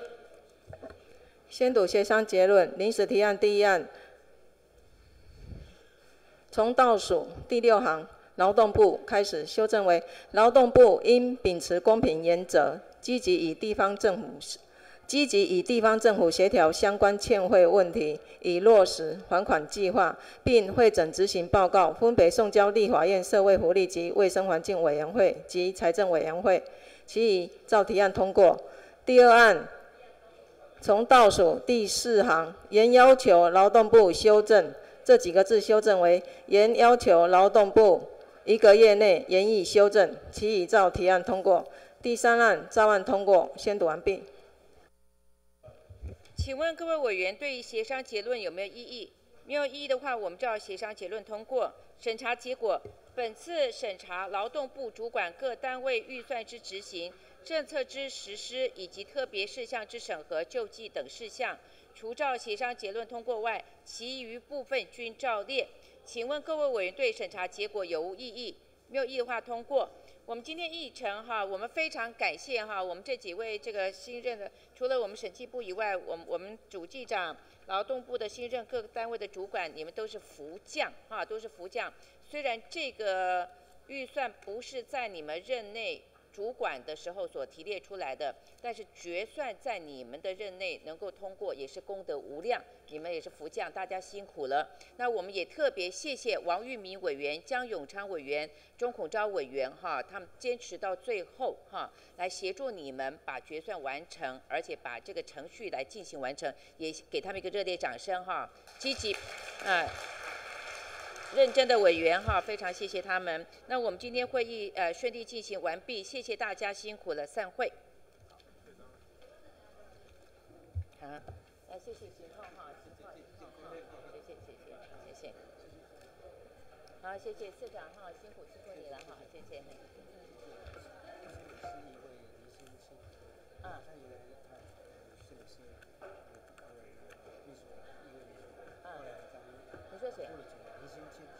你说谁？哦，你哎，刚刚就好，迄个你嘛。